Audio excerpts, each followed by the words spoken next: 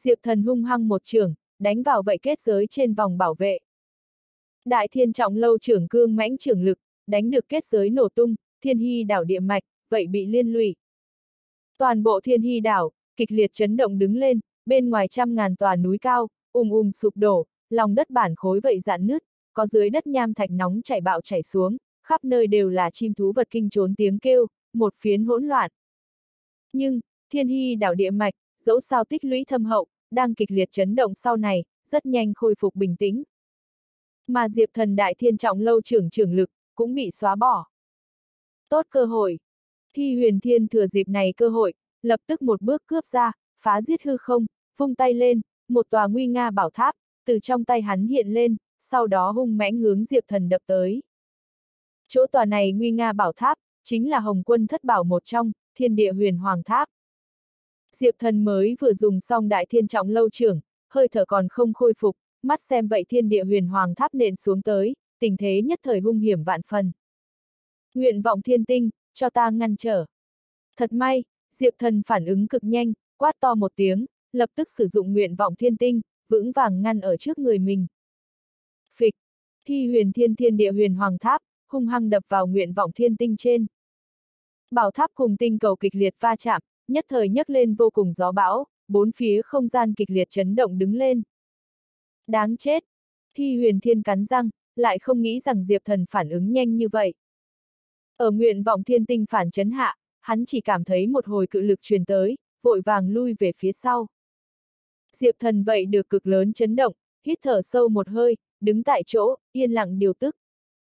Cái này hy huyền thiên, không hổ là bách gia cảnh bảy tầng thiên cường giả, hơn nữa tu luyện tinh thần biến sau đó, thực lực lại có to lớn tiến bộ, hiện tại hắn mang cho Diệp thần áp lực, lớn vô cùng, chàng này sanh tử quyết chiến, liền Diệp thần cũng không dám nói có thể tất thắng. Diệp Thí Thiên, người thực lực, vượt quá ta tưởng tượng, xem ra muốn giết chết ngươi, phải bỏ ra giá cực lớn. Thi huyền thiên huyền chuyển than thở, vậy cảm thấy Diệp thần thực lực, chân thực có chút biến thái, chính là nửa bước quá chân cảnh mà thôi, lại có thể để cho hắn cảm thấy như thế khó giải quyết. Thôi, coi như sau cuộc chiến rơi vào cực lớn yếu ớt, ta cũng trước phải đem ngươi giết chết nói sau. Thi huyền thiên hai tay giơ lên thật cao, dường như muốn đem toàn bộ tinh không, ôm vào trong ngực, trong mắt có đoạn tuyệt ý. Tinh thần biến, vạn dương băng diệt. Cuồn cuộn tiếng ngâm sướng, từ hy huyền thiên trong miệng phát ra, tinh thần biến bí pháp, thúc giục đến mức tận cùng. Một màn kinh người, lúc này xuất hiện. Chỉ gặp bầu trời đêm sao trời, bỗng nhiên xuất hiện liền một vòng tua mặt trời gay gắt, đem nguyên phiến nửa đêm, lần nữa chiếu thành ban ngày. Vù vù, vù vù, vù vù, vù vù. Một vòng tua mặt trời gay gắt, tựa như bị cảm cho đòi vậy, lục tục ở chân trời hiện lên. Ngay chớp mắt, chừng hàng ngàn hàng vạn mặt trời gay gắt, treo ở bầu trời trên, bộc phát ra cực kỳ kinh khủng nóng rực nhiệt độ. Ngàn vạn mặt trời chiếu sáng, đáng sợ nhiệt độ hạ xuống, mặt đất rừng rậm ngay tức thì bão đốt, liền đá đều bị đáng sợ nhiệt độ cao, nổ được mở tung, thiên hy đảo phía dưới nước biển, suy suy bốc hơi, lập tức bốc hơi hàng tỷ tấn, hóa thành trùng trùng hơi nước bay lên không. Mà những nước này khí, lại hóa thành mưa xối xả rơi xuống, nhưng mưa rơi vào giữa không trung, lập tức bị ngàn vạn mặt trời nóng bỏng nhiệt độ, bốc hơi vô hình. Thật là nóng. Toàn trường các khán giả, rối rít rối loạn rối loạn, vội vàng vận chuyển công pháp, bảo vệ tự thân, miễn được bị ánh mặt trời mang bắn chết. Ngàn vạn thái dương, trôi lơ lửng bầu trời, bộc phát ra khủng bố nhiệt độ cao, chỉ sợ liền sắt thép đều có thể hòa tan. Tất cả người kinh ngạc nhìn Hy Huyền Thiên, ánh mắt mang vô cùng rung động. Hy Huyền Thiên một chiêu này, chính là tinh thần biến lợi hại nhất sát chiêu, tên là Vạn Dương băng diệt. Thái Dương, cũng là ngôi sao một loại, hơn nữa còn là lớn nhất tinh thần. Tinh thần biến lợi hại nhất sát phạt, chính là triệu hoán ngàn vạn luân Thái Dương, đồng loạt nổ, để cho địch nhân ở nhiệt độ kinh khủng cùng nổ bên trong, hoàn toàn diệt vong. Cái gì? Diệp thần nhìn vậy ngàn vạn luân Thái Dương, trôi lơ lửng bầu trời huy hoàng hình ảnh, sắc mặt nhất thời thay đổi. Hắn ngưng thần xem chút dưới, cũng không cách nào nhìn thấu cái này sát chiêu khí cơ. Bởi vì, triệu hoán Thái Dương, vạn dương băng diệt, là tinh thần biến cuối cùng một thành nội dung. Diệp thần từ La Hề bên kia, học được chín thành nội dung, mà cuối cùng một thành, liền La Hề cũng không biết, hắn tự nhiên cũng không biết. Hiện tại, thấy hy huyền thiên thủ đoạn, Diệp Thần rốt cuộc rõ ràng. Tinh thần biến cuối cùng sát chiêu, chính là triệu hoán Thái Dương, lấy ngàn vạn luân Thái Dương băng diệt nổ làm giá, đem kẻ địch hoàn toàn tiêu diệt. Diệp Thí Thiên, ta sẽ đem ngươi, chôn ở Thái Dương bên trong. Hy huyền thiên ánh mắt lạnh lùng, bay đến trời cao, bối cảnh sau lưng là ngàn vạn tua Thái Dương, hắn uy nghiêm được giống như cổ xưa Thái Dương chiến thần vậy, quan sát Diệp Thần, liền như nhìn xuống một con kiến hôi. Oanh! Hạ một sát, khi huyền thiên vung tay lên, vậy ngàn vạn luân Thái Dương, chính là khỏa cuốn ngọn lửa kinh khủng gió bão, ùn ùn kéo đến, hướng Diệp Thần điên cuồng nổ đi. Diệp Thần con người co giúp lại, chỉ cảm thấy hàng tỷ cái vũ trụ, tất cả Thái Dương hàng tinh, đều ở đây trong một cái chớp mắt này, quay đầu hướng hắn nổ tới. Kinh khủng kia mặt trời gay gắt kiêu căng, so với hắn Thái Dương Tiên Hoàng Trảm, còn muốn kịch liệt trăm triệu triệu lần, thật là không cách nào dùng trần gian ngôn ngữ tới hình dạng. Đây là hồng hoang cấm thuật, tinh thần biến cuối cùng nghĩa sâu xa. Diệp thần hoàn toàn hít thở không thông, vậy một vòng thua Thái Dương, ở hắn bên người nổ, hư không đều bị nghiền nát, tất cả tồn tại hết thảy, đều bị chìm ngập ở mặt trời gay gắt gió bão hạ. Không cách nào hình dung nhiệt độ cao nóng bỏng, để cho được Diệp Thần cả người bắp thịt kinh mạch, kịch liệt vặn vẹo đau nhức, cơ hồ phải bị đốt trọi. Nguy cấp bên trong, hắn chỉ có thể dùng hoàng tuyển đồ, nguyện vọng thiên tinh, vạn yêu tiên trì, linh bia vân. Vân, tạm thời bảo vệ được thân thể. Nhưng, ngàn vạn luân mặt trời nổ, đơn giản là vô cùng vô tận, hắn lại cũng không có thể một mực phòng thủ đi xuống, sớm muộn có bị công phá phòng ngự một khắc.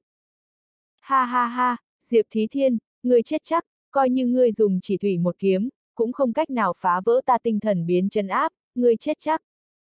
Thi huyền thiên cao cứ ở trên trời, ngửa mặt lên trời cười lớn, liều lĩnh tới cực điểm.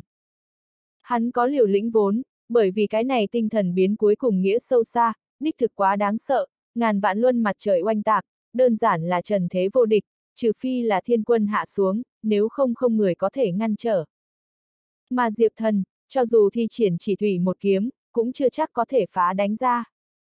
Dẫu sao, hắn không phải chân tránh không không cấp cường giả, từ đầu đến cuối còn muốn bị thực tế phép tắc hạn chế. Mà ngàn vạn luân mặt trời kịch liệt nổ, uy thế quá kịch liệt, chỉ sợ liền chỉ thủy một kiếm, cũng không cách nào phá vỡ. Ở Hy Huyền Thiên trong mắt, Diệp Thần đã là một cổ thi thể, hôm nay quyết chiến, hắn thắng chắc.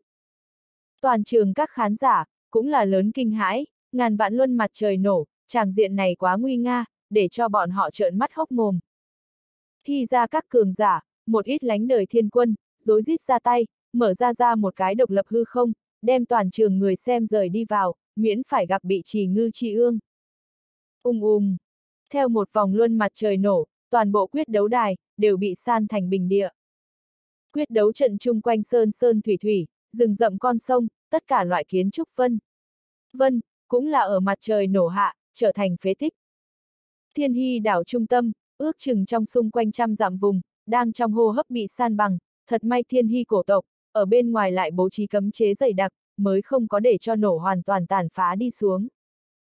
Nếu không, cái này ngàn vạn luân mặt trời băng diệt, chỉ sợ ở đem toàn bộ thiên hy đảo, cũng nổ được nghiền. Kịch liệt như vậy nổ, có thể tưởng tượng được, Diệp Thần gặp phải, là kinh khủng bực nào cục diện. Thằng nhóc, muốn ta ra tay sao? Ở thời khắc nguy cấp này, Hoàng Lão và Huyền Hàn Ngọc, cũng phát ra ngưng trọng thanh âm, hiển nhiên vậy cảm giác được sự thái nguy hiểm, nếu như chỉ hoãn tiếp nữa, chỉ sợ Diệp Thần thật phải bỏ mạng. Không cần, đây là ta cùng Hy Huyền Thiên cuộc chiến sinh tử, không cần người ngoài nhúng tay. Diệp Thần lắc đầu một cái, trận chiến này, là hắn cùng Hy Huyền Thiên người cuộc chiến, hắn chẳng muốn người khác nhúng tay. Hắn muốn đường đường tránh tránh, giết chết Hy Huyền Thiên, là âm dương thần điện người bị chết báo thù, chứng minh mình điện chủ tư cách cùng địa vị. Hơn nữa, nếu như mượn cạnh người trong tay, giết chết Hy Huyền Thiên, vậy hắn cấm thiên bảng, có thể không có được hạng, không cách nào tranh bảng. Mắt xem một vòng luân thái dương, ở bên cạnh mình nổ, Diệp Thần biết, nếu như không bỏ ra điểm giá phải trả, là không thể nào phá đánh ra. Vạn yêu tiên trì, sắc. Diệp Thần vung lên tai nạn thiên kiếm, xa xa chỉ hướng vạn yêu tiên trì. Rào rào rào rào. Vậy vạn yêu tiên chỉ ao nước, điên cuồng cuốn ngược, hội tụ đến diệp thần trên thân kiếm, từng luồng ao nước, không ngừng bốc hơi trước, năng lượng bàng bạc, bắt đầu hướng Diệp Thần thân kiếm bơm vào đi vào. Hoàng lão hơi kinh hãi, nói, thằng nhóc, người muốn làm gì? Cái này vạn yêu tiên trì, chính là bốn đại tiên ao một trong, hơn nữa chính là bản thể, không phải cái gì mảnh vỡ hoặc là nhánh sông. Vạn yêu tiên trì linh khí, 10 phần đậm đà, đủ diệp thần dùng đến thiên quân cảnh giới, vậy ngàn vạn luân thái dương nổ, nhưng không cách nào đem ao nước bốc hơi, có thể gặp cái này vạn yêu tiên chỉ lợi hại, không thiên quân thủ đoạn, không thể phai mờ. Nhưng hiện tại, Diệp Thần lại có thể ở hiến tế vạn yêu tiên trì, chủ động đem vậy ao nước bốc hơi. Ao nước bốc hơi hết sau đó, hào hùng tiên linh yêu khí, bơm vào đến Diệp Thần trên thân kiếm. Diệp Thần tai nạn thiên kiếm, nhất thời hiển hóa ăn gian vạn yêu ma quỷ dị khí tượng, các loại yêu ma quỷ khóc sói chu, vô cùng dữ tợn, đó là vạn yêu tiên chỉ linh khí, bùng nổ dị tượng. Khoảnh khắc tới giữa, Diệp Thần lại đem vậy ao nước, hoàn toàn cho bốc hơi rớt. Ừ, bầu trời bên ngoài, Hy huyền thiên thấy Diệp Thần Thiên trên thân kiếm, bỗng nhiên bùng nổ vô số yêu ma dị tượng, nhất thời lấy làm kinh hãi. Thằng nhóc này muốn làm cái gì, chẳng lẽ hắn còn có lá bài tẩy, có thể phá vỡ ta tinh thần biến. Thi huyền thiên gương mặt biến sắc, khó mà tin tưởng. Diệp thần hai tay cầm kiếm, ánh mắt sắc bén, trong lòng lướt qua chỉ thủy kiếm đạo đủ loại bí ẩn. Võ đạo trung cực, không không lúc nào không, ban cho ta lực lượng, chỉ thủy một kiếm, phá cho ta. Diệp thần trong miệng ngâm sướng, thần bí không không lúc nào không bên trong, có một món đáng sợ năng lượng, tiết lộ ra, bơm vào đến Diệp thần trên thân kiếm. Ở cổ năng lượng này ra chỉ xuống, Diệp thần trên thân kiếm các loại yêu ma, lập tức khí thế bùng nổ, phóng lên cao. Ngàn vạn con yêu ma, tất cả hóa thành trăm trượng cao, đầy trời đầy vải, lại che đậy ánh sáng của mặt trời mang, ở khạc khạc rát rát quái khiếu thanh, tiếng quỷ khóc sói chu, truyền khắp vạn giảm. Đây là cái gì? Thi huyền thiên cùng toàn trường các khán giả, thấy cái này dị tượng, nhất thời ngạc nhiên. Sau đó, bọn họ thấy được hơn nữa đáng sợ dị tượng, đủ để cho bọn họ chọn đời nhớ.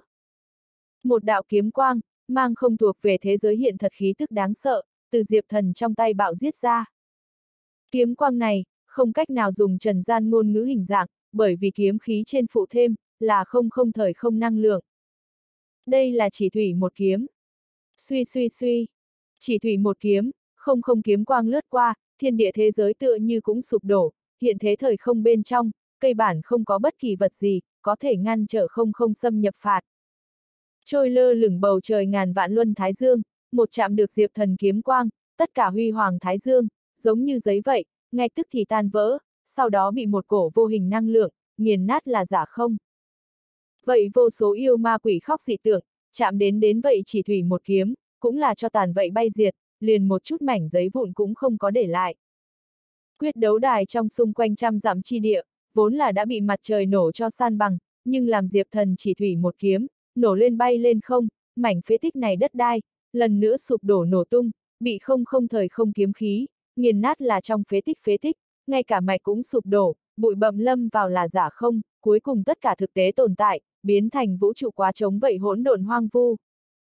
Kiếm khí sát phạt còn không kết thúc, kiếm quang phóng lên cao, chỉ thủy kiếm ý bao phủ vạn dặm, thiên hy đảo cấm chế đều không cách nào ngăn trở.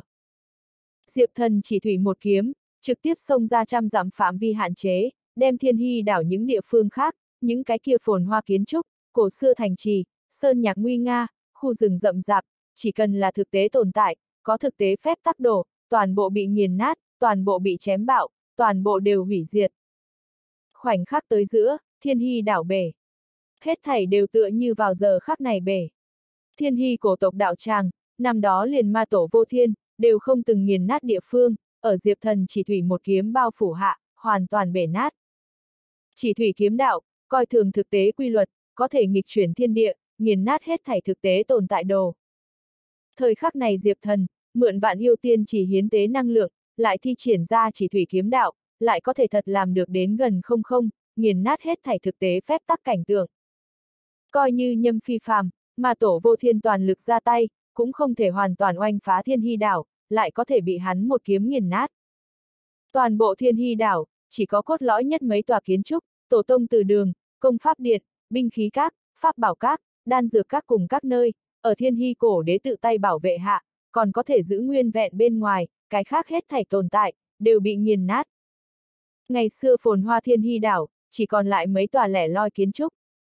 Đáng sợ hơn phải, thiên hy đảo vạn giảm chu vi, hắc ám cấm hải đại dương, đều ở đây ngay tức thì biến mất. Không phải bốc hơi, là trực tiếp biến mất, bị không không thời không lực lượng cuộn sạch, hóa thành hư không. Thiên hy đảo chu vi vạn giảm, trừ vậy mấy tòa lẻ loi kiến trúc bên ngoài, đã không thấy được thế giới hiện thật tồn tại đồ, chỗ này biến thành một phiến vũ trụ hỗn độn vậy hư không, tràn đầy hoang vu vắng lặng hơi thở. Nhâm phi phàm ngay tại thiên hy đảo cách đó không xa, thấy vạn dặm chu vi, đều bị không không thời không năng lượng nghiền nát, hắn nhất thời thất kinh, nhìn về diệp thần phương hướng. Thằng nhóc này, kiếm đạo lại có thể như vậy đáng sợ, truyền thuyết chỉ thủy một kiếm, con kiến hôi đều có thể đánh giết thiên thần, quả nhiên không giả. Hắn rung động thật sâu, bởi vì cho dù là hắn, cũng không thể công diệt thiên hy cổ tộc mười mấy chục nghìn năm tích lũy, đem thiên hy đảo phá hủy. Nhưng Diệp Thần, nhưng chân chính làm được, đây quả thực là không thể tưởng tượng nổi. Đây là thuộc về không không lực lượng. Chiến đấu nhất trung tâm, Diệp Thần kịch liệt thở hổn hển, cả người xương cơ hồ mau bung cái khung, kinh mạch trước đó chưa từng có đau nhói. Một kiếm này, hắn tiêu hao quá lớn. Cái này chỉ thủy một kiếm, có thể bùng nổ như thế kinh khủng uy lực, nhưng thật ra là bởi vì hắn hiến tế vạn yêu tiên trì. Vạn yêu tiên trì, đây chính là bốn đại tiên ao một trong, bàn về phẩm chất, chỉ so với hứa nguyện tiên trì, hơi kém một bậc mà thôi. Thái thượng thiên nữ đạt được hứa nguyện tiên trì, liền dám lập tức phản bội vạn khư, tự lập môn hộ, thành lập nguyện vọng tiên giáo, tự xưng giáo chủ, có thể tưởng tượng được bốn đại tiên ao uy năng. Cái này vạn yêu tiên chỉ uy năng, cũng là dị thường cường hãn, Diệp Thần trực tiếp hiến tế hết, bộc phát ra năng lượng, có thể tưởng tượng được. Hiện tại vạn yêu tiên trì, đã hoàn toàn khô kiệt, chỉ còn lại một cái nghiên mực vậy đồ, bay trở về Diệp Thần trong lòng bàn tay, ánh sáng hoàn toàn ảm đạm. Mà mượn vạn yêu tiên chỉ hiến tế, Diệp Thần vậy chỉ thủy một kiếm, bộc phát ra không cách nào tưởng tượng uy lực, cho mượn dùng đến không không lúc nào không năng lượng, so hắn trước đây chém chết Montenegro lão yêu, còn muốn nồng nặc trăm lần.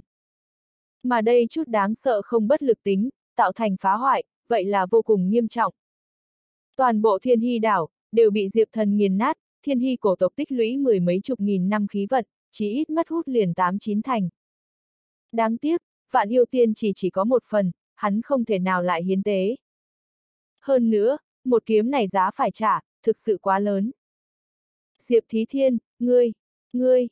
Thi huyền thiên thấy Diệp Thần một kiếm này, tạo thành đáng sợ phá hoại, cả người đều đần độn. Hắn chật vật từ không trung đánh mất, ngã nhào trên đất, ở Diệp Thần kiếm khí ảnh hưởng đến hạ, hắn đạo tâm đã tan vỡ, hoàn toàn mất đi sức chiến đấu. Thi huyền thiên, còn đánh nữa không?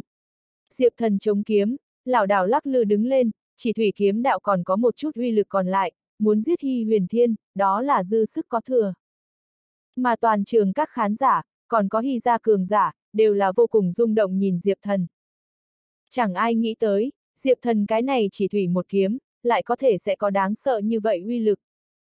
Liền liền Hy huyền thiên sư phụ Hy Thái Trùng, cũng là mồ hôi lạnh nhễ nhại, lòng hắn muốn, nếu như một kiếm kia, chém chết hướng ta, ta chỉ sợ ở ngay tức thì lâm vào là phấn vụn. Hắn là thiên quân cấp cường giả khác, nhưng cho dù là hắn, cũng không có lòng tin, đối kháng Diệp Thần mới vừa một kiếm kia. Có thể tưởng tượng được, Diệp Thần một kiếm kia, là đáng sợ cỡ nào, lợi hại bực nào, đã có thể giết chết chân chính thiên quân. Dĩ nhiên, đây cũng không phải nói, Diệp Thần hiện tại thật có năng lực, đánh giết thiên quân. Hắn mới vừa một kiếm kia, là hiến tế vạn yêu tiên chỉ bùng nổ, vạn yêu tiên chỉ chân quý như vậy pháp bảo, hắn cũng chỉ có một kiện mà thôi. Lần sau muốn lại bùng nổ, trừ phi là hiến tế hoàng tuyển đồ, hoặc là nguyện vọng thiên tinh, nhưng cái này dạng giá quá lớn, cái mất nhiều hơn cái được. Dưới tình huống bình thường, Diệp Thần chỉ thủy một kiếm, mượn hiến tế vật gì khác bùng nổ lực lượng, nghịch giết bách ra cảnh hậu kỳ cường giả, chính là cực hạn, không thể nào thật vượt qua thực tế hạn chế, chém chết thiên quân, dẫu sao hắn còn cuộc sống ở hiện thế thời không, cũng không phải thật nắm trong tay không không lực lượng. Um! Ở Diệp Thần uy áp hạ, Hy huyền thiên hoàn toàn luống cuống, quỳ xuống đất, liền liền dập đầu đầu, nói. Diệp Thí Thiên, tha mạng, tha mạng, ngươi thắng, ta nhận thua, ta nhận thua. Vậy chỉ thủy một kiếm, xen lẫn không bất lực tính, đích thực quá đáng sợ, Hy Huyền Thiên là từ lúc sanh ra tới nay, lần đầu tiên cảm nhận được không không thời không uy áp. Hắn rốt cuộc rõ ràng, tại sao không không cảnh giới, sẽ bị dự là tu luyện trung cực, vô số võ giả mơ tưởng để cầu, cũng muốn bước vào không không. Bởi vì, không không lúc nào không, chân thực quá kinh khủng, không không năng lượng, có thể ung dung nghiền nát thực tế, thực tế tồn tại hết thảy quy luật, ở không không trước mặt, cũng giống như giấy vậy yếu ớt. Diệp thần thấy Hy huyền thiên quỳ xuống đất cầu xin tha thứ hình dáng, trong bụng cảm thấy thoải mái, nói tinh thần biến bí tịch đâu. Thi huyền thiên sắc mặt trắng bệch, lập tức hội tụ ánh sao, hóa thành một ngôi sao hạch, giao cho Diệp thần, nói, đây chính là tinh thần biến nguyên vẹn bí tịch, Diệp Thí Thiên, ngươi cứ việc cầm đi, cầu ngươi tha ta một mạng. Hắn chưa đủ thiên tuế, liền tu luyện tới bách gia cảnh bảy tầng thiên, tương lai tiền đồ vô hạn, chân thực chẳng muốn lúc này chết đi. Diệp thần nhận lấy vậy tinh hạch, cẩn thận cảm ứng một tí, quả nhiên phát hiện là bản nguyên vẹn bản, vậy triệu hoán thái dương, vạn dương băng diệt bí pháp, vậy ở trong đó. Lúc đầu cuối cùng một thành nội dung, là như vậy. Diệp thần trong lòng thở phào nhẹ nhõm, trong lòng bí ẩn giải khai, vậy cổ võ đạo lửa, cũng là rốt cuộc tắt đi xuống, lại nữa đau khổ hắn nội tâm.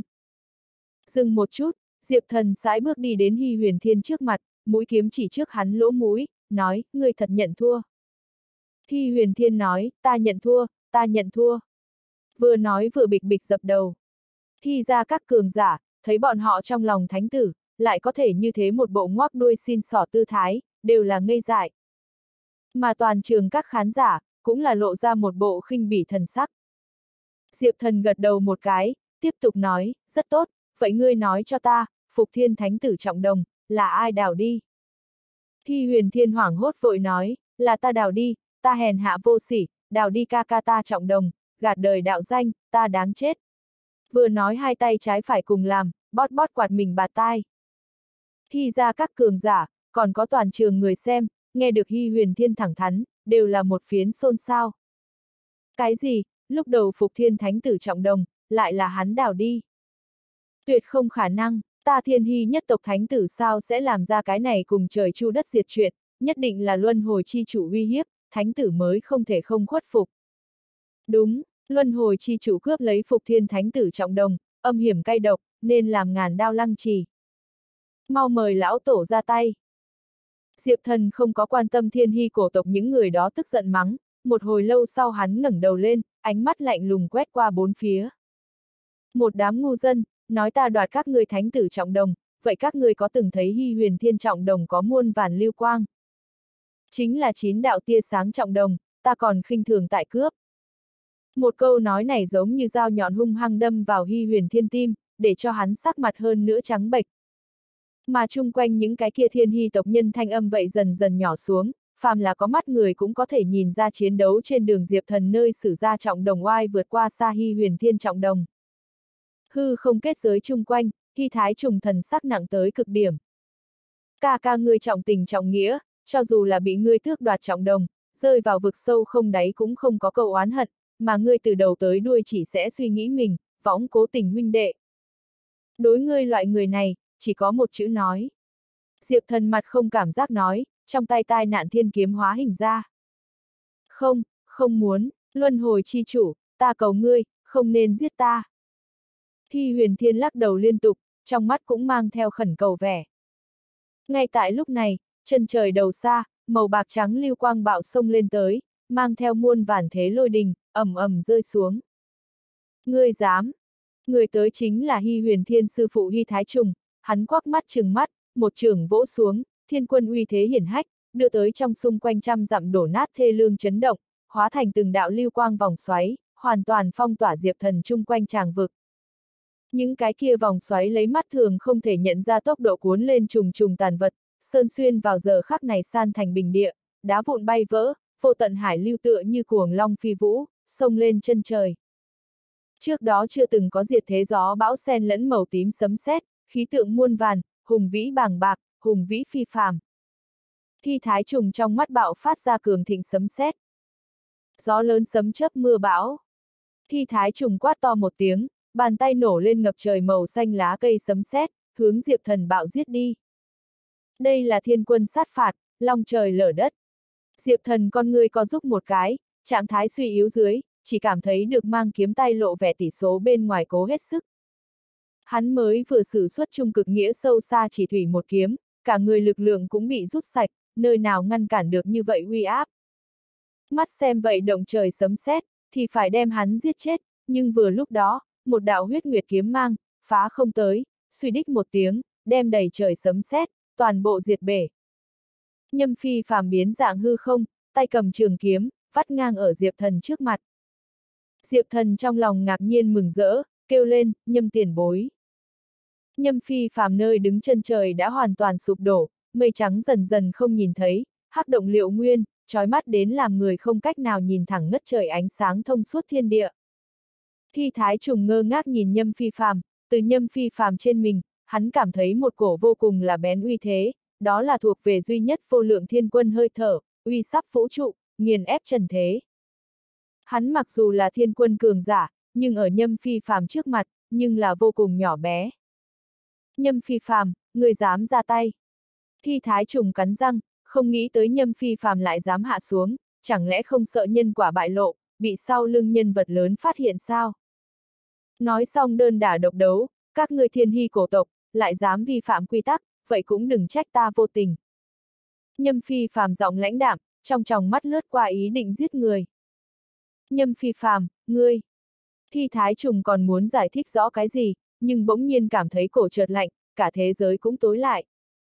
Lau một cái huyết nguyệt kiếm mang, đem đầu hắn, chém xuống, liên quan thần hồn, cùng chôn vùi. Nhâm phi phàm nhàn nhạt thu hồi trường kiếm, ngay chớp mắt giết chết hy thái trùng, liền như chém chết một con sâu vậy. Cái gì? Thấy một màn này, toàn trường người xem cùng hy ra các cường giả, đều là cả kinh thất sắc. Phải biết, hy thái trùng nhưng mà thiên quân cấp bậc cao thủ, ở hy ra địa vị cực cao. Đào tạo một cái thiên quân, không biết phải hao phí nhiều ít tài nguyên, tiêu hao nhiều ít khí vật như vậy tồn tại, lại bị nhâm phi phàm như nghiền chết con kiến hôi, trực tiếp một kiếm giết chết. Đơn giản là vô tình. Sư phụ. Hy huyền thiên thấy hy thái trùng chết, nhất thời hù được mặt không người sắc. Hắn muốn chạy trốn, nhưng, ở nhâm phi phàm hơi thở dưới sự uy hiếp, cả người chút nào nhúc nhích không được, cứng ngắc tại chỗ. Nhâm tiền bối. Diệp thần cũng là ngơ ngác nhìn nhâm phi phàm, hoàn toàn không nghĩ tới nhâm phi phàm như thế hung hãn, lại cả ngày quân cấp cường giả khác, cũng tiện tay xóa bỏ. Lão tổ, lão tổ cứu mạng, cứu mạng. Thi huyền thiên đạo tâm hoàn toàn tan vỡ, hướng bầu trời kêu to lên, muốn mời thiên hy cổ đế ra tay, đối kháng nhâm phi phàm. Nhưng thiên hy cổ tộc tổ sư ra, thiên hy cổ đế, không biết che giấu ở địa phương nào, hắn thấy hy thái trùng chết, một đời thiên quân chết đi, lại cũng không có hiện thân, tựa hồ kiêng kỵ nhâm phi phàm uy nghiêm, cũng không dám lập tức xé rách ra mặt. Dẫu sao, toàn bộ thiên hy đảo, đều bị diệp thần chỉ thủy một kiếm, hoàn toàn phá hủy, tích lũy mười mấy chục nghìn năm khí vận, mất hút liền tám chín thành, mất đi địa mạch khí vận theo nhờ, cho dù là thiên hy cổ đế, vậy tuyệt đối không cách nào cùng nhâm phi phàm chống lại. Thằng nhóc, ngươi không phải muốn báo thù sao? Nhâm phi phàm nhìn xem hy huyền thiên, lại nhìn xem diệp thần. Nghe được trả thù hai chữ, hy huyền thiên con ngươi co giúp lại, đạo tâm tan vỡ dưới, lại hướng diệp thần quỳ xuống, nói, diệp thí thiên, tha mạng. Diệp thần gương mặt yên lặng, nhưng là lạnh lùng tới cực điểm, trong tay tai nạn thiên kiếm vung lên, vô cùng tai khí cuộn sạch ra, lướt qua hy huyền thiên thân thể. Hy huyền thiên phát ra nhất trận tiếng kêu thê lương thảm thiết, thân thể ở tai nạn kiếm khí ăn mòn, trong phút chốc hóa thành xương khô, hình thần câu diệt, hoàn toàn chết. Huyền thiên thánh tử chết. Toàn trường các khán giả, còn có hy ra các cường giả, thấy hy huyền thiên hai thầy trò, trước sau bỏ mình, đều là rung động. Ung ung. Mà vào lúc này, bầu trời chấn động, có một khối đá bia nổi lên. Đó là cấm thiên bảng hạng bia đá. Trên tấm bia đá, xếp hạng thứ hai Hy Huyền Thiên, tên chữ hoàn toàn nhạt đi biến mất. Mà Diệp Thí Thiên ba chữ, xếp hạng tiến về trước một tên, trực tiếp thay thế Hy Huyền Thiên, xếp hàng thứ hai. Rốt cuộc xếp hàng đệ nhị. Diệp thần nắm quyền một cái, chỉ cảm thấy hạng lên cao sau đó, cả người có đại khí vận ra chỉ từng vòng thần mang tiên quang bung ra, hắn mới vừa vận dụng chỉ thủy một kiếm, vẫn là vô cùng yếu ớt hình dáng, nhưng hiện tại, hạng lên cao sau đó, trong sâu thẳm, đạt được một cổ vô hình ban phúc, tất cả yếu ớt đều là tiêu tán. Hắn trạng thái, ngay tức thì khôi phục được đỉnh cấp. Lại có lớn như vậy ban phúc, ta nếu có thể bắt lại thứ nhất, há chẳng phải là nghịch thiên. Diệp thần mừng rỡ không thôi, tấn thăng thứ hai ban phúc tăng thêm, vượt quá hắn tưởng tượng. Hắn vận dụng chỉ thủy một kiếm, tiêu hao cực kỳ to lớn, vốn là lấy là cần nghỉ ngơi rất lâu, nào nghĩ tới hiện tại hạng tăng lên sau đó, trực tiếp khôi phục viên mãn. Nếu như có thể tranh bảng thứ nhất, tăng lên sợ rằng sẽ lớn hơn. Thằng nhóc, đi thôi. Nhâm phi phàm vung tay lên, ở toàn trường người nhìn soi mói, trực tiếp mang Diệp Thần rời đi. Từ đầu chí cuối, thiên hy cổ tộc tổ sư ra, thiên hy cổ đế, cũng không có lộ diện. Diệp Thần cùng nhâm phi phàm, hoàn toàn rời đi thiên hy cổ tộc. Hai người rời đi thiên hy đảo, đạp phá hư không, đi la sinh đảo phương hướng tiến về phía trước. Diệp Thần dẫn đầu cười nói, nhâm tiền bối, lần này nếu như không có người ra tay, ta chỉ sợ cũng muốn thua ở thiên hy đảo. Nhâm phi phàm sững sốt cười một tiếng, hắn lưng đeo trường kiếm, khí độ lăng nhiên. Tiểu tử ngươi nhưng mà luân hồi chi chủ, luân hồi chi chủ người mang đại khí vận, sẽ không dễ dàng gãy kích. Nhâm tiền bối liền chớ có diễu cợt ta, lớn hơn nữa khí vận vậy cần phải bị ta cái này xung động tính cách làm hỏng không thể. Diệp thần cười khổ một tiếng. Nhâm phi phàm không trả lời, mà là cho hắn một cái ánh mắt ý vị thâm trường. Bằng vào nhâm phi phàm năng lực, hai người có thể ở ngắn ngủi mấy hơi thở tới giữa vượt qua mấy ngàn dặm, rất nhanh liền có thể trở lại La Sinh đảo. Nhưng ngay khi bọn họ xuyên qua một phiến hư không nước lũ thời điểm, nhàn nhã đi vậy nhâm phi phàm bỗng nhiên lúc này khí thế biến đổi, ngay trong ánh mắt bỗng nhiên tóe ra sạch bóng. Hắn kéo Diệp Thần nhanh chóng trượt lui mấy ngàn dặm, một cái chớp mắt thời gian đã đến biển vô tận bầu trời. Diệp Thần kinh ngạc hơn, có thể từ vậy phiến nhanh chóng co giúp lại trong hắc động thấy lau một cái cực kỳ thâm thúy hắc ám. Làm hắc động sắp hoàn toàn đóng kín thời điểm, mấy đóa ma khí uy nghiêm xương trắng hoa sen lặng lẽ tách thả ra, không lâu lắm phân bố toàn bộ chân trời. Một bóng người đạp xương trắng hoa sen bước ra, thân hình cao lớn như ma, mặt mũi nhưng là tuấn Mỹ dị thường. Diệp thần con người chợt co giúp một cái. Người tới lại là ma tổ vô thiên. Nhâm phi phàm ngược lại là lộ vẻ được 10 phần ổn định, tựa như đã sớm biết ma tổ vô thiên sẽ tới vậy. Ma tổ vô thiên trong tay chậm rãi ngưng tụ ra một đóa lớn chừng bàn tay xương trắng hoa sen, nửa hỗn độn nửa rõ ràng, đem hắn gương mặt vậy ánh chiếu được hư hư thật thật, phân không phân biệt rõ. Nhâm ra thiên mệnh, người hiện tại tránh sử đang đột phá mấu chốt kỳ, như vậy bại lộ vị trí, không sợ ảnh hưởng đột phá sao? Ma tổ vô thiên ngay mặt hướng nhâm phi phàm nói chuyện, nhưng Diệp Thần cảm giác hắn ánh mắt luôn là vô tình hay cố ý rơi vào trên người mình, vậy trong đó bao hàm tức giận, sát ý, còn có tiếc nuối cùng nhiều loại phức tạp tình cảm. Nhâm phi phàm ổn định bình thường nói, chuyện ta cũng không nhọc đến người phí tâm. Ha ha, ma tổ vô thiên cười lạnh một tiếng, bỏ mặc ngươi hôm nay thái độ như thế nào, luân hồi chi chủ ta là giết định. Hắn gia nhập ta cựu Nhật Minh hỏi dò tình báo, trợ giúp ngoại địch, lại lấy đi ta muốn mảnh vỡ, hắn tim có thể giết. Hắn sau lưng bỗng nhiên lúc này bộc phát ra muôn vàn dị tượng, ngàn vạn nặng ma khí lan tràn hư không, uy áp cực kỳ khủng bố. Cửu u ảo thuật pháp, u minh thú. Vậy cổ uy áp tựa như thông linh tính, hóa thành thái cổ hung thú phóng lên cao, đánh về phía hai người, bầu trời ngay tức thì bị xuyên thủng. Hung thú mắt như chuông đồng, chân đạp hư không, mỗi đạp một bước thiên địa nhật nguyệt cũng làm biến sắc, vũ trụ tựa như đều phải vỡ nát. Nhâm phi phàm sừng sững không nhúc nhích, hắn nhẹ nhàng một phất ống tay áo, hỗn độn thời không chỗ sâu xé ra một đạo khổng lồ chỗ rách, màu xanh đen cự kình cuốn sóng biển gào thét ra. Thiên quân pháp bảo, cự kình thần thụ. Nhâm phi phàm nơi dùng phương pháp bảo, uy lực thông thiên triệt địa, giống vậy làm đấu chuyển tinh di, vạn vật chìm nổi.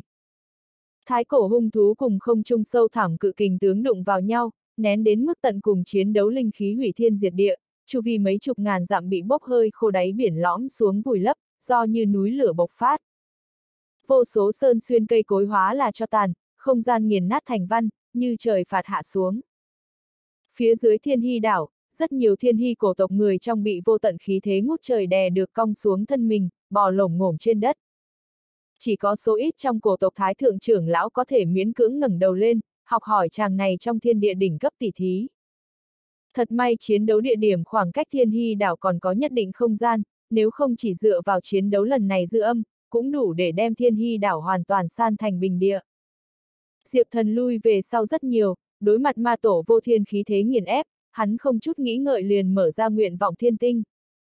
Chỉ bất quá nguyện vọng thiên tinh tạo thành bình phong che chở cũng không cách nào hoàn toàn ngăn trở chấn động đánh vào. Hắn linh thức cùng thân xác đều bị liền ảnh hưởng. Đây chính là nhâm phi phàm và vô thiên thực lực sao? Quá kinh khủng. Diệp thần lẩm bẩm nói. Hắn đang trốn thiếu người gian cấm thành thời điểm, đã từng chính diện đối kháng qua ma tổ vô thiên một đạo phân thân, khi đó liền cảm thấy vô cùng cố hết sức. Hiện tại ma tổ vô thiên theo nhâm phi phàm hơi thở tìm tới, chân thân hạ xuống, đối mặt thế giới hạng trước ba cường giả, Diệp Thần rất nhanh có lần nữa định nghĩa. Mình bây giờ sợ rằng liền một trưởng của đối phương cũng không chống nổi. Tranh lệch quá xa. Hai đại vô lượng cấp cường giả không có dò xét, trực tiếp khai chiến, dùng trời sập đất diệt tới hình dạng cũng không quá đáng. Màu máu đổ sát thiên trảm trăng đỏ ánh sáng cùng ma la kinh tràng uy nghiêm ma khí kịch liệt va chạm, vô số thực tế quy luật bị nghiền, ma hóa cổ xưa thánh Phật như thiên thần dáng thế, uy nghiêm vô địch. Ma tổ vô thiên triệu hoán ra ma la kinh tràng, ma đạo khí tượng bao trùm tinh không, đầy trời xương trắng hoa sen tách thả ra, vũ trụ tinh thần hiện ra hết trong đó. Nhâm phi phàm tự nhiên không cam lòng yếu thế, kiếm trong tay quang hàn triệt thiên địa, một kiếm đâm rách hắc ám cấm hải cấm kỵ, thông suốt cầu vòng, văng tung tóe hỗn độn. Kiếm quang trói mắt thần thánh trang nghiêm, trong lòng phàm là có một chút tà niệm người, đều là không dám nhìn thẳng. Thản nhiên không thẹn, đỉnh thiên lập địa, đây cũng là nhâm phi phàm đại lộ, bất kỳ quy tắc đều không cách nào trói buộc hắn, bất kỳ tâm ma cũng không cách nào đánh bại hắn. Đỉnh cấp chiến đấu giữa cường giả tuyệt không phải lấy từng chiêu từng thức tới định thắng bại, hiện tại nhâm phi phàm đã kéo ma tổ vô thiên, diệp thần nhanh lên ngồi xếp bằng, điều dưỡng sống, khôi phục thực lực. Bên kia thiên hy đảo người trên đã chậm rãi từ trong khiếp sợ khôi phục như cũ. Mấy tên từ thiên hy cổ trong đất đi ra ngoài thái thượng trưởng lão chủ trì đại cuộc, thu thập đổ nát gia viên. Cái này đáng chết luân hồi chi chủ không chỉ có giết thánh tử, còn phá hủy nhà chúng ta, thù này không đội trời chung. Chúng ta mấy đời người dốc hết tâm huyết tạo dựng lên gia viên, liền bị trời giết này luân hồi chi chủ cho phá hư, ta không cam lòng. Trên đảo tràn đầy thiên hy cổ tộc tộc nhân tức giận gầm to, vậy mấy tên thái thượng trưởng lão giống vậy sắc mặt âm trầm như nước. Bọn họ lẫn nhau gật đầu một cái, sau đó văng tứ tán, triệu tập một nhóm người ngựa tới lên đến đảo các nơi. Diệp thần đang thiên hy đảo ngoài ngàn dặm đáy biển điều dưỡng sống. Bọn họ tuyệt không thể nào thả qua cái này cơ hội. Lão tổ xin giao phó cho cổ trận lực lượng, hiện tại nhâm phi phàm đã rơi vào cùng ma tổ vô thiên kịch chiến, không rảnh chiếu cố đến cái khác, chính là chúng ta đánh chết luân hồi chi chủ tốt cơ hội. Một tên thái thượng trưởng lão ôm hận hô. Lão tổ, xin kích hoạt cổ trận, đánh chết này lưu, bảo vệ ta thiên hy cổ tộc vạn năm danh dự. Thiên hy cổ tộc các tộc nhân quần chúng kích động, hận không được đem diệp thần ăn sống nuốt tươi. Không lâu lắm, thiên hy đảo cấm địa chỗ sâu truyền tới một đạo minh mông thanh âm mờ ảo. Chính xác, thiên hy lão tổ đáp ứng đồng thời, thiên hy đảo đông nam tây bắc bốn phương hướng, oanh thanh âm ủng ủng bên tai không dứt. Cổ trận lập bàn, đã khởi động. Cấm địa chỗ sâu, tinh khiết hào hùng linh khí toàn bộ dưới vào đến cổ trận trong đó, tỉnh lại cả tòa thiên hy đảo. Đáy biển thế giới vực sâu hiện lên chi chít trận văn, đem cả tòa thiên hy đảo bao vây. U Minh Ma Đồng trận, mở. Theo thiên hy lão tổ cả người quát lên, tràn đầy vô giới hạn ma khí nghiền nát hư không, dung chuyển càn khôn. Thân ở khác một phiến hư không hai lớn cường giả đỉnh phong, tự nhiên cảm giác được thiên hy đảo lên dị biến. Nhâm phi phàm dư quang khóe mắt nhìn về phía phía dưới. Nhâm ra thiên mệnh, trước hay là cố tốt chính ngươi đi. Ma tổ vô thiên một trường vỗ xuống, xương trắng dày đặc, ma khí cuồn cuộn, do có cổ xưa phản âm vang khắp tinh không, ngâm tụng ma kinh. Nhâm phi phàm gợn sóng không sợ hãi, hơi thở vững vàng. Người cũng như nhau. Không cần người ngoài nhắc nhở, Diệp Thần đã phát giác khác thường. Mắt hắn híp lại, xa nhìn phương xa. Nơi đó có ngập trời ma khí đang hội tụ, tràn ngập chân trời, bao phủ đám mây lớn tiêu. Lại dần dần huyễn hóa thành một cái con mắt thật to. Vậy chỉ ma nhãn phảng phất từ địa ngục chỗ sâu tới, mang theo tu la minh lửa, u tịch ngọn lửa không tiếng động cháy, nhiệt độ băng hàn tới cực điểm. Thời không làm đông, bể tan tành. Mà đang ở Diệp Thần ngước mắt nhìn ra xa giờ khắc này, ma nhãn giống như thông linh tính, gắt gao phong tỏa chỗ hắn ở. Diệp Thần hít sâu một hơi, biết được tai nạn lại sắp tới. Nếu như hắn đoán không lầm, Thiên Hy đảo bảo vệ đảo đại trận chính là trong truyền thuyết thái cổ chín đại ám hắc cấm trận một trong, U Minh Ma Đồng trận. Chín đại ám hắc cấm trận vốn là cao nhất thuật pháp, chỉ tiếc bị hắc ám cấm hải ở giữa cổ xưa tồn tại nơi được, dính liền kết cục thảm hại, từ đó diễn hóa thành tà ác trận pháp. Ám hắc cấm trận xuất hiện địa phương, không một không phải sinh linh đổ thán. Lại cấm trận bảo vệ cần máu tươi tưới, sợ rằng đã có không ít người trở thành cấm trận chất dinh dưỡng. Đường đường thiên hy cổ tộc, lại lấy đen sấm cấm thuật tới làm bảo vệ đảo đại trận. Đáng xấu hổ, đáng hận. Luân hồi chi chủ, hôm nay sẽ để cho ta thiên hy nhất tộc tới kết thúc ngươi luân hồi. Đưa ngươi vào địa ngục. Mấy tên thiên hy cổ tộc thái thượng trưởng lão gầm thét hòa lẫn u minh ma đồng trận ma khí, truyền bá đến cấm trận trong đó, đen sẫm hơi thở bốc hơi lên vượt quá, đánh phía Diệp Thần ở địa phương đó.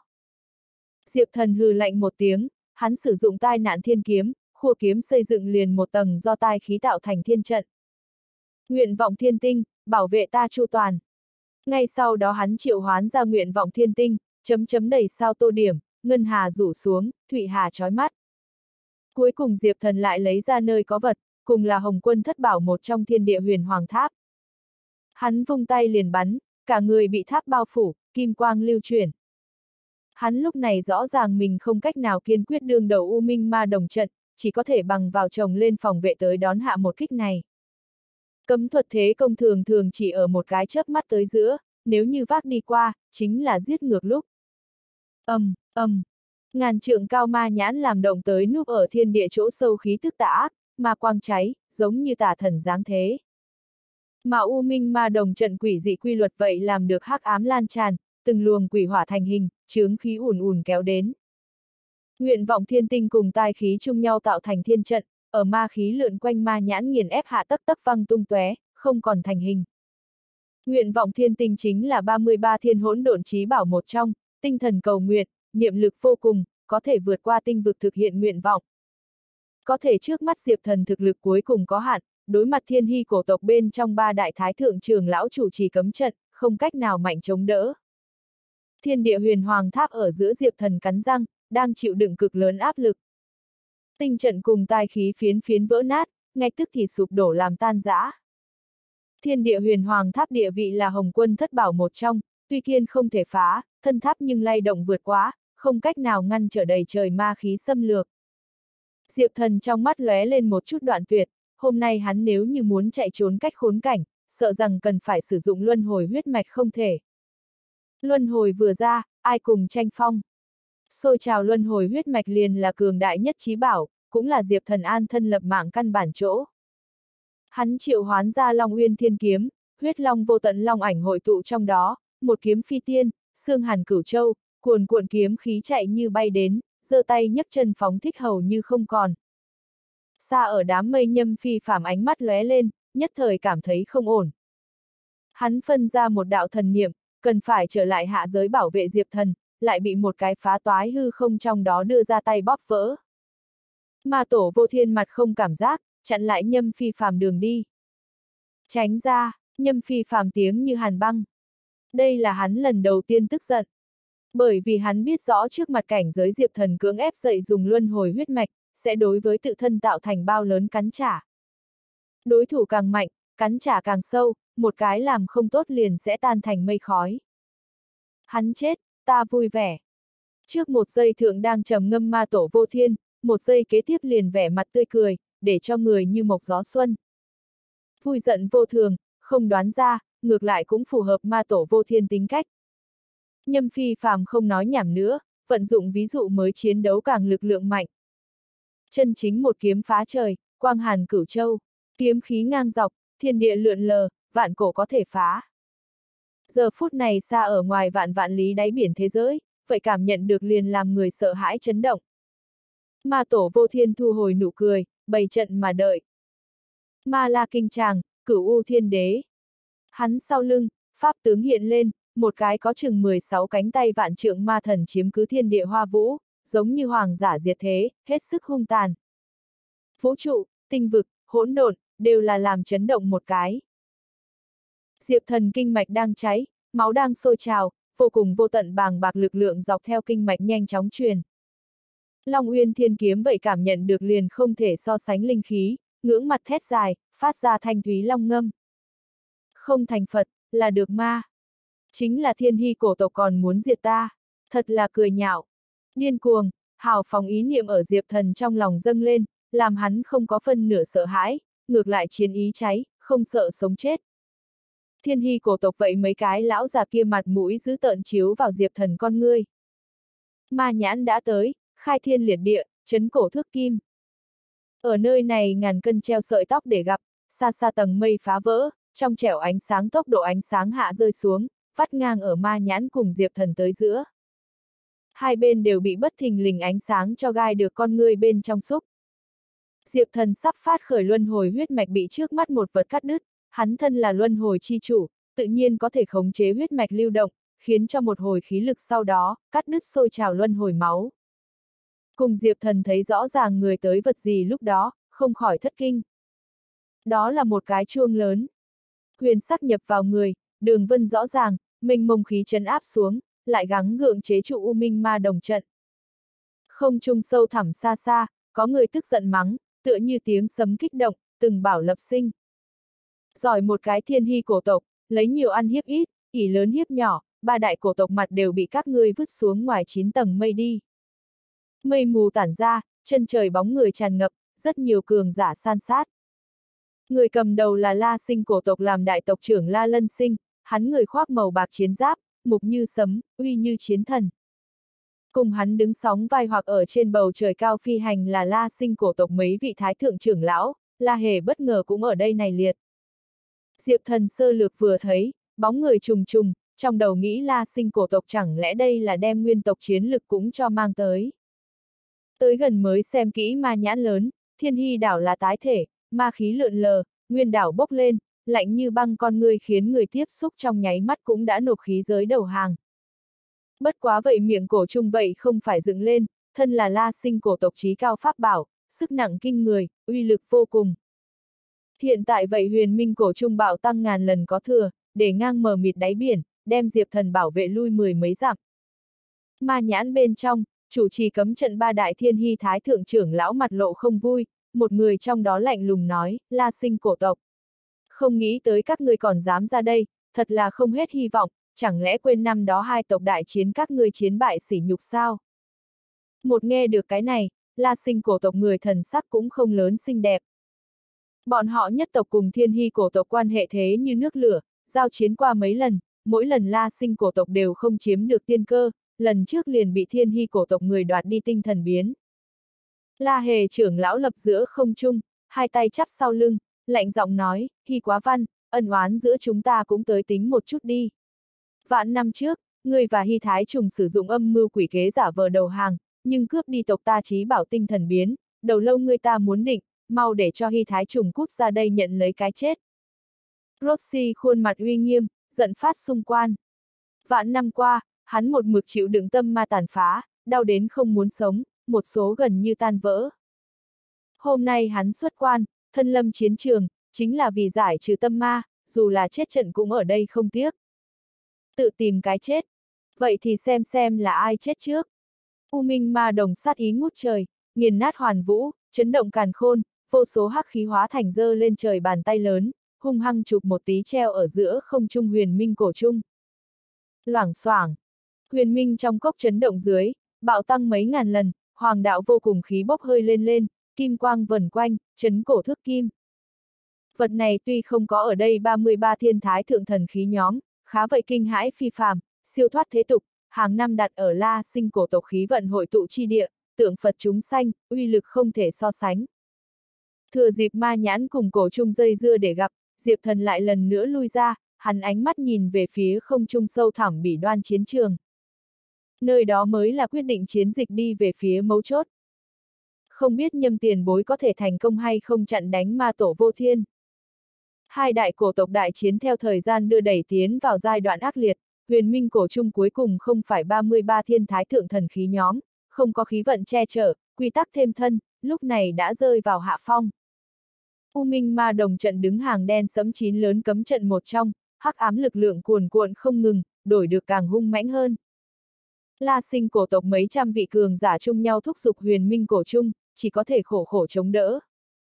Năm đó bọn họ la sinh cổ tộc vậy có một kiện động trời thái thượng thần khí, chỉ là sau đó thôn thiên thú xâm lược cổ tộc thánh địa, vì chống đỡ cường đại hư không dị thú, không thể không hiến tế vậy kiện thần khí.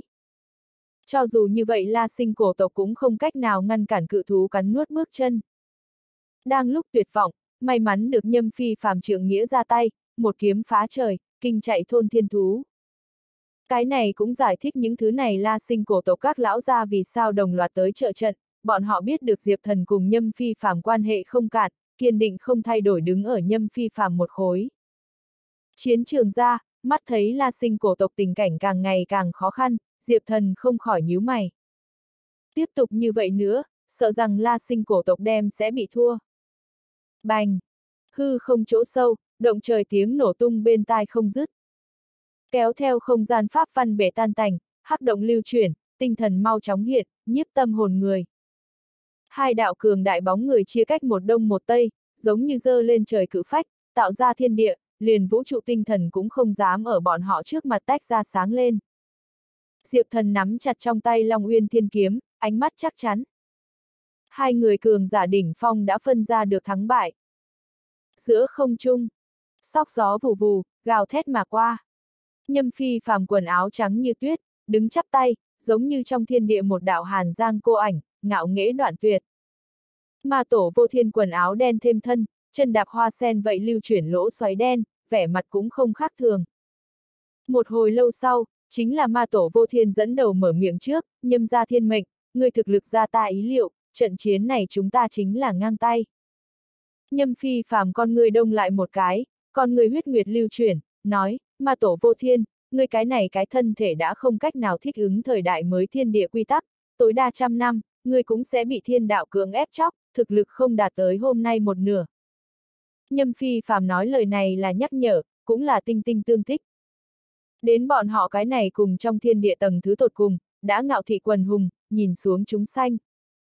Sẽ đương lăng tuyệt đỉnh, vừa xem mọi núi nhỏ. Du ngoạn tuyệt đỉnh không có một bóng người, đó cũng là loại tịch mịch vô địch.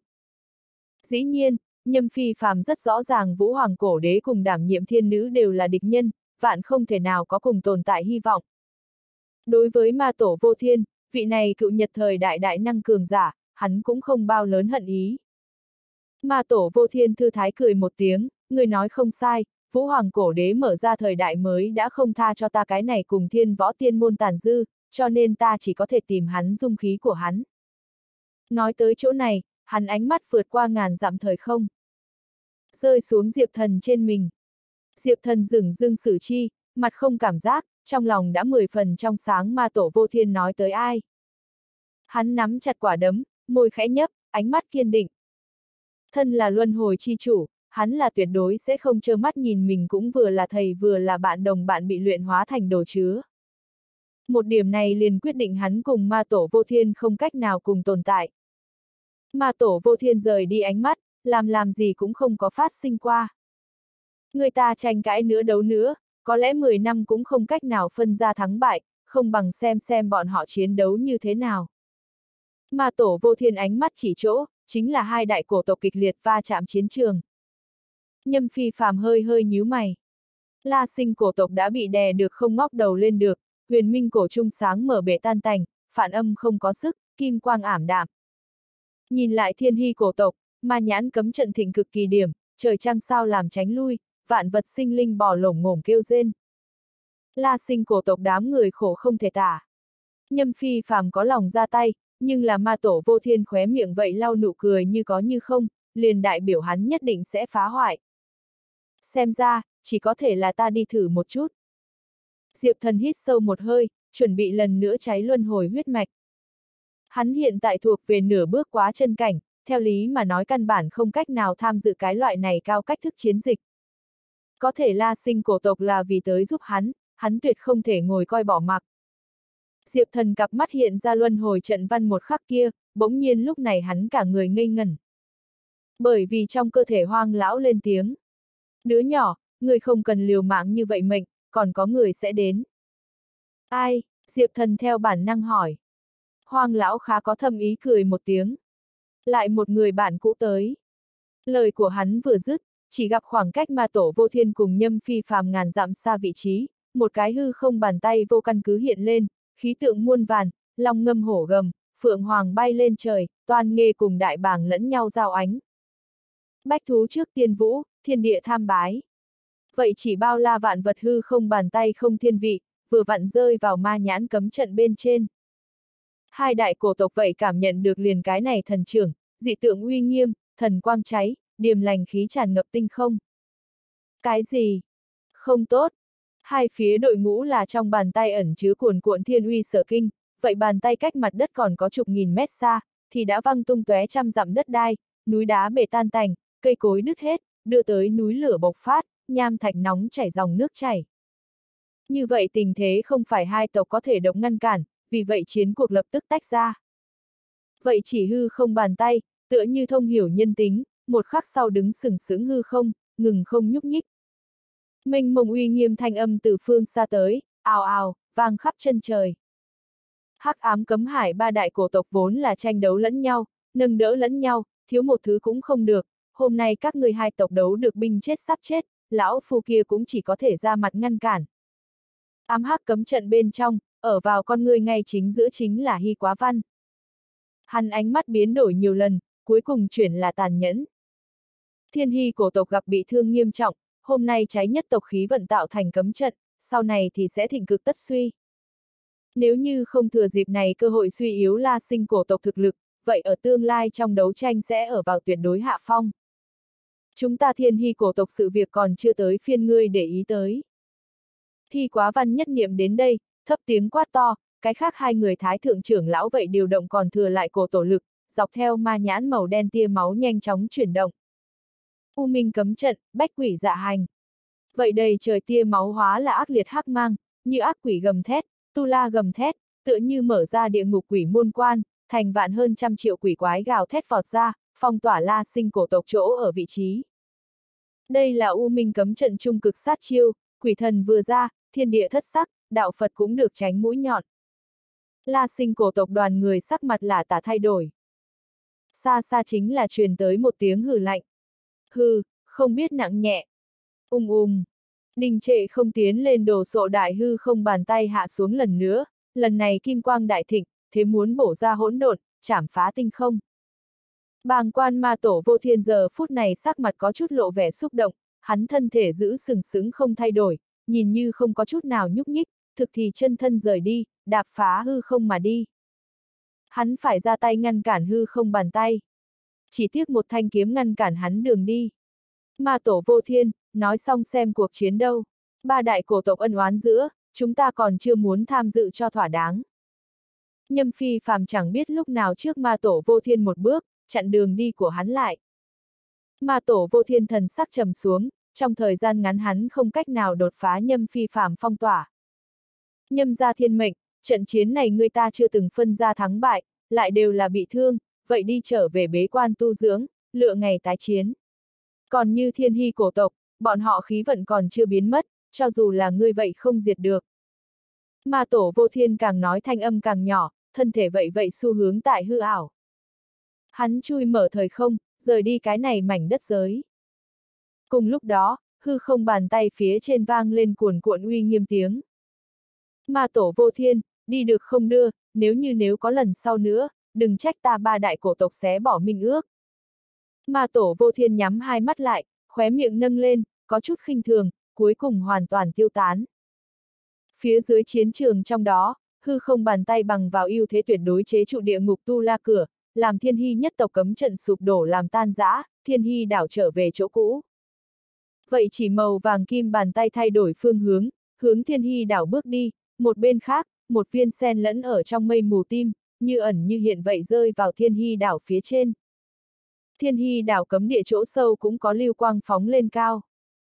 Xem ra là ba đại cổ tộc tộc trưởng hội tụ vào một chỗ, tiến hành đàm phán. Nhâm phi phàm ôm trước trường kiếm, chậm rãi rơi vào diệp thần bên người, như tiên dáng trần xuất thế, không dính nửa điểm phàm trần. Nhâm tiền bối, người bị thương. Diệp thần quay đầu hỏi một câu. Nhâm phi phàm gật đầu một cái. Cần điều dưỡng, không tính là nghiêm trọng, mà tổ vô thiên vậy tổn thương. Diệp thần không che giấu chút nào trên mặt vẻ kinh ngạc, mà tổ vô thiên là đứng sau vũ hoàng cổ đế nhân vật truyền kỳ, bước ngang qua hai tiếng đời, có vô địch tư. Nhâm phi phàm mới tu luyện liền nhiều ít tuổi, là có thể thả đánh ngang tay, hơn nữa khiến cho hắn bị thương. Phần này thiên phú cùng năng lực, tuyệt đối năm qua chỉ có hai người. Hồng quân lão tổ cùng võ tổ. Nhâm phi phàm tựa hồ là nhìn thấu Diệp thần suy nghĩ trong lòng, hắn cười một tiếng, ngay sau đó nói, nói riêng về thiên phú, người so ta mạnh hơn, dẫu sao võ hư cảnh không phải ai cũng có thể bước vào. Từ xưa tới nay vậy chỉ có hai người làm được mà thôi. Diệp thần cũng không ngoài suy đoán nhâm phi phàm có thể nhìn ra hắn cảnh giới chân thực, mà là trêu ghẹo nói, nhâm tiền bối, ta nếu như là vũ hoàng cổ đế hoặc là thái thượng thiên nữ, khẳng định cũng muốn diệt ngươi, ngươi loại địch nhân này, quá đáng sợ. Nhâm phi phàm bật cười khanh khách, hắn đứng chắp tay, trong con ngươi hàm chứa mọi thứ bể dâu, nhưng lại trong suốt sáng ngời. Đợi ngươi tương lai du ngoạn võ đạo đỉnh, chấp trưởng luân hồi, có thể đừng quên sống lại ta. Nhâm phi phàm lúc nói lời này xa nhìn phương xa, ánh mắt thâm thúy. Diệp thần trong lòng động một cái, chẳng lẽ nhâm tiền bối đã trước thời hạn suy diễn xảy ra điều gì sao? Không đợi hắn quá nhiều suy nghĩ, nhâm phi phàm dẫn đầu dậm chân ra, phía trước viễn không bên trong, xuất hiện một tên mày trắng dâu bạc trắng quần áo trắng ông già. Nhâm ra tiểu tử, nhiều năm không gặp vẫn khỏe chứ à? Không nghĩ tới mới ngàn tuổi tác âm, người lại đã đứng hàng thiên hạ trước tiệc, quả thật hậu sinh khả úy. Ông già lông mày trắng thở dài nói. Nhâm phi phàm sủng nhục bất kinh, cười đáp lại, huyền chân lão tổ nói đùa, ta bất quá là vận khí tốt mà thôi. Diệp thần theo bên người, tự nhiên cũng biết người trước mắt thân phận. Lại là ba đại cổ tộc một trong, huyền chân cổ tộc lão tổ. Lúc trước nghe ba đại cổ tộc bên trong huyền chân cổ tộc, tung tích khó tìm, thần bí không dứt. Hôm nay xem ra, cái này huyền chân cổ tộc hẳn là ba tộc trong đó mạnh nhất. Diệp thần đang đang suy tư để gặp, ngẩng đầu nhưng phát giác một đạo ánh mắt đang nhìn mình chăm chú. Luân hồi chi chủ, đi tộc ta bên trong một tự như thế nào? Diệp thần con người đông lại một cái, cuối cùng vẫn gật đầu. Sau đó bọn họ cùng la sinh cổ tộc người Hàn Huyên một hồi, nói cảm ơn sau đó, liền đi theo huyền chân lão tổ xé hai mặt hư không kính, đi tới một nơi ẩn núp sâu đậm hải đảo. Từ trên đi xuống xem, cái này cái hải đảo nguy nga vĩ đại, so với thiên hy đảo tới càng hùng vĩ. Nơi này chính là ta huyền chân nhất tộc đậu vạn năm trụ sở, huyền chân đảo. Cả tòa huyền chân đảo vòng ngoài linh khí đầy đủ, sương mù vần quanh, bên trong đảo kiến trúc không hề dày đặc, thấp lùn phòng trệt tùy ý có thể gặp, phần lớn dựa vào núi, ở cạnh sông mà xây. Thị trấn cùng chợ phiên tọa lạc trong đó, tuy có người đến người đi, cũng không tựa như thiên hy đảo như vậy tiếng người ồn ào, ồn ào náo động cực kỳ. Phiến phiến đồng ruộng phân bố vùng quê, còn có nông phu tại trong ruộng canh tác, quần áo vải thô, hàm thực bộ mặt. Diệp thần nghiêm túc vừa thấy, vậy nông phu lại là bách gia cảnh cường giả. Nông phu tựa hồ cảm nhận được liền Diệp thần ngắm nhìn, gặp có khách tới, đầu tiên là sửng sốt một chút, rồi sau đó gật đầu mỉm cười tỏ ý. Trừ hắn ra, Diệp thần còn gặp được không thiếu lật ruộng trồng rau nông phu nông phụ, đều là thực lực mạnh mẽ võ giả.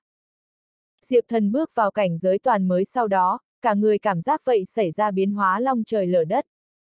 Huyền chân đảo mặc dù nhìn qua bình thản không có gì lạ, nhưng lại bên trong có huyền diệu, đầy đủ linh khí đều đều phân bố, rất nhiều tộc nhân bề ngoài không hiện núi hạt xương, thực tế thực lực cường hãn. Ném đi phồn vinh bề ngoài phù hoa, trở về tự nhiên, trở lại nguyên trạng, đây mới là tu luyện một cảnh giới lớn. Không chỉ là hoàn cảnh bên ngoài thay đổi, còn có nội tâm cảnh giới tăng lên. Chúng ta huyền chân nhất tộc từ trước đến giờ không thích tranh đấu, mấy ngàn năm trước cũng đã ẩn cư phía sau màn, qua liền nông canh nữ đan sinh hoạt, cũng không ngờ tìm được mới tinh phương pháp tu luyện, cũng coi là niềm vui ngoài ý muốn đi. Huyền chân lão tổ giải thích.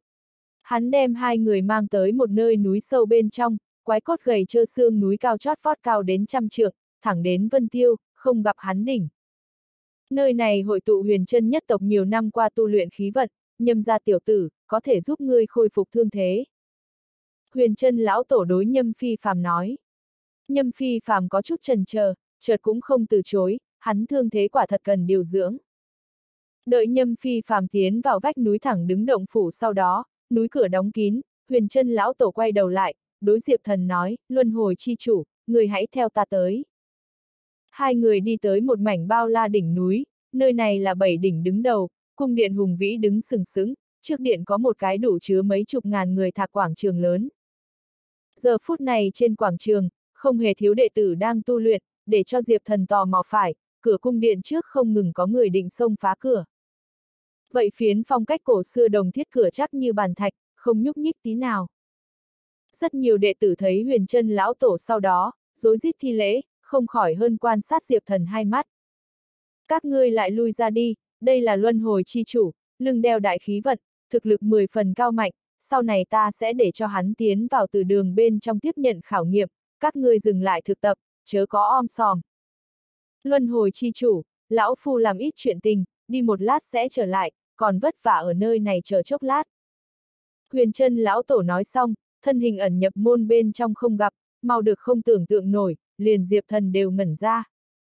Lão này tại sao chạy được nhanh như vậy? Rất nhanh hắn tựa hồ liền biết, bởi vì bốn phía huyền chân cổ tộc đệ tử xem hướng ánh mắt mình trong đó, mang theo một chút vô hình địch ý. Huyền chân một khối, có người dẫn đầu mở miệng trước đánh vỡ yên lặng, người tới là một tên thân cao sấp xỉ 2 mét người to con, tướng mạo tục tằng, ánh mắt như điện, nội lực hùng hậu. Dựa theo Diệp Thần phỏng đoán, người này thực lực ở bách gia cảnh tầng 4, coi như là trẻ tuổi trong đồng lứa người xuất sắc. Đối mặt Diệp Thần, hắn trực tiếp cười lạnh nói. Nghe lão tổ nói hắn phải đem ngươi mang vào từ đường. Một cái người ngoại lai thật là lớn uy phong, ngay cả chúng ta huyền chân con em đều không cách nào vào, ngươi còn muốn vào. Thật là nói vớ vẩn. Đúng vậy, chúng ta huyền chân nhất tộc con em trẻ tuổi cũng không từng đánh vỡ từ đường cánh cửa thứ nhất, lão tổ lại muốn trực tiếp đem ngươi mang vào, quả thực là có chút không công bình. Ta không đồng ý. Đối mặt nổi giận đùng đùng huyền chân con em, Diệp Thần quả thực là không nghĩ ra. Nhưng có thể khẳng định một chút phải, huyền chân cổ tộc từ đường trong cung điện có bảo vật. Nếu không những người này vì sao như vậy phẫn uất. Hơn nữa hắn vận dụng thần niệm tra xem từ đường tình huống, bị một hồi lực lượng thần bí trận lại, không cách nào theo dõi bên trong. Thú vị, lão này lại có thể cầm ta làm bia đỡ đạn, huyền chân cổ tộc từ đường chỉ sợ là rất nhiều huyền chân con em mơ tưởng cầu mong đất thần thánh, đem này làm tu luyện động lực, mà nay huyền chân lão tổ lợi dụng đặc quyền đem ta mang vào, há chẳng phải là nghiêm trọng kích thích những người khác. Diệp thần rất nhanh trong lòng hiểu rõ, hắn lúc này đã bị một đám huyền chân cổ tộc con em bao vây, không cách nào thoát thân. Cho đến có một lời để cho Diệp thần hai tròng mắt thông suốt động một cái. Người bằng cái gì có thể lấy được được kinh cức vương quan xem trọng. Lên tiếng người là một tên đệ tử, hắn căm giận không thôi, đối Diệp thần cua tay múa chân. Diệp thần nhìn chằm chằm hắn, nhanh chóng mở miệng, người nói ở bên trong từ đường đồ là kinh cức vương quan. Bên cạnh có người khinh thường hừ lạnh một tiếng. Ngươi không chính là vì cái này tới sao? Diệp thần im lặng, bề ngoài tỉnh bơ, nhưng trong lòng nghi hoặc không thôi.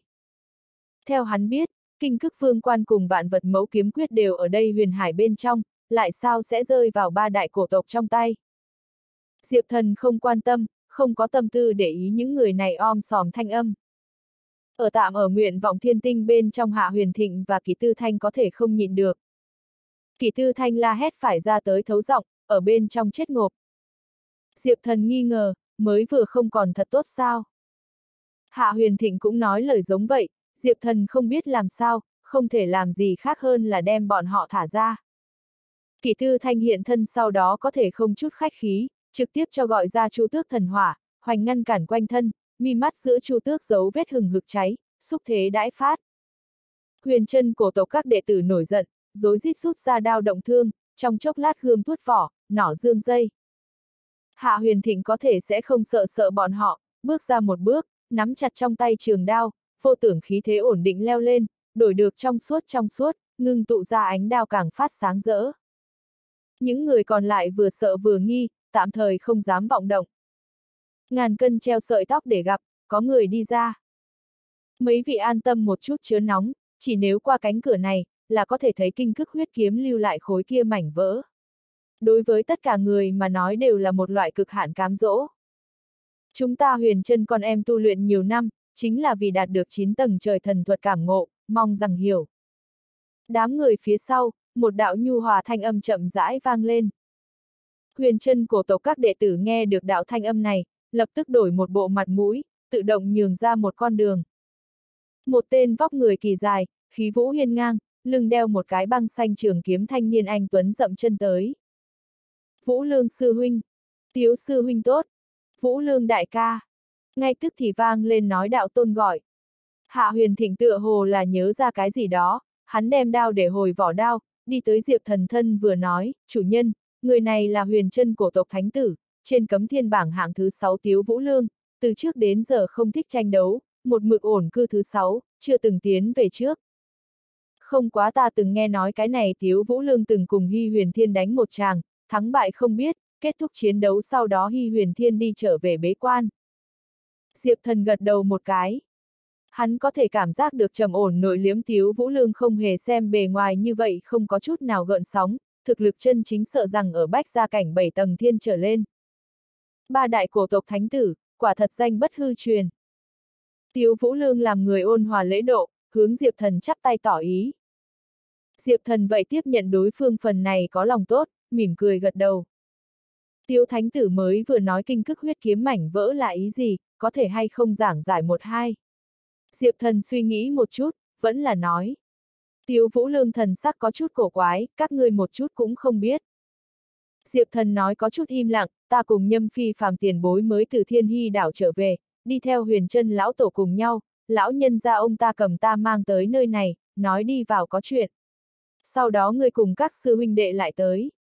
Tiêu Vũ Lương hiển nhiên lớn bị chấn động, hắn tính dò xét hỏi, người đại danh là. Diệp thần tùy ý nói, người có thể kêu ta Diệp Thí Thiên, cũng có thể kêu ta Luân Hồi Chi Chủ. Lời này vừa nói ra, người chung quanh không một không thần sắc lộ vẻ xúc động. Diệp Thí Thiên là ai? Một người một ngựa, sông ma tổ, vô thiên ổ tuyệt thế người tàn nhẫn. Bằng vào sức một mình đánh rơi cấm thiên bảng hạng thứ ba vạn Trần Phong, tiến vào trước ba, uy chấn bát phương. Luân hồi chi chủ thân phận chân thật bại lộ sau đó, cùng ma tổ vô thiên hoàn toàn quyết liệt. Dù vậy, Diệp thần như cũ không có xa sút ngược lại tiến vào thiên hy đảo, đoạn nhất tộc khí vận, cùng cấm thiên bảng thứ hai hy huyền thiên ước định đại chiến. Hôm nay bình an trở lại, sợ rằng đã giành được trận đại chiến này, trở thành cấm thiên bảng thứ hai. Thi huyền thiên, đây chính là cùng Tiếu Vũ Lương cùng nổi danh ba đại cổ tộc thiên tài, sức chiến đấu đỉnh tháp nhân vật. Tiếu Vũ Lương chưa chắc cũng có thể cầm được hạ Hy huyền thiên. Khó trách Tiếu Vũ Lương thần sắc đại biến. Diệp thần yên tĩnh nhìn bọn họ thái độ thay đổi, không buồn không vui. Lấy hắn bây giờ thực lực cùng cảnh giới, đã không cần cùng bọn tiểu bối này so đo, nhưng nếu là bọn họ không có mắt, Diệp Thần vậy không ngại cho điểm màu sắc để cho bọn họ nhìn một chút lợi hại. Sau đó, Tiếu Vũ Lương nghiêm túc cho Diệp Thần giải thích một phen. Nguyên lai like nơi này được gọi là huyền chân cấm địa, bên trong niêm phong như nhau hiếm thấy bảo vật. Kinh cức huyết kiếm mảnh vỡ. Kinh cức huyết kiếm, do kinh cức vương quan diễn biến tới. Thành tựu trí cao vô thượng chín tầng trời thần thuật một trong, kinh cức vương quan uy lực không phải cường đại nhất, kinh người chỗ ở chỗ biến hóa của nó. Cái đó vô cùng xa xôi thời đại sinh ra bụi gai bệnh thành vương miện, thừa mang người đem sẽ nắm giữ bụi gai khí sát phạt. Muốn mang vương miện, tất thừa hắn nặng. Kinh cức vương quan có thể hóa kiếm, sẽ thành đao, còn có thể đưa tới thiên địa dị tượng tạo thành sơn hà xã tắc đồ, trấn áp phản cổ. Biến hóa vô cùng, dị tượng muôn vàn. Cái này tức là kinh cức vương quan uy lực. Năm đó cái này phiến hắc ám cấm hải hỗn độn chỗ sâu, xảy ra một tràng viễn cổ đại năng giữa chiến đấu, rớt xuống một phiến kinh cức huyết kiếm mảnh vỡ.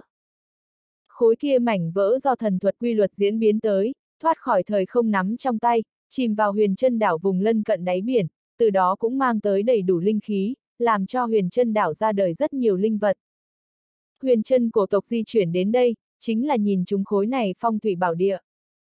Rất lâu trong năm tháng, huyền chân cổ tộc các đời trước sử dụng tất cả loại phương pháp đem khối kia giam cầm ở đáy biển kinh cức huyết kiếm mảnh vỡ rời đến huyền chân đảo trên.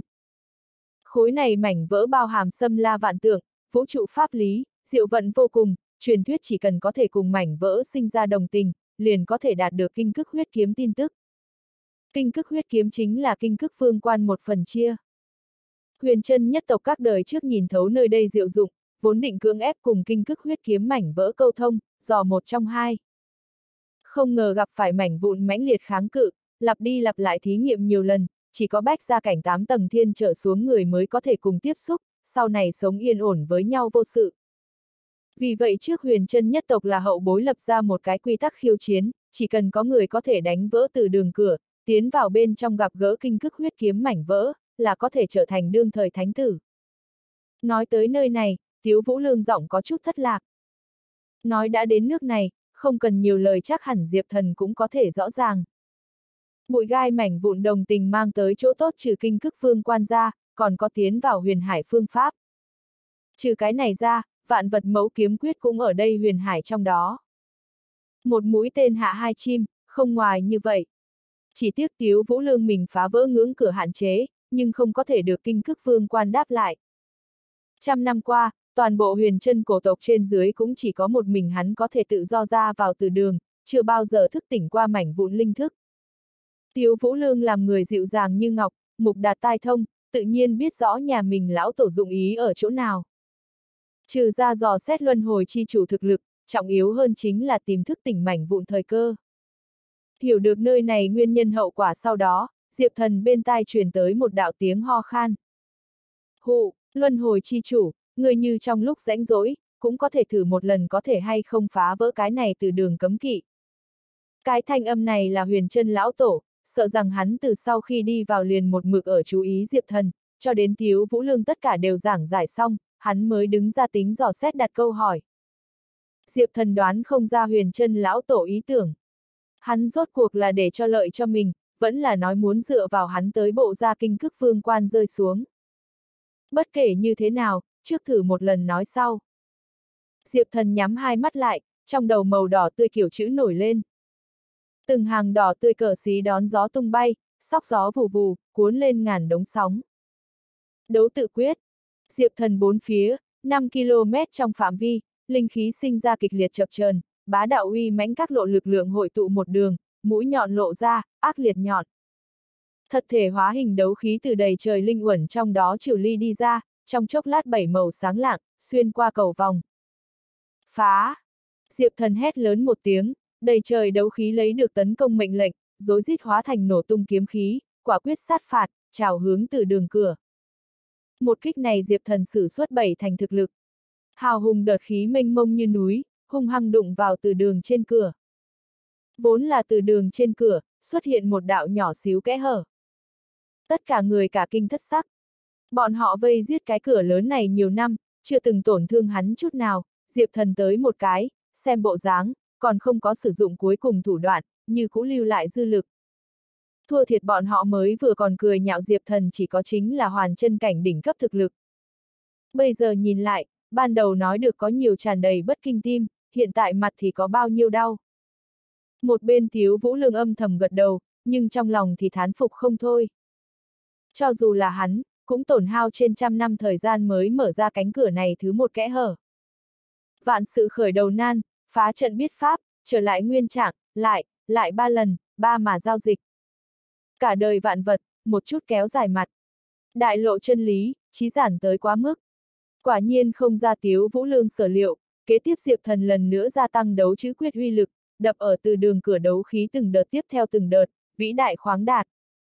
Rắc rắc, sốt cuộc, trên cửa vết rách như mạng nhện vậy nhanh chóng lan truyền, lại cũng không cách nào chịu đựng đầy trời trọng áp, ngay tức thì sụp đổ làm tan rã. Bụi đất tràn ngập, mông lung thần bí, cứ việc bên ngoài người tranh nhau nhìn quanh, cũng không cách nào theo dõi phân nửa bên trong cảnh tượng. Diệp thần con người đông lại một cái, hai tay chắp sau lưng, ngẩng đầu ưỡn ngực, bước vào nội môn. Sau lưng truyền tới thiếu vũ lương hỏi. Luân hồi chi chủ, ta có thể hay không cùng ngươi cùng tiến vào? Diệp thần bước chân dừng một chút. Nơi này là người địa bàn, tự nhiên có thể. Hắn bóng người sau khi biến mất vắng vẻ địa phương, cửa lần nữa ngưng tụ thành hình. Mỗi một người cũng có một đạo cửa, không cách nào hợp ý mưu lợi, chỉ có thể bằng vào thực lực tới đánh nát nó.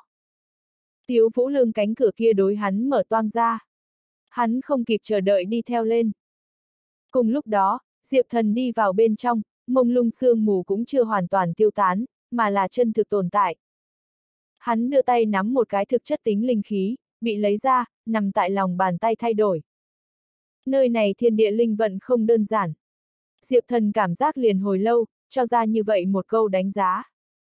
Đến khi phía sau truyền tới tiếng bước chân, hắn mới tiếp tục tiến về trước, mới vừa vậy chốc lát dừng lại chính là vì chờ đợi Tiếu Vũ Lương.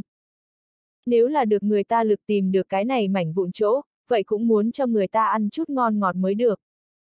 Huống chi, Diệp Thần biết được ba đại cổ tộc thiên tài nóng này cũng không tốt, mà Tiếu Vũ Lương nhưng có chút đặc biệt, đáng hắn đối đãi như vậy. Luân hồi chi chủ, người có thể phát giác ra trong này dị thường. Tiếu Vũ Lương con ngươi nhìn một cái chung quanh, ngưng trọng hỏi. Không cần kêu ta luân hồi chi chủ, gọi ta tên chữ là được. Diệp thần cười nói. Theo lý mà nói, như không có huyền chân cổ tộc, hắn và nhâm phi phàm cũng không khả năng như vậy đơn giản thoát hiểm. Nếu và đối phương trước mắt thuộc về đồng minh, nên có khách khí tự nhiên phải có. Diệp thần huynh, vậy thì cung kính không bằng tòng mệnh. Tiếu Vũ Lương thấy vậy, cũng không từ chối, lần nữa mở miệng nói, đây đã là ta lần thứ năm đi vào, tùy ý ta đem nơi này tìm một lần, cũng không từng phát hiện mảnh vụn bóng dáng. Những năm gần đây, tộc ta một mực ở đi cái này mảnh không gian đầu thả thiên tài địa bảo, thần khí pháp bảo, chẳng biết tại sao mảnh vỡ cũng không phản ứng. Tiếu Vũ Lương lộ vẻ được có chút không biết làm sao.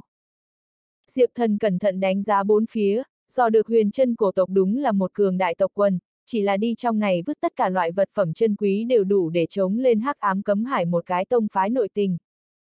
Chiếu ngươi nói như vậy, khối kia mảnh vỡ hẳn là sinh ra linh trí của mình. Tiếu Vũ Lương nhất thời sửng sốt một chút. Một khối thông thường mảnh vỡ, cho dù xuất thân từ 9 tầng trời thần thuật, cũng sẽ không cần thời gian dài thiên tài địa bảo chống đỡ, ngươi không tìm được hắn không phải ngươi vấn đề, mà là hắn ẩn núp không gặp ngươi. Diệp thần lấy giọng khẳng định nói ra mình suy đoán. tiêu Vũ Lương há miệng một cái, không hề hủy bỏ, trong mắt tràn đầy vẻ khâm phục. Trên thực tế trong tộc lão tổ cùng thái thượng trưởng lão đều có suy đoán, cái này cái kinh cức huyết kiếm thất lạc mảnh vỡ ở vô số linh khí bồi bổ dưới, ra đời có một không hai linh trí.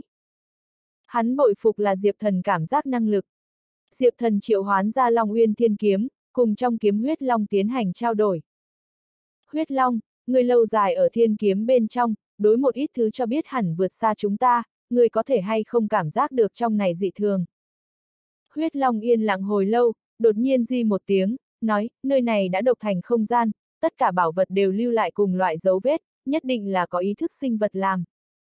Diệp thần con người đông lại một cái, gật đầu một cái. Huyết long trước đó cơ duyên chính là cực kỳ lớn, từng luyện hóa 33 thiên hồng mông trí bảo, cùng với nắm giữ 33 thiên hồng mông cổ pháp, thậm chí đón nhận không thiếu kinh thế long tộc truyền thừa, hơn nữa long uyên thiên kiếm, nó đối với thái thượng thần khí cùng với 9 tầng trời thần thuật hơi thở tất nhiên hết sức quen thuộc. Tiếu Vũ Lương gặp Diệp Thần cầm ra Long Uyên Thiên Kiếm, tỉnh bơ truyền âm nói, Diệp Thần huynh, gặp nguy hiểm sao? Chú ý, Diệp Thần lấy truyền âm hồi, hắn tổng mơ hồ cảm thấy chỗ tối có cặp mắt. Tiếu Vũ Lương thần sắc nghiêm nghị. Hai người một trước một sau, tiến vào một phiến cây cối sum xuê rừng rậm. Cổ mộc chọc trời, rộng lớn bao la, tất cả loại hiếm thấy linh bảo dược liệu tùy ý có thể gặp, tràn ngập ở nơi này phiến cổ trong rừng. Thiếu mục nhìn về nơi xa, màn trời còn có tuyệt đỉnh đỉnh núi dần dần không nhìn thấy ở mây mù mờ mịt, nhất trụ kình thiên, nguy nga vĩ đại. Sông lớn sông lớn ngang dọc xuyên qua, đem vô biên vô tận cổ lâm chia làm hai. Diệp thần cùng Tiếu Vũ Lương đi tới bờ sông, dừng chân dừng lại, hồi lâu, Tiếu Vũ Lương mới thổn thức than thở một câu. Cái này mảnh vỡ quả nhiên là ra đời linh trí, lần trước ta tới còn chưa từng thấy qua như vậy cảnh tượng phồn vinh. Diệp thần nhìn chằm chằm trong suốt mặt sông, con người chỗ sâu hiện ra một chút luân hồi lại cổ xưa đường vân. Hắn muốn thử nghiệm nhìn cái này mặt sông trên nhân quả. Cái này phiến mặt sông hắn không nhìn thấu. Cho nên vận dụng một chút luân hồi huyết mạch tìm tòi kết quả. Theo luân hồi thánh hồn thiên cùng với luân hồi huyết mạch mạnh mẽ, Diệp Thần đã có thể điều động một chút luân hồi huyết mạch lực lượng. Con người vừa chuyển, đường vân tách thả ra, ngay tức thì xuyên thủng lao nhanh nước sông.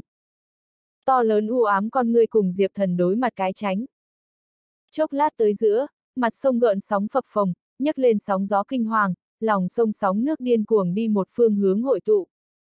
Ung um, um, trời long đất lở, núi đong đưa động đất, ngoài ngàn dặm đồ sộ ngọn núi lớn tựa như sống lại, phảng phất bàn cổ cự nhân tránh thoát mặt đất trói buộc, huy động thông thiên hai cánh tay, hướng bên này nghiền ép tới. Tên kia ra tay. Diệp thần con người đông lại một cái, phất trưởng vận khí, chui trên trời cao, trong tay Long Uyên Thiên kiếm bùng nổ sáng chói thần quang, trong nháy mắt phân ly, bách thế bất diệt. Thanh thúy ngẩng cao tiếng rồng ngâm ùn ùn kéo đến, uy chấn chư thiên, dung chuyển vũ trụ, khí sát phạt không thể địch nổi. Ở Diệp Thần đối chỉ thủy một kiếm hơn nữa lĩnh ngộ sau đó, kiếm đạo thi triển, cho dù không thi triển chỉ thủy một kiếm, cũng sẽ để cho kiếm ý của hắn có vô cùng ý cảnh. Một kiếm này, đoạn thủy lưu. Một kiếm này, phá núi đỉnh. Một kiếm này, đem tất cả ảo ảnh chém thành hai khúc. Vô số đỉnh núi sụp đổ, đất đai văng tung tóe, sông lớn ngừng chảy, rất nhiều linh khí đầy đủ thiên tài địa bảo vậy hủy trong chốc lát. Sông lớn phần đáy, tựa hồ truyền đến tức giận tiếng chửi rủa. Đáng chết, đáng chết, lại dám phá hủy ta bảo vật. Diệp thần bằng vào một kiếm lực ngăn lại tất cả công kích, thiếu vũ lương trong mắt sạch bóng chớp mắt, nhanh chóng qua lại, thẳng tới đáy sông. Nơi đó có một người mặc quần áo đen nam tử, đang chỉ thiên tức giận mắng. Thấy thiếu vũ lương tới hắn cũng không trốn, ngược lại châm chọc cười một tiếng. Trước bốn lần ta cũng tha ngươi, không nghĩ tới ngươi lần này lại chạy vào tự tìm cái chết, vậy thì cùng hắn cùng nhau làm ta chất dinh dưỡng đi. Có các ngươi hai cái linh khí dễ chịu, ta thực lực phỏng đoán có thể trước thời hạn thành thục đến đánh vỡ cái này hư không cấm chế. Người đàn ông đồ đen bứt lên khóe miệng, lộ ra ẩn núp nhọn răng. Tiêu Vũ Lương trong lòng đốc định, trước mắt cái này ma khí dày đặc người chính là bọn họ huyền chân nhất tộc cấp dưỡng nhiều năm kinh cức huyết kiếm mảnh vỡ. Bây giờ nhìn lại, nhiều năm bồi dưỡng quả nhiên thất bại trong gang tấc. Vô luận ngươi có cái gì dự định, ta cũng sẽ không để cho ngươi được như ý. Tiếu Vũ Lương mặt hàn như băng, thuận thế đạp một cái, dưới chân đất đai nổ tung lan tràn, hai đạo cường đại khí cơ quanh con miên tuyên, vừa nhảy ra, bạo giết phi phàm. Huyền chân cổ thuật, đế đạp sơn hà. Người đàn ông đồ đen chính là hừ lạnh một tiếng, không nhanh không chậm đi về sau rút lui, con đường chỗ, toát ra một chùm lại một chùm bụi gai máu bắn tung. Tiếu Vũ Lương nơi thi triển ra cổ thuật linh khí bị vậy mấy đóa bụi gai máu bắn tung dương ra nhụy hoa miệng lớn, chiếm đoạt hầu như không còn. Cái gì? Tiếu Vũ Lương thất kinh, xuất thủ lần nữa chân áp. Huyền chân cổ thuật, thiên la địa võng. Hắn đầu gối cong, một trường hung hăng chụp trên đất. Lấy hắn làm trung tâm đường kính 10 cây số bên trong, mặt đất khe hở chỗ sâu có vật gì đang đang điên cuồng sinh trường, tình thế không thể át chế. Người đàn ông đồ đen thấy vậy vậy nhíu mày một cái. Sâu trong lòng đất, mấy cao 33 mét xanh biếc dây leo dã man sinh trưởng, một cái tiếp một cái, ngắn ngủi mấy hơi thở gian phân bố đáy sông hoang dã, quấn quýt nhau dây dưa, phá vỡ giang sóng, sông thẳng tới chân trời. Vô dụng, ở ta lãnh vực bên trong còn muốn ngăn ta lại. Thật là mộng tưởng hảo huyền. Người đàn ông đồ đen không biết lấy ra dạng thứ gì, giống như là côn gỗ vừa giống như cây sáo, hắn đem một hơi thổi nhập côn gỗ bên trong. Vậy cây côn gỗ kịch liệt rung động, tiếp theo phân hóa ra một đầu lại một đầu mặt xanh răng nanh, thân thể cường tráng quái vật. Quái vật mặt xanh răng nanh khắp nơi vọt động, đem đầy trời dây leo cắn cái nát bét. Những thứ này răng bén mang tới tổn thương, lại cắn trả đến Tiếu Vũ Lương trên mình. Đáng ghét. Tiếu Vũ Lương gặp lại một cổ thuật bị phá, khí được cắn răng nghiến lợi. Người đàn ông đồ đen ngửa mặt lên trời cười to, nói, nhiều năm như vậy tới nay, ta đã sớm đem các ngươi huyền chân cổ tộc cổ thuật nghiên cứu thấu, nếu để cho ngươi trong tộc trưởng lão tới thi triển, ta còn có chỗ cố kỵ, còn như ngươi loại này tiểu bối, còn không cách nào để cho ta dùng suốt toàn lực. Tiếu Vũ Lương sắc mặt đã sớm xanh mét, hắn mới vừa sự chú ý toàn tại đối diện, nơi nào ngờ tới dưới chân bị bụi gai máu bắn tung đốt cái chỗ rách. Mạnh mẽ độc tố từ chân truyền trên hết thân, một cái chân của hắn đã hoàn toàn chết lặng. Hắn nhưng mà bách ra cảnh cường giả, vậy độc tố, sớm lại không thể đối hắn sinh ra mấy phần ảnh hưởng, càng không cần phải nói tê liệt nguyên cái chân. Đáng ghét, khinh thường. Tiếu Vũ Lương không khỏi mắng. Người đàn ông đồ đen mặt đầy hưởng thụ, cảm ơn các người huyền chân cổ tộc nhiều năm qua cung phục, để cho ta mới có thể có chạy khỏi nơi này cơ hội, nuốt các ngươi, từ nay về sau ta liền tự do. Người đàn ông đồ đen hóa thành hung mãnh cổ thú, dương ra miệng đầy răng nanh, rất có hùng bá chín tầng trời, khí thôn núi sông uy thế. Tiếu Vũ Lương cắn răng, dự định làm cuối cùng đánh một trận. Nhưng mà, một khắc sau, một đạo như chỉ thủy vậy kiếm ý, nếu như thái dương vậy sáng chói chói mắt, chiếu sáng mỗi cái xó xỉnh âm u kiếm quang gào thét chém tới, một lần hành động đem hung mãnh cổ thú bao phủ trong đó. Cùng lúc đó, hờ hững cực kỳ thanh âm như thẩm phán hạ xuống. Toàn lực của ngươi, ta không thèm để ý. nghiền ép thế giới, nghịch thiên vậy vô địch kiếm quang tan đi sau đó, lộ ra một cái cả người là bị thương thân thể. Người đàn ông đồ đen nằm trên đất, thoi thóp, mặt lộ vẻ sợ hãi. Ngươi, ngươi không phải huyền chân cổ tộc người. Một bên khác, Diệp Thần đi tới Tiếu Vũ Lương bên cạnh, búng ngón tay một cái, bát quái thiên đan thuật và thiên tiên cá chép sao xua tan phụ ở Tiếu Vũ Lương trong cơ thể độc tố, để cho hắn hành động khôi phục như lúc ban đầu. Diệp Thần huynh, đa tạ, nếu không phải ngươi xuất thủ cứu giúp, ta chỉ sợ cũng bị hắn âm chiêu làm hại. Tiếu Vũ Lương thành khẩn nói cảm ơn, đồng thời lại cảm thấy xấu hổ không thôi. Đối mặt bụi gai đổ máu mảnh vỡ hóa hình người đàn ông đồ đen, hắn lại không có chiếm được một chút thượng phong. Diệp thần cười một tiếng, nói, không cần nản lòng, hắn ở huyền chân đảo đợi mấy chục ngàn năm, đã sớm đối các ngươi hết thảy như lòng bàn tay, sử thủ đoạn cũng chỉ có thể nhằm vào các ngươi nhất tộc võ kỹ. Tiếu Vũ Lương sâu sắc cho là đúng. Mới vừa trong chiến đấu, hắn khắp nơi bị đối phương áp chế, tựa như đã sớm coi là tốt vậy. Ngược lại, đối mặt Diệp Thần nghịch thiên một kiếm, người đàn ông đồ đen thì lộ vẻ được bó tay. Mượn bên ngoài vậy hai loại thủ đoạn liền muốn đánh bại ta, người không khỏi vậy quá ngây thơ rồi. Diệp Thần sách Long Uyên Thiên Kiếm, đi tới người đàn ông đồ đen bên người. Nói đi, cầm kinh cức phương quan rơi xuống nói cho ta. Người đàn ông đồ đen môi ngập ngừng hai cái, nhìn thấy Long Uyên Thiên Kiếm hàn mang, không khỏi được cúi đầu. Vào giờ phút này, hắn chỉ có thể lựa chọn khuất phục. Được, ta nói, ta cũng không nhớ rõ là nhiều ít năm trước, lúc ấy ta chủ nhân ở vũ trụ du lịch, gặp một con rồng, vậy con rồng phát hiện chủ nhân kinh cức phương quan, la hét muốn đoạt lại, nói là cung điện ngai vàng vừa vặn thiếu đồ trang sức, chủ nhân ta dĩ nhiên không đồng ý, thốt nhiên giận dữ, vì vậy hai người giao thủ, đánh bể bốn năm cái tinh vực, từ hoang vu đến hỗn độn, cuối cùng vậy con rồng chặn nửa cái sừng, ta chỉ là kinh cức huyết kiếm lúc xuất hiện, phụ ở phía trên một chút linh thức, đi theo mảnh vỡ rơi vào hư không. Được, tiếp theo ta phải nói ta ở 500 ngàn năm trước trải qua. Hắn nói không nói ra miệng, bởi vì diệp thần kiếm để ở hắn trên cổ họng. Ngươi làm sao không theo hồng quân lão tổ biết kiêm gia tiên tử nói tới. Diệp thần cau mày nói. Người đàn ông đồ đen suy tư hồi lâu, ngay sau đó nói, vậy không phải là không thể, ta đã từng đi theo ta chủ nhân đi hồng quân lão tổ nơi đó uống qua trà, khi đó hắn còn là một người lỗ mãng. Tiếu Vũ Lương khóe miệng giật một cái, làm xấu hổ. Liên Diệp Thần cũng là đầu đầy hắc tuyến. Hắn nhịn được giày xung động, trực tiếp hỏi nói, vậy ngươi biết kinh cức vương quan ở nơi nào không? Người đàn ông đồ đen trần chờ chốc lát, coi như là biết chưa, ta có thể cảm nhận được nó ở nơi này một vực, nhưng mà ta cùng bản thể chia lìa đã lâu, không cách nào tìm được cụ thể tung tích. Diệp thần mặt mỉm cười, hỏi có thật không? Ách, dĩ nhiên. Xoát. Diệp thần lấy thế nhanh như chớp không kịp bịt tai, chém người đàn ông đồ đen một cánh tay. Người đàn ông đồ đen trên trán nổi gân xanh, hiển nhiên còn chưa tới kịp cắt đứt thần kinh, cảm giác đau truyền tới trong đầu. Vậy bây giờ là hay không nhớ? Diệp thần lần nữa đặt câu hỏi. Người đàn ông đồ đen nhìn về Diệp thần trong mắt trong đó, mơ hồ nhiều chút sợ hãi. Ta, ngươi nếu quả thật không nhớ, cũng không quan hệ hệ, trên người ta có như nhau huyết mạch tên là cổ độc thần mạch, không sợ vạn độc, so với vạn độc còn khủng bố, ngưng tụ một chút rót đến bên trong cơ thể ngươi, bảo đảm ngươi hết thảy giác quan, mặc cho vạn độc phệ thể. Không hài lòng, còn có sấm xét phục vụ, hoang ma bầu bản, chu tước thiêu hủy.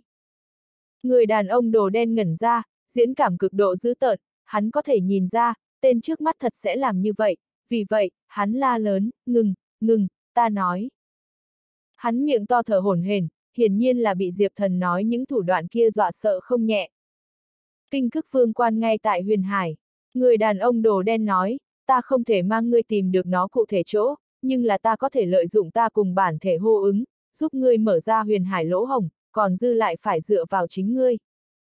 Diệp thần lúc này mới hài lòng hơi gật đầu một cái. Rất tốt, ngươi không cần chết. Người đàn ông đồ đen nghe vậy, thở phào nhẹ nhõm. Diệp thần vung tay lên, người đàn ông đồ đen không biết làm sao, chỉ có thể hóa ra nguyên hình, lần nữa đổi hồi một khối bị màu máu bao gồm lưỡi kiếm mảnh vỡ. Tiếp theo hai người đi ra cái này mảnh không gian, trước khi đi tiếu vũ lương đem cái này mảnh không gian bên trong thiên tài địa bảo, linh đan rượu dược tất cả đều vơ vét mà không, xem được huyết kiếm mảnh vỡ không ngừng run rẩy. Diệp thần cười không nói, hắn đã sớm nắm đúng huyết kiếm mảnh vụn nhược điểm. Tham sống sợ chết, chỉ muốn làm vui hưởng thụ. Không giống với vũng máu chém giết trong đó sinh ra khí linh, triệu năm qua thư thích hoàn cảnh đã sớm mòn huyết kiếm mảnh vụn huyết tính. Bao gồm ra tay đánh chết hai người, cũng chỉ là hắn chuẩn bị mang theo vô số bảo vật thoát đi nơi đây, tiêu giao ngoài vòng pháp luật làm quyết định một trong. Nhớ tới ban đầu địa huyền thâm huyền bên trong vị kia thiên địa huyền hoàng tháp tháp lão, thủ đoạn âm hiểm, tính tình tàn nhẫn, trước khi chết cũng không từng khuất phục. Như vậy so sánh, cao thấp liền phán. Hai người sau khi đi ra, trong từ đường bể mảnh không gian cũng theo đó sụp đổ. Huyền chân lão tổ đã sớm bên ngoài chờ, gặp một màn này, rất rung động. Tiếu Vũ Lương tiến lên, đem bể mảnh không gian bên trong phát sinh hết thảy đúng sự thật tương báo. Huyền chân lão tổ càng nghe, thần sắc càng cổ quái. Cuối cùng, hắn thư thái cười một tiếng. Luân hồi chi chủ, người cùng cái này kinh cức huyết kiếm mảnh vỡ có duyên phận, hôm nay ta huyền chân nhất tộc đem tặng cho tay ngươi, có thể từ cái này nơi đó lấy lại linh bảo, vậy coi là còn được. Nhìn như là hắn biết thời biết thế, đưa một cái ân huệ. Thực thì đã suy diễn thiên cơ, trong sâu thẳm cảm ứng được Diệp Thần là bị chọn chúng thiên mệnh chi tử. Hết thảy nhân quả, đều có tuần hoàn, huyền chân lão tổ hôm nay loại bởi vì, ngày sau nhất định được quả. Có lẽ tương lai, ta huyền chân nhất tộc vậy được dựa vào luân hồi tổ che chở. Huyền chân lão tổ nghĩ như vậy nói. Vậy thì cảm ơn lão tổ, cái này ân tình ta Diệp Thần ghi nhớ. Diệp Thần nghiêm nghị nói. Cùng lúc đó, phía dưới, trên quảng trường. Nguyên bản chế diễu diễu cợt Diệp Thần huyền chân con em tất cả đều hâm mộ không dứt. Khó trách luân hồi chi chủ không cùng bọn họ so đo, cứu kỳ căn bản là không có ở đây một tầng thứ. Nói chuyện phiếm để gặp, xa xa lưu quang thoáng qua, một khắc sau người quần áo trắng bóng du ngoạn đại điện. Nhâm phi phàm xuất quan. Diệp thần thấy vậy vui mừng, bận bịu tiến lên đón. Ai ngờ nhâm phi phàm thần sắc nhưng có chút ngưng trọng. Diệp thần, nơi đây không thích hợp ở lâu, chúng ta cần phải sớm lên đường. Diệp thần chưa bao giờ gặp qua nhâm phi phàm diễn cảm nghiêm túc như vậy, hắn lập tức truy hỏi, nhâm tiền bối, là chuyện gì xảy ra? Huyền chân lão tổ vậy yên lặng đi tới. Nhâm phi phàm nhìn hai người một mắt, nói thái thượng thế giới có biến, ta cảm giác muốn không được bao lâu, đi thông phía dưới cửu đỉnh liền sẽ lại thức tỉnh một tôn.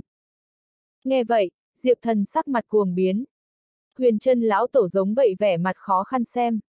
Cửu đỉnh mở, Vũ Hoàng đích thân tới. Đến lúc đó chỉ sợ là toàn bộ hắc ám cấm hải cùng địa tâm vực tai nạn. Vô luận là ba đại cổ tộc vẫn là cựu nhật minh, cũng không trốn thoát. Chư thiên vạn giới, đều là sợ hãi Vũ Hoàng oai. Địa tâm vực đánh một trận, Vũ Hoàng cổ đế hạ xuống hai tòa cửu đỉnh đại trận, uy hiếp thế gian vô số, tinh hỏa liễu nguyên, sinh linh đổ thán. May mắn được nhâm phi phàm ra tay, một kiếm phá trời, phá hủy một phần chia cửu đỉnh đại trận, mới ngăn cản địa tâm vực trở thành con rối chi địa. Có thể vậy cũng chỉ là kế hoãn binh, bằng vào vũ hoàng cổ đế thực lực, trọng tố cửu đỉnh chỉ là vấn đề thời gian. Hiện tại hắn lại tới. Huyền chân lão tổ dẫn tộc nhân ẩn cư ở nơi này yên tĩnh chi địa, đối chuyện của ngoại giới có nghe thấy. Ma tổ vô thiên tuy nói tu luyện ma đạo, tính cách lặp đi lặp lại vô thường, nhưng dẫu sao giữ nguyên một chút nhân tính. Hơn nữa hắc ám cấm hải cũng là hắn duy nhất chỗ nương thân, sẽ không dễ dàng đánh vỡ nơi đây thăng bằng. Ngược lại nói, Vũ Hoàng cổ đế là thái thượng thế giới người thống trị, nếu không phải bị thiên đạo quy tắc trói buộc, sợ rằng đã sớm nhất thống ba ngày, chấp trưởng vạn giới. Ở Vũ Hoàng cổ đế trong mắt, hết thảy cũng chỉ là có thể lợi dụng con cờ. Cái gọi là nhân tính đã sớm giao cho thiên đạo, Vũ Hoàng cổ đế hiện tại nơi chịu đựng chính là thế giới hiện thật những ràng buộc. Nếu như là như vậy, vậy hắc ám cấm hải cũng không cách nào chạy khỏi. Huyền chân lão tổ thần sắc ngưng trọng, mở miệng nói. Cửu đỉnh đại trận, càn quét thế gian, đỉnh thành ngày Vũ Hoàng hạ xuống, vạn vật sinh linh đều sẽ bị mặc lên vĩnh hằng gông xiềng, quy về vạn khư thống trị. Nhâm phi phàm ánh mắt bình tĩnh, nhìn về phía Diệp Thần. Trước đây hắn đã nói qua, có thể hay không đánh vỡ cửu đỉnh đại trận hạ xuống, mấu chốt ở chỗ Diệp Thần. Diệp Thần trên mình Linh Khư Thiên Châu cùng trận tự quyết là cửu đỉnh đại trận trọng yếu nhất. Tối đa còn có nửa tháng thời gian, cửu đỉnh đại trận thứ ba đỉnh liền đem thành hình. Nhâm Phi Phàm nói. Diệp Thần sầu mi lỗ khóa, hỏi vì sao? Ban đầu vậy hai tòa cửu đỉnh đại trận bị hủy bởi Nhâm Phi Phàm tay, lúc này mới không quá nhiều thuở nhỏ ngày, liền muốn lần nữa ngưng tụ sao. Ta cũng không biết Phú Hoàng vận dụng loại gì phương pháp đem vậy hai tòa cửu đỉnh tự chữa hoàn thành, chỉ cần tòa thứ ba đỉnh thành công hạ xuống, khóa lại thiên địa linh khí, có thể ngắn ngủi từ hỗn độn trong hư không rút ra trước hai tòa đỉnh mảnh vỡ, cửu đỉnh bên trong thứ ba liền kết, có thể so với trước kia càng kiên cố hơn. Nhâm phi phàm trong mắt trong đó thời gian lưu chuyển, hắn ở bên trong động phủ bế quan ba ngày, trên thực tế đã qua ba nghìn năm. Năm tháng như thoi đưa, thời gian thấm thoát, nhâm phi phàm ánh mắt đổi được càng phát ra thâm thúy thần bí, tựa như có thể nhìn thấu hết thảy, đến đi qua cùng tương lai. Hắn mở miệng nói, Diệp thần, lần này ta sợ rằng không thích hợp ra tay, cần chính ngươi đi địa tâm vực phá giải nguy cơ. Còn nữa, trên mình ngươi vậy võ đạo luân hồi đồ, phải mau sớm đem sử dụng, cái này đạo cơ duyên, cực kỳ trọng yếu. Đối ngươi đột phá quá chân cảnh, cũng có quan hệ rất lớn, ta mơ hồ cảm giác ngươi bước vào võ hư cảnh, và võ đạo luân hồi đồ có một loại đặc thù nào đó liên lạc. Cho nên đang xử lý vậy cửu đỉnh lúc thời gian, người còn muốn biện pháp hoàn toàn vận dụng võ đạo luân hồi đồ. Diệp thần có chút bất ngờ, nhâm phi phàm mà lại ở cái này giờ phút quan trọng nhắc tới võ đạo luân hồi đồ.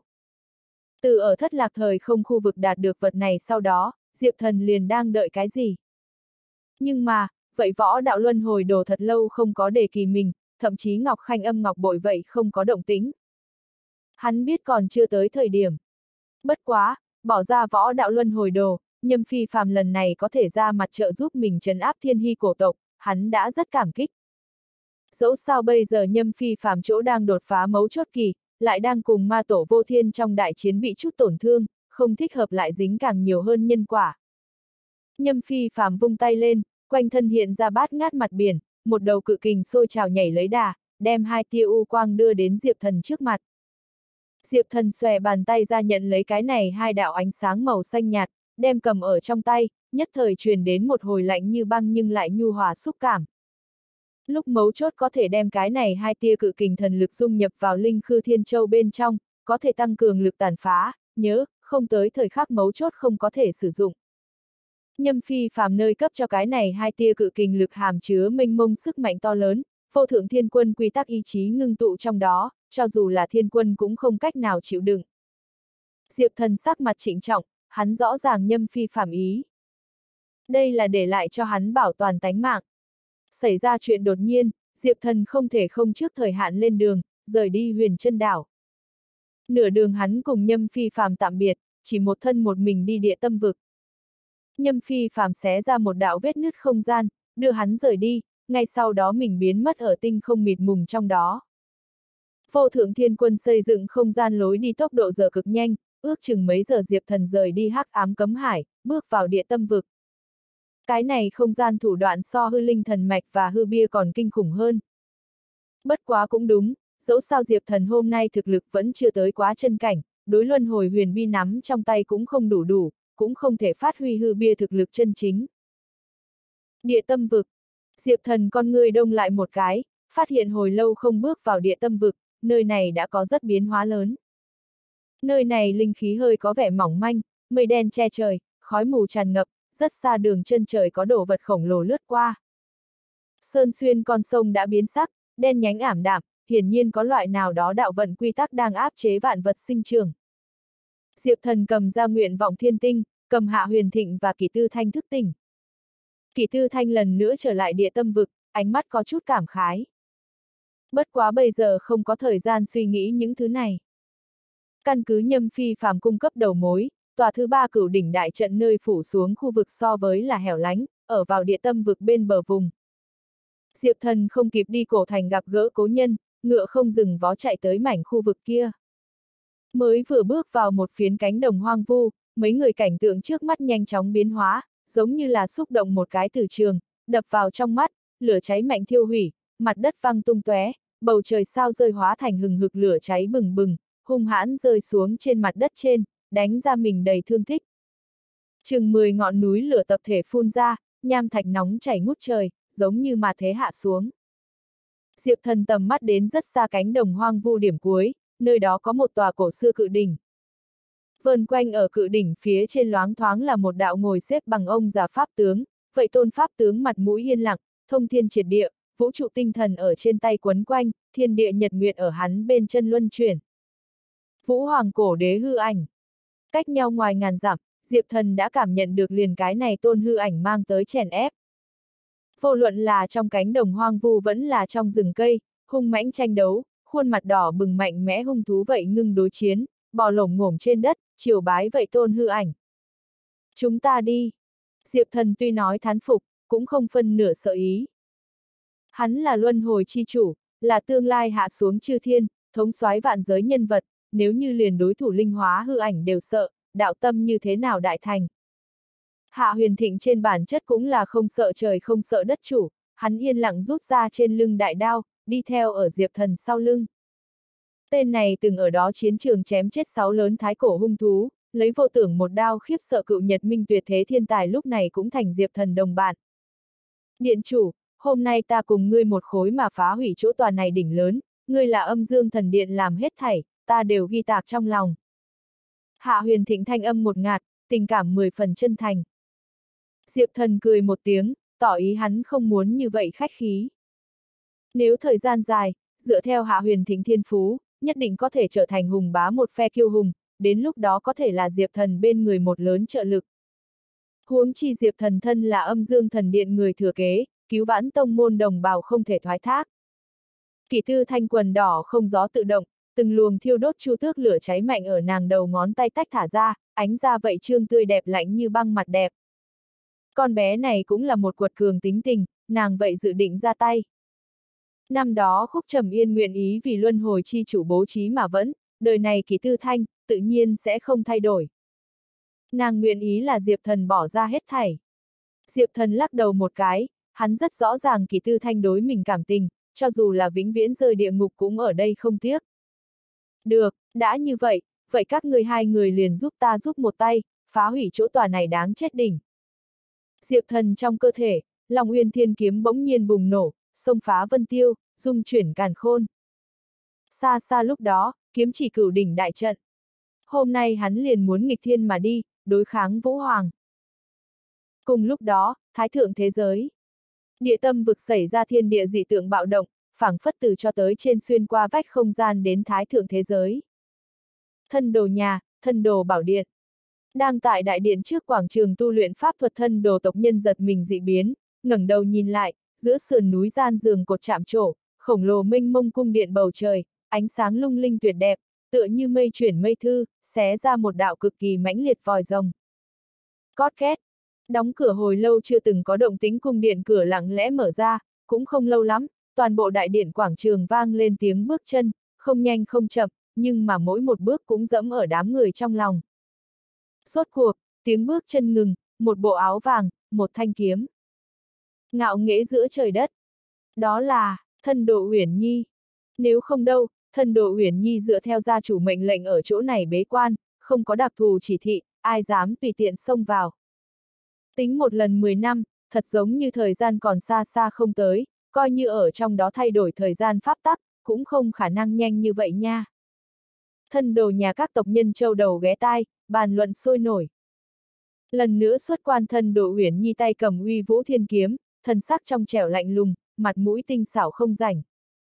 Nàng đứng ở nơi đó, khí thế như lên sắp chín tầng trời, hoàng đạo hơi thở đập vào mặt.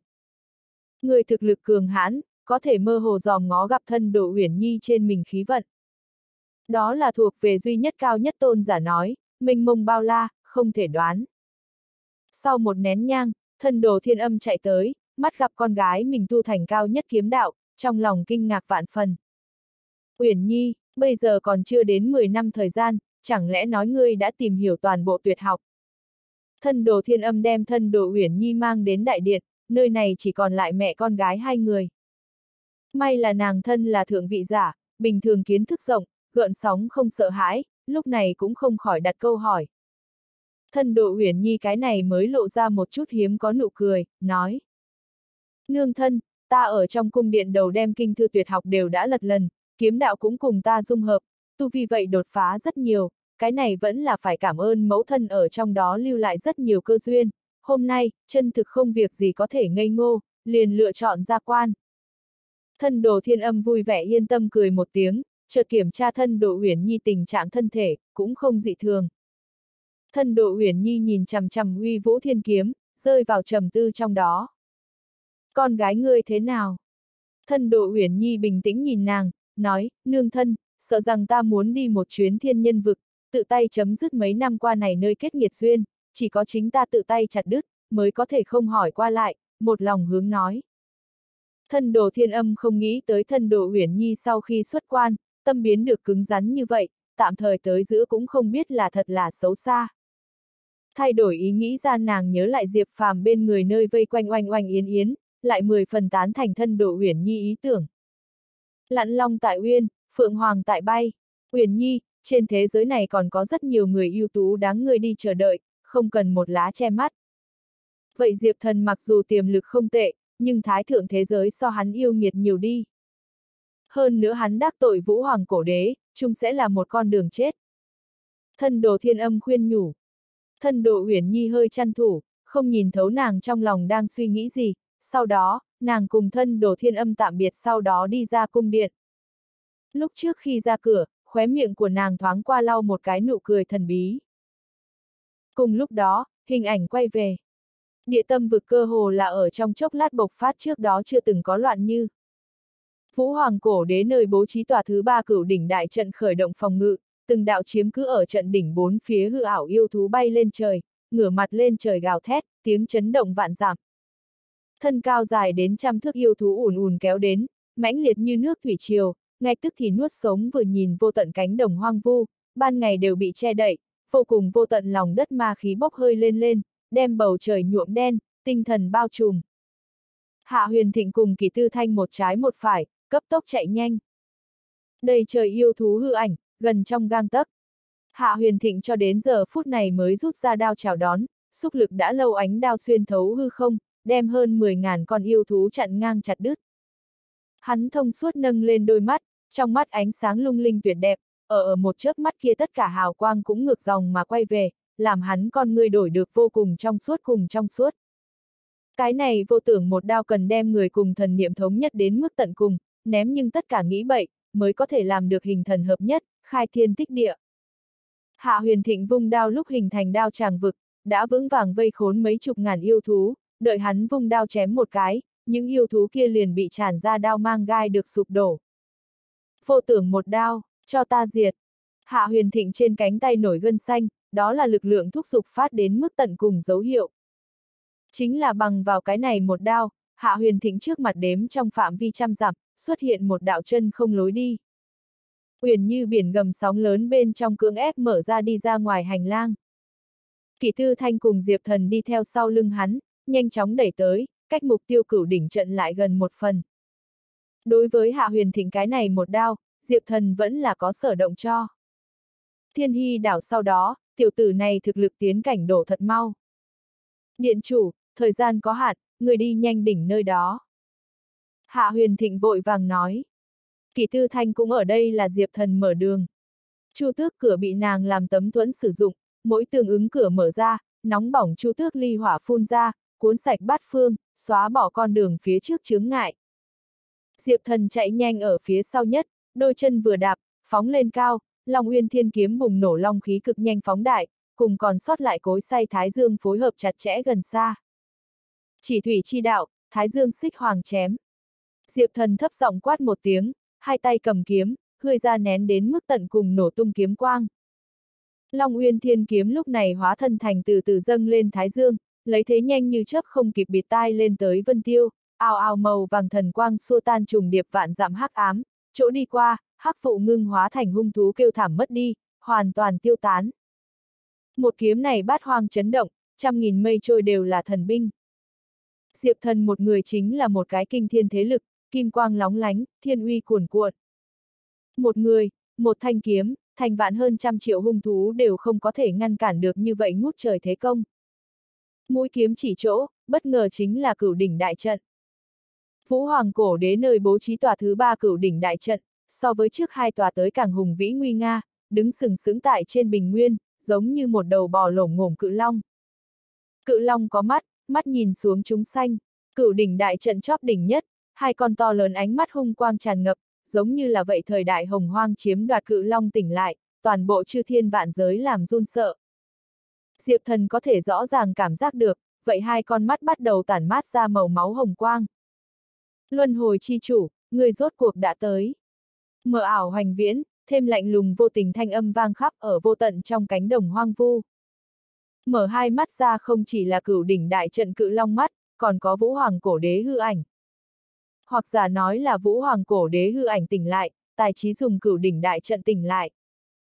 Vũ hoàng cổ đế, ngươi rốt cuộc vẫn phải tới. Diệp thần không ngạc nhiên chút nào, cái này đạo hư ảnh ở lại chỗ này ý nghĩa cũng không chỉ là trưng bày. Hắn quán chú vũ hoàng cổ đế linh thức. Ha ha, ta không đến, lại làm sao có thể thấy ngươi. Vũ hoàng cổ đế mày trắng dâu bạc trắng, gương mặt uy nghiêm, hắn cẩn thận đánh giá Diệp thần. Diệp thần chính là tỉnh bơ thu hồi cả người khí thế, nội liếm tu vi. Rất tốt, người tu vi độ tiến triển đã vượt ra khỏi ta tưởng tượng, bất quá vẫn dừng lại ở hoàn chân cảnh, chỉ thiếu chút nữa tức có thể vào quá chân cảnh. Thiên phú như vậy, ta vạn khư thần điện cũng không có người có thể đụng. Vũ Hoàng cổ đế lời nói bên trong, hiếm thấy xuất hiện thổn thức ý. Hắn biết, luân hồi chi chủ dù chưa bước vào bách gia cảnh, nhưng vượt cấp năng lực chiến đấu, ở thái thượng thế giới đều không tìm ra mấy người sánh vai. Vũ Hoàng cổ đế đúng là ở thương tiếc, như Diệp Thần không phải luân hồi chi chủ chuyển thế, hắn định sẽ nghĩ hết biện pháp để cho hắn gia nhập vạn khư thần điện, bồi dưỡng thành mình truyền nhân. Đáng tiếc hết thảy không có nếu như. Tòa thứ ba cửu đỉnh đại trận sắp lạc thành, vô luận người đáp ứng cùng hay không, đã bụi bậm lắng xuống, không cách nào thay đổi. Vũ Hoàng cổ đế nhắm hai mắt lại, ở hắn xem ra hết thảy đã bụi bậm lắng xuống. Trong mắt mọi người, Vũ Hoàng cổ đế hư ảnh hóa thành một cái vĩnh hằng kim quang, kéo dài hướng cuối chân trời, thánh khiết trói lọi, sáng mở dòng nước chảy. Ngất trời kim quang lắc mình một cái, thành cao lớn cổ thụ, cùng cử long dung hợp, đại lộ khí vận tô điểm, phiền phức đạo tắc phơi bày trên đó, tối tăm khó hiểu. Diệp thần cả người cũng thấy đờ ra, Vũ Hoàng cổ đế sử ra lại là vì sao loại thủ đoạn. Hắn lại chưa bao giờ nghe. Đây là, một mực yên lặng hoang lão lên tiếng, thanh âm cực kỳ ninh hải bên trong, nếu như lão phu nhớ không lầm, hắn sử dụng thủ đoạn là là thông linh, thời kỳ hồng hoang võ tổ từng dùng này phương pháp đoạt được bồ đề cổ thụ trái cây, từ đó thực lực đại tăng. Cái này đạo thiên quân hư ảnh hàm chứa đạo quả lực lượng cường đại, thông qua hư ảnh môi giới cùng đỉnh trận thông linh, do hắn tới chấn thủ cửu đỉnh đại trận, dù là ngươi cháy luân hồi huyết mạch cũng khó mà dung chuyển. Kỳ quái, một màn này, nhâm phi phàm hẳn liệu được mới đúng. Diệp thần đè nén nội tâm chấn động, vô luận như thế nào hắn cũng phải gắng sức thử một lần. Hắn biết nhâm phi Phạm tin tưởng mình, hắn và nhâm phi Phạm lẫn nhau là hải đăng. Hắn tin tưởng mình có thể giải quyết cái này một đỉnh nguy cơ. Cuồn cuộn kim quang thần thụ bùng nổ khó hiểu hơi thở, đột ngột nhanh mạnh, trong suốt nhánh cây so thần mâu còn muốn sắc bén, ngang trời tới. Nổ một tiếng, nham thạch nóng chảy trong sóng lớn bay ra một cái chu tước, chặn lại cái này nhánh cây, hai người đồng thời hóa thành cho tẫn, tan thành mây khói. Diệp thần, người không có sao chứ? Kỷ tư thanh thúc giục chu tước cửa, ngọn lửa cuồng phún, ngăn cản thành hơn trăm ngàn cái rễ cây dây leo. Hạ huyền thịnh vậy vọt lên, hai tay sáng lên, đao mang ác liệt, uy lực cường tuyệt. Diệp thần thở ra một ngụm chọc khí, lòng bàn tay sáng mở chớp động, tai nạn thiên kiếm hiện lên, nháy mắt tức thì cấp tốc bành trướng, xuyên qua hư không, mang theo vô cùng vô tận tai khí phách hướng kim quang thần thụ. Tai nạn thiên kiếm, thiên tai hoang vu. Thực chất hóa tai khí xanh phá thương khung, sụa tan tầng mây, bát ngát vô biên, trong thoáng chốc ma vân cuồn cuộn. Diệp thần chân đạp đỉnh núi, sừng sững không nhúc nhích, lớn chừng bàn tay tiểu nhân ngồi xếp bằng ở hắn trên cánh tay, chỉ có ngón tay lớn nhỏ. Cẩn thận vừa thấy, lại là một tôn nho nhỏ binh dũng. Minh tự quyết, thiên quân vạn mã. Vừa nhìn vô tận hoang dã trên vùng đất, vết nứt như mạng nhện vậy bầy, từng cái từng cái thiết huyết cánh tay từ lòng đất vực sâu leo lên tới, bọn họ người khoác vô tận thiết giáp, gương mặt tối đen, hai con ngươi nhưng tựa như thiêu đốt ngọn lửa, chiến ý vô cùng. Phía trên đỉnh đầu là tai nạn thiên kiếm, phía dưới tụ tập binh tự quyết. Diệp thần cuối cùng vận dụng bộ phận luân hồi huyết mạch lực lượng, màu đỏ thẫm máu tươi ở trong kinh mạch đầu nhanh chóng vọt động. Nếu không hắn không cách nào chống đỡ hai đại pháp bảo vũ kỹ phóng thích. Nguyên cái thiên địa làm biến sắc, tai khí thổi phồng màn trời, che đậy tinh không, hắc ám quân đội tràn đầy núi khắp nơi, khí thôn sơn hà. Tiến vào võ hư cảnh giới sau diệp thần, ly thiên đạo gần hơn một bước, nắm giữ quy luật lực cao hơn một tầng. Chiến đấu tiết tấu đã tiến vào hắn lãnh vực. Hạ huyền thịnh cùng kỳ tư thanh lật đật lui về phía sau, đi tới cánh đồng hoang bên bờ, này cùng tầng thứ chiến đấu không phải bọn họ có thể tham dự. Hai người hai mắt nhìn nhau một cái, đều là thấy được trong mắt đối phương kinh hãi. Ban đầu, Diệp Thần còn cùng hắn cùng tham gia thực tập, hai người bị chung nhau dự là cựu Nhật Minh hy vọng tinh.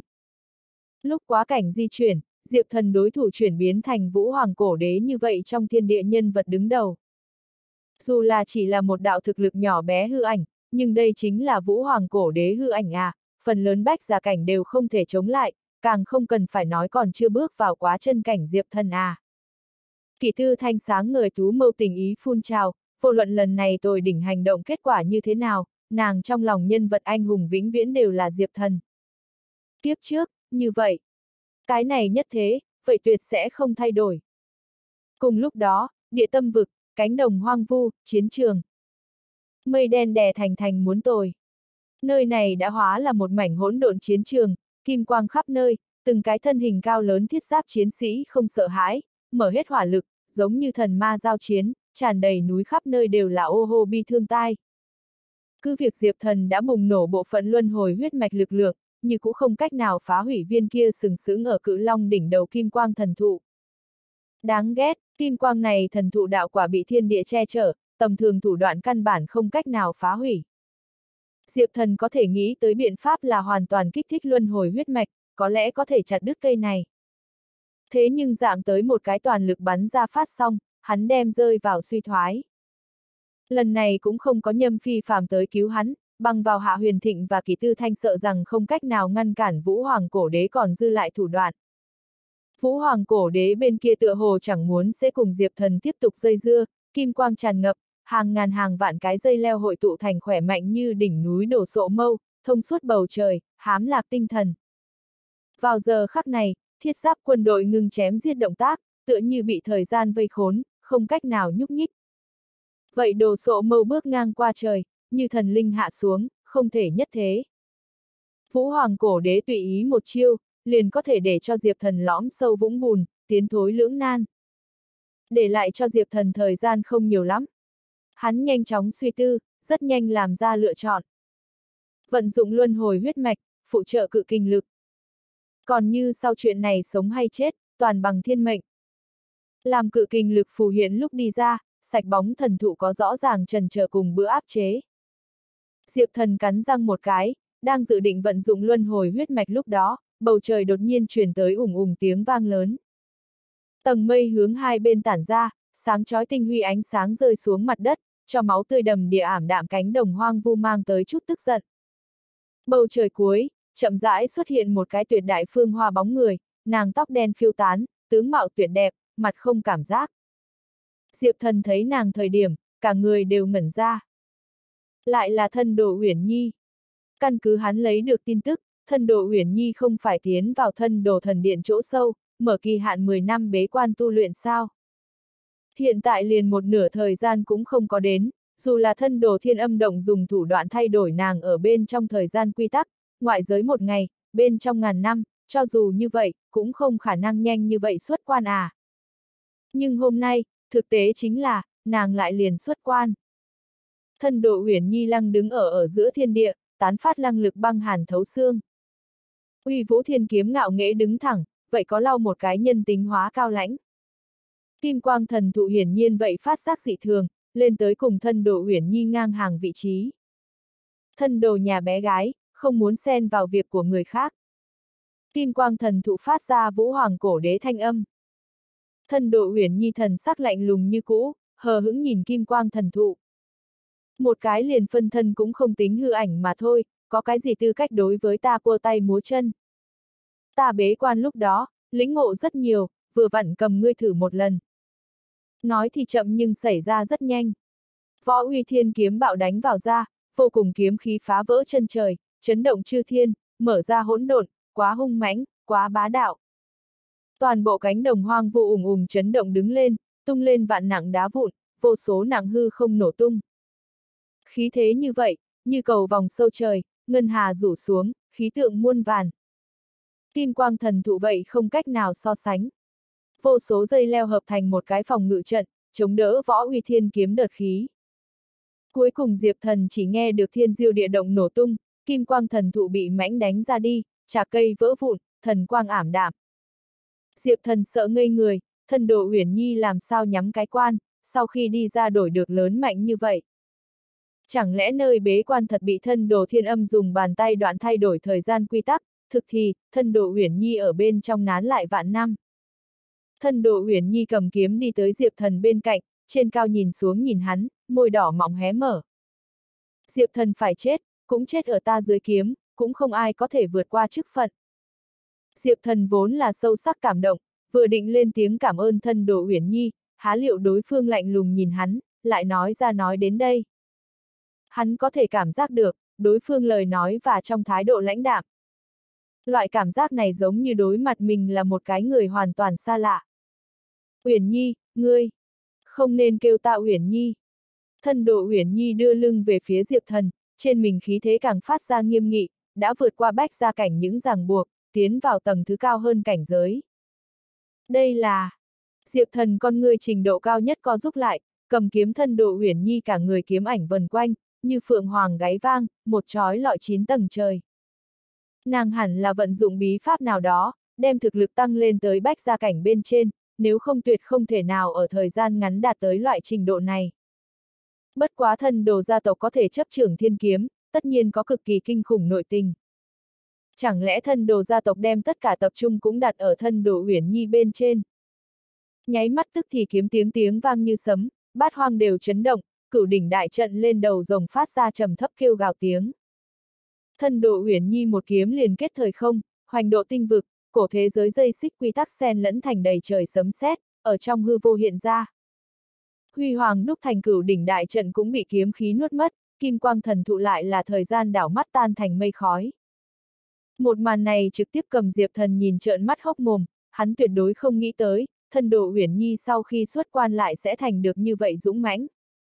Kiếm quang kéo dài ước chừng nửa giờ, hết thảy tan thành mây khói, cửu đỉnh đại trận hiện ra nguyên hình, đổi được tàn tạ không chịu nổi, đỉnh trận đầu rồng bị chia làm hai, cổ đạo hơi thở hoàn toàn không có. Cái này một đỉnh, coi như là thất bại. Diệp thần dài thở phào nhẹ nhõm, lộ ra vui vẻ như chút được gánh nặng cho. Hắn dùng Long Uyên Thiên kiếm phá cửu đỉnh đại trận bên ngoài phòng ngự, thân độ Uyển Nhi xuống lần nữa một thành, lần này chiến tích là hai người chung sức hợp tác kết quả. Diệp thần đi tới thân độ Uyển Nhi bên người, vừa muốn mở miệng nói chuyện, bỗng nhiên sinh lòng giật mình, cấp tốc lui về phía sau. Một đạo kiếm khí bén nhọn từ hắn trước một giây đứng vị trí vạch qua. Uyển Nhi, ngươi làm cái gì vậy? Diệp thần ngây ngẩn, mười phần không hiểu hỏi. Thân độ Uyển Nhi không có trả lời, xoay người xuất kiếm, thiêu phá linh khí bình phong che chở, trực thủ Diệp thần cổ họng. Diệp thần vạn bất đắc dĩ, chỉ có thể kích hoạt xích trần thần mạch, mang kiếm đón đỡ.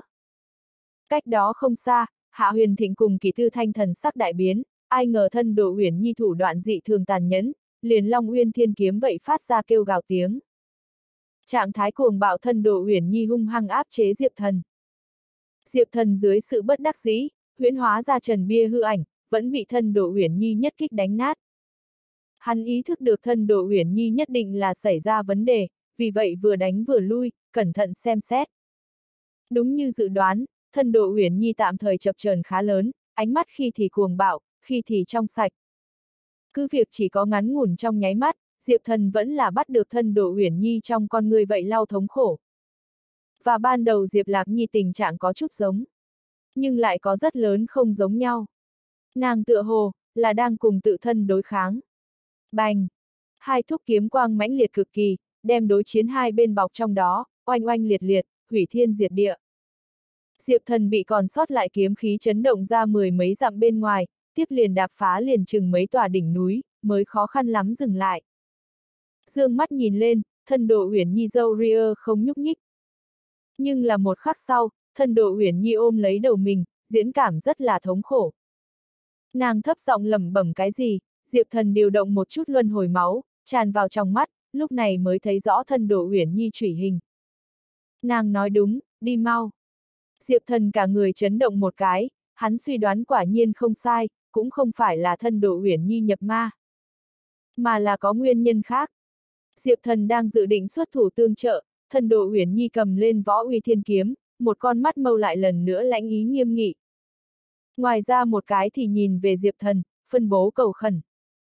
Đi, ta có thể giải quyết, ngươi đi mau. Thân độ huyền nhi môi không ngừng lập lại thần ngữ. Nàng không nói ra lời. Diệp thần hít sâu một hơi, thật sâu ngắm nhìn thân đồ uyển nhi chỗ ở phương hướng, xoay người đồng thời vận dụng trong cơ thể hư bia, tạo ra một phiến thời không hắc động. Cùng ta đi. Diệp thần để cho Hạ Huyền Thịnh cùng Kỳ Tư Thanh hai người theo sát phía sau, cùng tiến vào hư không trong khe. Nơi này là Vũ Hoàng cổ đế bố trí đỉnh trận địa phương, có lẽ sẽ có Vũ Hoàng ý chí lần nữa hạ xuống. Không được ở lâu. Diệp thần cùng ba người thoát đi nơi đây sau đó, thân độ huyền nhi bốn mắt ánh sáng, từ từ rơi xuống đất, trong mắt có mọi thứ tình cảm phun trào. Thật ra thì, từ suốt quan tới nay, thân thể của nàng một mực bị kiếm linh vững vàng chiếm cứ, căn bản không cách nào mình nắm trong tay. Mà nàng nhanh như vậy đột phá, cũng cùng võ uy thiên kiếm có quan hệ rất lớn. Nhưng như đã nói qua, kiếm linh này bắt được mình chấp niệm trong lòng, tới nơi này giúp Diệp Thần chém hết tòa thứ ba cửu đỉnh đại trận, ngược lại cũng coi như có chút chỗ dùng. Nàng nâng lên tú mâu, ngắm nhìn chân trời.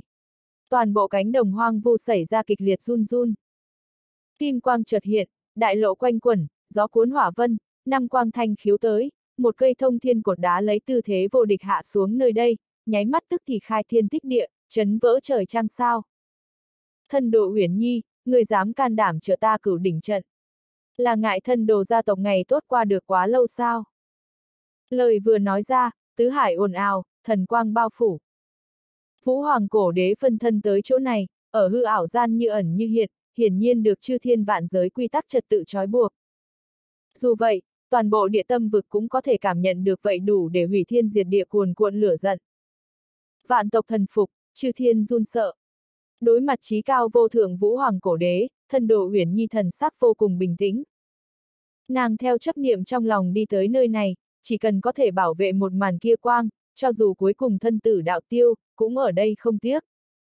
Vũ hoàng cổ đế, hôm nay hết thảy đều là ta thân đồ huyền nhi làm, cùng thân đồ gia tộc cũng không bất luận quan hệ gì, người như muốn tính sổ, tìm ta một người là được. Sấm sét tức giận, tiếng gào khắp nơi. Càn rỡ. Vũ hoàng cổ đế thả ra quy tắc xích thần, bốn thông tám đạt, chi chít, hoàn toàn bao trùm ở thân độ huyền nhi trên đầu. Thân độ huyền nhi không có phản kháng, nàng rất rõ ràng, cho dù là kiếm linh lần nữa chiếm cứ thân thể của nàng, thực lực chợt tăng cũng không cách nào chống lại. Huống chi kiếm linh đã bị vũ hoàng cổ đế hơi thở chấn nhiếp, núp ở võ uy thiên kiếm bên trong không dám lộ mặt. Thiên địa đại đạo quy tắc không cho phép ta hiện tại đem ngươi mang về thái thượng thế giới, cùng bổn hoàng bầy còn dư lại cửu đỉnh đại trận, là được mở bộ phận hư không lối đi, đến lúc đó đem ngươi sẽ trở lại vạn khư thần điện tiếp nhận thẩm phán. Vũ hoàng cổ đế thanh âm lạnh lùng vô tình. Thân độ huyền nhi nhắm mắt không nói, giống như pho tượng. Cánh đồng hoang vu, dần dần khôi phục lại bình tĩnh. Cùng lúc đó, Diệp thần thao túng hư bia, mượn linh nhi lực lượng liên tục xuyên qua hai cái hư không hố đen mới trở lại huyền chân cổ tộc. Bằng vào hắn thực lực trước mắt, cần lại nghỉ ngơi nhiều hai tiếng ngày mới có thể đem bọn họ truyền tống hồi Bắc mãng tộc. Hạ huyền thịnh do lòng vẫn còn sợ hãi, mở miệng nói, điện chủ, ta trước kia lấy là ma tổ vô thiên chính là cái thế giới này đỉnh cấp, không nghĩ tới ở vũ hoàng cổ đế uy thế trước mặt, lại yếu đi không chỉ một bậc. Diệp thần gật đầu một cái, sâu sắc cho là đúng. Vũ hoàng cổ đế chính là thống nhất thái thượng thế giới, lật đổ thiên võ tiên môn thống trị tuyệt đối nhân vật trọng yếu, nói cách khác, hắn chính là thời đại mới thần. Ma tổ vô thiên tuy nói thực lực mạnh mẽ, có thể hắn dẫu sao là cũ thời đại người, thân thể không là thời đại mới nơi cho, cần tìm mới đổ đựng. Từ xưa tới nay đều là người thắng cuồng, người thua chết hiểu. Từ về khí thế mà nói, Vũ Hoàng cổ đế tuyệt thế vô song. Càng làm cho Hạ Huyền thịnh kính nể phải, Diệp Thần lại dám khiêu chiến Vũ Hoàng cổ đế. Cho dù là liền phân thân đều không coi là hư ảnh, cái này cũng đơn giản là lấy người phàm khu trực diện thần minh. Diệp Thần không làm trả lời, trong đầu đều là thân đồ huyền nhi. Còn dư lại sự việc có quá nhiều không xác định. Nàng phải chăng đã chạy ra khỏi mảnh đất kia, làm sao lúc sẽ đến tìm mình. Còn nữa, nàng có bị thương không?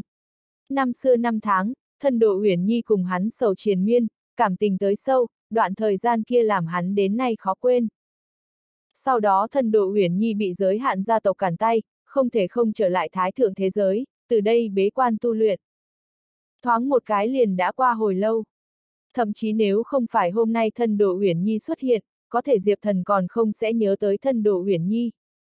Hạ huyền thịnh nhìn thấu Diệp Thần tâm tình có chút nặng nề, cho nên không có quấy rầy hắn. Kỷ Tư Thanh ngồi ở một bên, ánh mắt nháy nháy, nàng thân là Diệp Thần kiếp trước thiếp thân ràng buộc, kiếp này lại là đối Diệp Thần tình ý không thay đổi, nơi nào sẽ không nhìn ra hắn lúc này tâm trạng biến hóa. Thành tựu người phụ nữ, Kỷ Tư Thanh trong lòng thật ra thì có một chút chua sót, nhưng trên mặt lại không có biểu hiện ra. Giống như là Diệp Thần như vậy chưa từng có tuyệt hậu thiếu niên tuấn kiệt, không có nữ nhân kia thấy không hoài xuân chứ. Cần phải nếu muốn mở chút mới được. Kỷ Tư Thanh lại từ huyền chân cổ tộc bên trong hái liền một ít linh dược đưa cho Diệp Thần, giúp hắn khôi phục thương thế. Những cái kia thèm thuồng tại Kỷ Tư Thanh xinh đẹp người thấy một màn này cũng chỉ có thể ảo não đi ra ngoài, bọn họ cũng không có lòng tin và luân hồi chi chủ cướp người phụ nữ. Chỉ như vậy lại qua ba ngày, Diệp Thần như cũ không có được bất kỳ liên quan tới thân đồ huyền nhi tin tức, tâm tình có chút nóng nảy. Hắn lưu lại ở trong sơn động, cau mày, hô nghe được bên ngoài vang lên dày tiếng, ngay sau đó chính là một đạo khí tức mạnh mẽ hạ xuống nơi đây. Có người tới. Diệp thần vẻ mặt chấn động một cái, lập tức cướp rời núi động, thẳng bay trời cao. Huyền chân lão tổ áo khoác bay lượn, đang cùng một người đối lập. Người nọ từ chân trời hạ xuống không phải kẻ địch, mà là thân đồ huyền nhi mẫu thân thân đồ thiên âm. Lúc này thân đồ thiên âm thân mặc một bộ quần đen, khí chất ung dung hoa quý. Diễn cảm nhưng là mười phần tức giận. Để cho Diệp thần cút ra đây gặp ta. Thân đồ thiên âm giọng giá rét, mày liễu đảo thụ, trong mắt đằng đằng sát khí. Huyền chân lão tổ thần sắc trầm xuống. Hắn cũng không gặp qua thân đồ thiên âm, khá vậy có nghe thấy, đến từ thái thượng thế giới gia tộc lớn người nắm quyền cũng không phải là như vậy dễ đối phó. Giữa lúc hắn dự định lập bảo Diệp thần thời điểm, Diệp thần tới, lại giữa chán nhiều một phần ngưng trọng. Diệp thần rất rõ ràng, nếu như không phải là xảy ra chuyện trọng đại tình, thân đồ thiên âm sẽ không cháy bí pháp triệu hoán phân thân, đi tới huyền chân đảo tìm mình. Diệp thần, con gái ta vì cứu ngươi, lừa gạt ta nói một chút tới chặt đứt cùng ngươi tới giữa nhân quả. Ta tin là thật, lại không nghĩ rằng con bé này lại lừa ta, nàng xuống chính là vì cứu ngươi. Mà ngươi lại có thể tự mình chạy trốn, đem con gái ta ném ở nơi đó, này cùng hành vi, ngươi còn dám gọi mình là luân hồi chi chủ. Hôm nay con gái ta bị Vũ Hoàng vây khốn, hơn nữa Vũ Hoàng đã phái người bắt con gái ta, đem con gái ta dẫn tới không biết địa phương. Thân đồ thiên âm tâm trạng cực kỳ kích động, nàng gắt gao nhìn chằm chằm Diệp thần, cắn răng nghiến lợi nói. Diệp thần đầu óc ầm một tiếng. Thân đồ Huyền nhi nàng không có chạy sao? Chẳng lẽ nói nàng lúc đó là vì trợ giúp ta chạy trốn, mới cố ý lưu ở nơi đó hấp dẫn Vũ Hoàng cổ đế chú ý. Trong chốc lát mọi thứ chua sót cùng áy náy xông lên đầu, Diệp thần hít sâu một hơi, bình tĩnh nhìn thân đồ thiên âm, đem nguyên nhân hậu quả nói ra. Nghe được cái này lần sau khi giải thích, thân đồ thiên âm thần sắc mới có nơi hỏa hoãn, bất quá lạnh lùng như cũ như xương. Hy vọng ngươi có thể ở trong nửa tháng cứu ra con gái ta, nếu không chính là phụ lòng nàng đối ngươi một phiến thành tâm. Còn nữa, nàng nếu như bởi vì ngươi mà chết, vô luận ngươi đến chân trời góc biển, ta cũng sẽ giết ngươi là nàng chôn theo. Thân đồ thiên âm thân hình dần dần đi hư ảo, nàng thúc đẩy thân đồ gia tộc mật pháp hạ xuống phân thân, lúc này đã cây chống được cực hạn. Diệp thần tại chỗ lập định hồi lâu, rơi vào trầm tư. Từ đối phương tin tức xem, thân đồ Uyển Nhi còn ở địa tâm vực, hơn nữa bị Vũ Hoàng cổ đế người khống chế, nửa tháng sau liền sẽ bị mang đi thái thượng thế giới, đến lúc đó, thân đồ huyền nhi phải đối mặt chính là vũ hoàng cổ đế. Một khi như vậy, chỉ có một con đường chết. Diệp thần thử nghiệm suy diễn, nhưng phát hiện căn bản không có chút nào đầu mối. Thân đồ thiên âm đều không cách nào biết được Uyển Nhi rơi xuống, sợ rằng ta tu vi cũng khó suy diễn. Coi như suy diễn ra, ta thật có thể cứu thân đồ Uyển Nhi sao? Dưới mắt phải mau sớm thực lực cường đại. Nhâm tiền bối nhiều lần nói tới võ đạo luân hồi đồ, ta tuy thu phục võ đạo luân hồi đồ, nhưng muốn chân chính vận dụng, sợ rằng vẫn là phải liền nhưng võ đạo luân hồi đồ sau lưng vị kia nhân quả, vị kia trước nói tới thiên tuyết tâm, và thiên cung chi địa, có thể ta căn bản không biết, lại nên từ chỗ nào ra tay. Ngọc Khanh âm nói là đi điều tra cái gì, đến hiện tại nàng cho ngọc bội của ta cũng còn không có động tính. Diệp thần có chút nhức đầu, nhưng càng nhiều hơn chính là một loại cảm giác vô lực. Hắn mơ hồ cảm giác, nếu muốn xác định thân đồ Uyển Nhi rơi xuống, thì nhất định phải trước giải quyết võ đạo luân hồi đồ nhân quả. Cũng may, bây giờ thân đồ Uyển Nhi hẳn còn không có nguy hiểm. Ngay tại Diệp Thần ngưng trọng lúc đó, đột nhiên, vậy Ngọc Khanh âm giao cho mình ngọc bội, lại lóe ra tia sáng chói mắt. Diệp Thần, có tin tức, mau tới tọa độ chi địa. Đây là Ngọc Khanh âm thanh âm. Ngọc Khanh âm rốt cuộc có động tính. Diệp Thần con người đông lại một cái, không nghĩ nhiều nữa, trực tiếp vận dụng hư linh thần mạch và hư bia, biến dạng hư không, hướng một phương hướng đi. Nửa ngày sau, Diệp Thần về lại thất lạc thời không vùng lân cận khu vực. Không biết là Vũ Hoàng cổ đế cửu đỉnh đại trận đối toàn bộ vực ngoại ảnh hưởng, vẫn là cái gì, Diệp Thần mơ hồ cảm giác, quy tắc của nơi này cũng có nhỏ xíu biến hóa. Diệp Thần, đột nhiên một giọng nói ở Diệp Thần sau lưng vang lên. Diệp Thần con người đông lại một cái, chợt xoay người, liền thấy được hồi lâu không thấy Ngọc Khanh Âm. Để cho Diệp Thần nghi ngờ phải, Ngọc Khanh Âm trên mình lại mang một chút tổn thương. Người thế nào? Diệp Thần ngưng trọng nói. Ngọc Khanh Âm lắc đầu một cái, nàng vây quanh Diệp Thần vòng vo một vòng, mắt đẹp tràn đầy cổ quái. Nàng cảm giác được Diệp Thần khí tức trên người xa so với trước đó mạnh hơn, sợ rằng mấy ngày nay vậy có duyên. Chẳng lẽ cái này nhờ vào võ đạo luân hồi đồ? Vẫn là nói cái khác. Diệp thần không nghĩ nhiều nữa, trực tiếp hỏi nói, thiên tuyết tâm tin tức người có đầu mối. Ngọc Khanh âm gật đầu một cái, tiếp tục nói, những thứ này thời gian ta điều tra và xác định rất nhiều thứ, thật ra thì rất nhiều năm trước, âm ma thánh điện chủ, cũng chính là âm ma thánh tổ, lão nhân kia tựa hồ cùng thiên tuyết tâm đánh một trận, mà kết quả là toàn bại. Diệp thần nghe vậy, trong lòng rét một cái. Đúng là như vậy, điện chủ lúc này mới bế quan, chưa từng xuất thế. Ngọc Khanh âm thành tựu đã từng âm ma thánh điện hắc ám thánh nữ, tin tức đường dây tự nhiên không thể nào lạc hậu. Thiên tuyết tâm mạnh mẽ không chỉ như vậy, nàng vẫn là thiên cung thần giáo trưởng giáo, mà thiên cung thần giáo chính là tọa lạc ở thiên cung chi địa.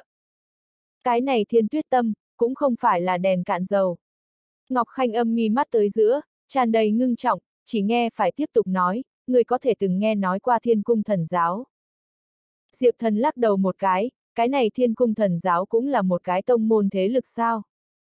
Ngọc Khanh âm gật đầu một cái, không sai, cái này thiên cung thần giáo ở thiên cung chi địa sức ảnh hưởng, không kém chút nào âm ma thánh điện ở thất lạc chi hải địa vị.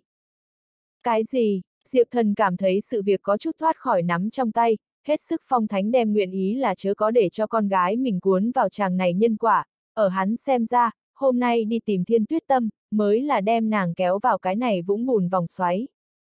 Thiên tuyết tâm là thiên cung thần giáo trước mắt trưởng giáo, cả người tu vi tương đương khủng bố, sớm ở trước mặt, âm ma thánh tổ liền song bại với tay nàng, hôm nay sợ rằng. Bằng thân phận địa vị của nàng, chúng ta chỉ sợ là liền gặp nàng một mặt tư cách cũng không có. Ngọc Khanh âm thở dài, đúng là bất đắc dĩ nói. Hơn nữa cái này thiên cung thần giáo, từ trước đến giờ xếp bên ngoài, cho dù là địa phương dân địa phương thế lực, các nàng đều là lỗ mũi hướng lên trời, liếc mắt xem người, nhưng cái này thần giáo ở thiên tuyết tâm lãnh đạo dưới, đúng là có ngạo thị quần hùng vốn. Trong vô hình, Diệp thần cùng hai người muốn gặp được cái này thiên cung thần giáo trưởng giáo, đã là khó như lên trời. Nguyên định hết thảy thoát khỏi nắm trong tay, sự việc phát triển đến loại này, liền Diệp thần đều là khá là nhức đầu.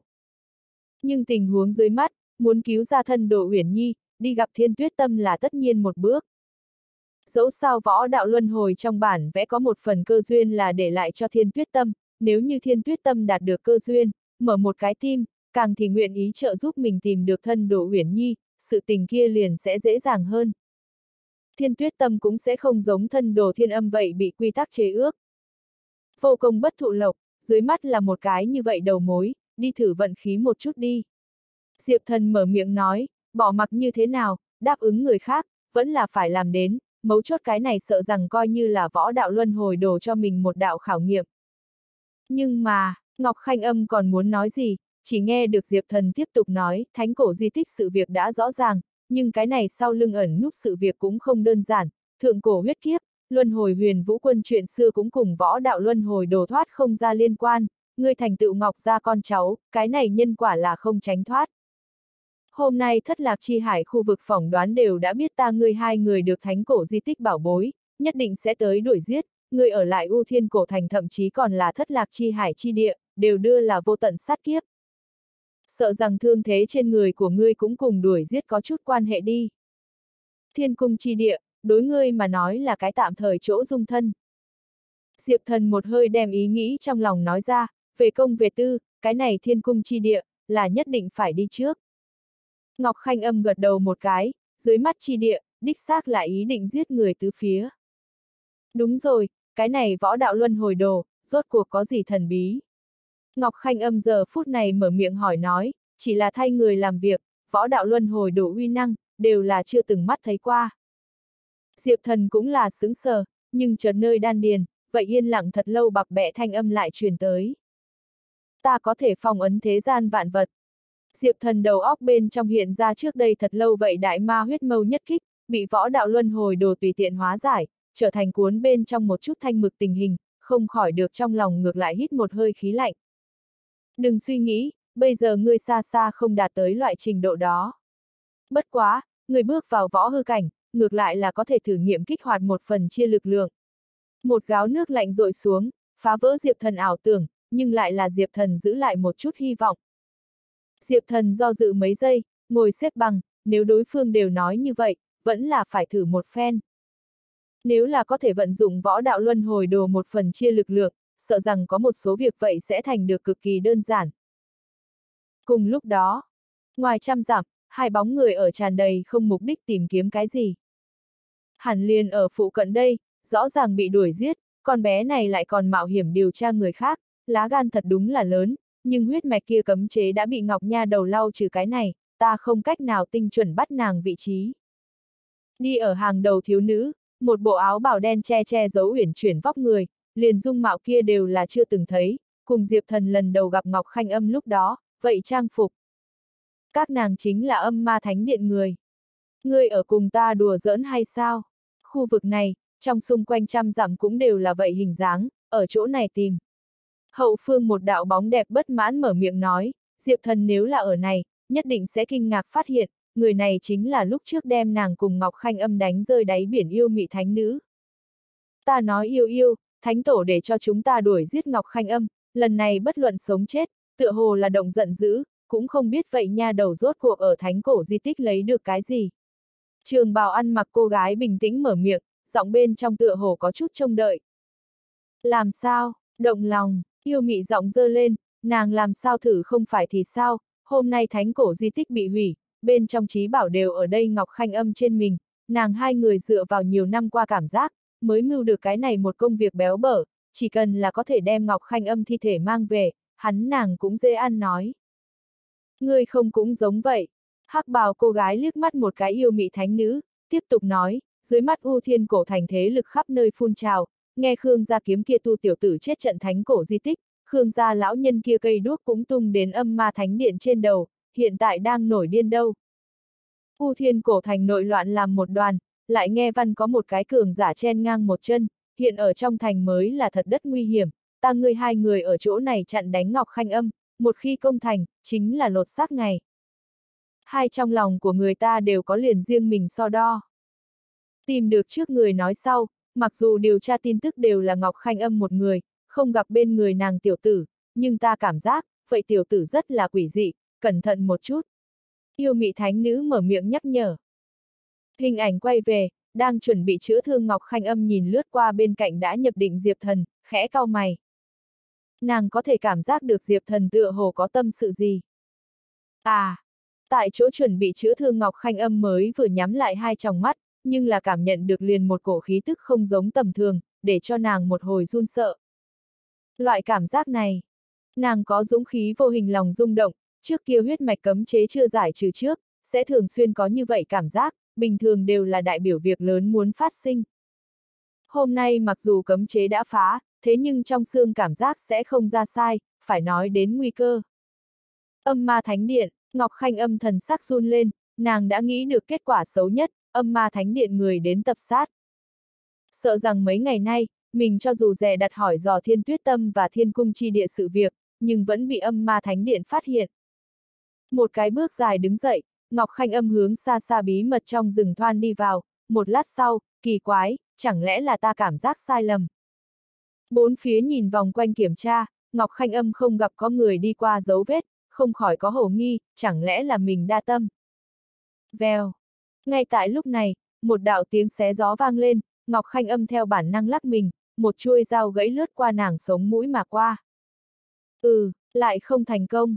Bí mật trong rừng, hai bóng người chậm rãi đi ra. Ngọc Khanh âm à Ngọc Khanh âm, lâu như vậy đi qua, ngươi không chạy trốn, ngược lại còn ngây ngô ở chỗ này, thật là buồn cười. Ngươi áp trận, để ta giải quyết nàng. Yêu mị thánh nữ hướng về phía một bên người áo bảo đen ảnh nói, chưa cùng bên người người đáp lại, nàng liền tiếp tục giải thích, con bé này luôn luôn là quỷ kế đa đoan, người cũng biết, nếu là bị nàng chạy nữa, chúng ta trở về coi như khó khăn dặn dò. Nàng bên người còn có một tiểu tử, hẳn là núp trong bóng tối, người tới canh chừng.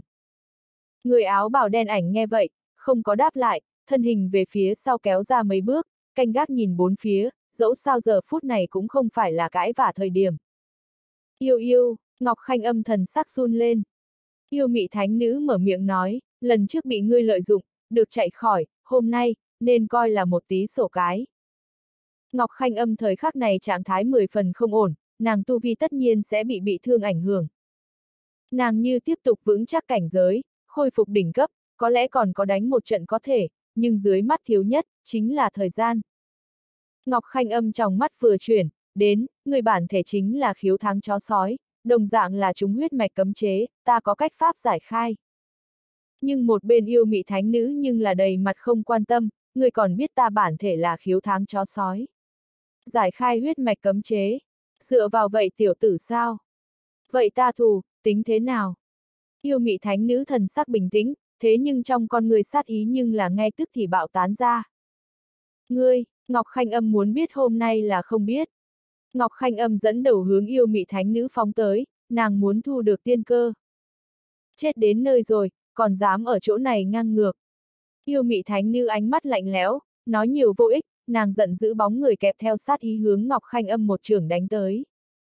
Ngọc Khanh Âm vui mừng không sợ, thần sắc kiên định nhìn trước mắt tiệm su bước vào yêu mị thánh nữ, đến cũng được, ở chỗ này làm một chấm dứt đi. Một giây kế tiếp nàng lanh lợi cuồng bạo khí thế bắn tán loạn ra, Ngọc Khanh âm hướng yêu mị thánh nữ chạy nhanh đến, một trường này, nàng muốn đón đỡ. Một trường này đi xuống, Ngọc Khanh âm coi như là muốn nói rõ ở chỗ này. Cũng nên kết thúc. Áo bào đen cô gái ánh mắt híp lại, suy đoán nói. Oanh, một đá kích thích thiên tầng lãng, bí mật trong rừng khói thuốc tràn ngập. Trong sân bạo liệt dư âm từ từ khuếch tán ra, chỉ gặp trong đó Ngọc Khanh âm như cũ đứng thẳng tại tại chỗ, mặt ngoài thân thể quanh quẩn một tầng nhàn nhạt thanh quang, tựa như thức tỉnh long linh vậy, khí phách không giảm chút nào. Nhìn lại yêu mị thánh nữ bên này, bụi văng đầy người nàng thụt lùi mấy bước lảo đảo đứng, hai tròng mắt bên trong sát ý chỉ tăng không giảm. Được được được, hôm nay, coi như là thiên quân hạ xuống, cũng không cứu được ngươi, đi chết đi. Yêu mị thánh nữ một tiếng gầm thét, khí tức toàn thân bạo tăng. Nàng muốn cưỡng ép xóa bỏ Ngọc Khanh âm. Sử dụng bản thể cường thế chân áp. Một khắc sau, yêu mị thánh nữ cường thế thúc dục công pháp. Theo một tiếng gào thét, nàng quanh thân xương cốt vù vù vang dội, một tấc tấc đứt đoạn, một đầu lớn như vậy khiếu tháng chó sói chậm rãi đi ra, gắt gao nhìn chằm chằm Ngọc Khanh âm.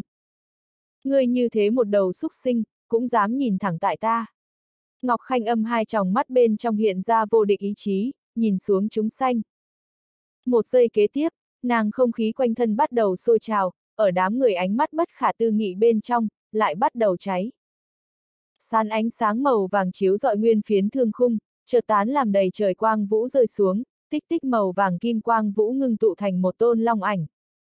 Sán màu vàng kim miếng vảy làm được tại chỗ áo bảo đen cô gái không dám nhìn thẳng, màu máu đỏ hai tròng mắt nhìn xuống chúng xanh. Một tiếng long ngâm chấn triệt chân trời. Nhìn lại vậy khiếu tháng chó sói, ở đầu rồng đỏ tươi hai tròng mắt nhìn soi mói, đầu tiên là run lẩy bẩy, theo một tiếng long ngâm chấn thiên. Khiếu tháng chó sói thân thể bắt đầu một tấc tấc quân nứt ra, cây nhánh mạch máu nổ tung, bất quá trong khoảng khắc, cũng đã là trọng thương khu. cúi đầu tại long ảnh dưới sự uy áp. Nếu như long ảnh mở ra thế công, như vậy. Khiếu thắng chó sói trọng thương, yêu mị thánh nữ phun ra một ngụm máu tươi, ổn định thân hình nhìn Ngọc Khanh âm, nàng ban đầu vậy tràn đầy sát ý hai tròng mắt ở long ảnh xuất hiện ngay tức thì đổi được kinh ngạc, sợ hãi, cuối cùng hóa thành sâu đậm không cam lòng. Ngay tại Ngọc Khanh âm muốn làm tuyệt sát để gặp, trong cơ thể nhưng là một hồi khí huyết cuồn cuộn. Đáng chết, hậu di chứng hiện ra. Nàng than thầm một tiếng không ổn, bên cạnh còn có một người khác áo bảo đen thánh nữ chưa ra tay, nàng tình cảnh mười phần nguy hiểm. Ngọc Khanh âm chỉ cảm thấy một hồi choáng váng, trong hư không long ảnh chậm rãi tiêu tán, phảng phất từ không hiện ra vậy, tình cảnh một lần rơi vào yên lặng. Hụ hụ! Ngọc Khanh âm miễn cưỡng nuốt xuống sắp ho ra máu tươi, thời khắc này nàng đã là nỏ hết đà. Vốn là trong cảnh giới không vững chắc nàng, cưỡng ép ra tay đã là khoe tài. Chống cự yêu mị thánh nữ một trưởng kia, đã làm được nàng trong cơ thể linh lực và quy luật nghịch chuyển, quanh thân kinh mạch có thác loạn dấu hiệu, nếu như yêu mị thánh nữ tiếp tục phát động mãnh công, Ngọc Khanh âm tuyệt đối kháng không dưới chiêu thứ hai. Thánh cổ trong di tích truyền thừa mặc dù nghịch thiên, nhưng vậy tuyệt không thể nào để cho hắn lấy trọng thương khu chống lại tình huống dưới mắt. Thật ra thì dựa theo giờ phút này Ngọc Khanh âm thương thế bên trong cơ thể, mấy trưởng sau đó, nàng đã là khí huyết đổi ngược. Nếu không phải yêu mị thánh nữ chiếu cố đến mặt mũi, vận dụng bản thể cường thế chân áp, bây giờ Ngọc Khanh âm sợ rằng đã hóa thành một bãi thịt nát. Ngọc Khanh âm nội tâm cười khổ một tiếng, giờ phút này yêu mị thánh nữ mặc dù bị thương, nhưng vẫn như cũ có chiến lực, huống chi bên người còn có áp trận áo bảo đen thánh nữ. Thật chẳng lẽ phải bỏ mạng nơi này? Cùng lúc đó, thời khắc này Diệp Thần lại vào võ đạo luân hồi đổ thế giới. Hắn quanh thân hư không chập chờn, phảng phất có vô số cổ xưa dấu vết hiện lên. Dấu vết huyền diệu, tựa như không thuộc về thế giới hiện thật. Thậm chí có một chút không không cảm giác. Nguyên lai like đây chính là võ đạo luân hồi đồ phong ấn lực. Diệp thần ý niệm bên trong thế giới, võ đạo luân hồi đồ đồ linh tĩnh yên tĩnh nằm ở hắn bên người. Thật ra thì võ đạo luân hồi đồ uy lực có thể phát huy nhiều ít, quyết định bởi tại cưỡi người rốt cuộc mạnh bao nhiêu, năm xưa cái tên kia mượn ta lực lượng, đem cả tòa U Thiên Cổ Thành đều là phong ấn đi. Lúc ấy các người chỗ đã thấy di tích, nhưng thật ra là thời kỳ thượng cổ tồn tại. Bạc bẹ non nớt thanh âm vang lên, cái này đồ linh cùng âm ma thiên thạch bất đồng chính là, ý chí của nó diễn hóa càng thuần thục, có thể cùng Diệp Thần không chướng ngại câu thông, trước mắt âm ma thiên thạch còn không làm được bước này. Phong ấn. Diệp Thần bỗng nhiên nghĩ đến, nghĩ lúc đó năm hết sức phong thống lĩnh phong ấn con gái mình thiên tuyết tâm, có phải hay không vậy mượn võ đạo luân hồi đồ.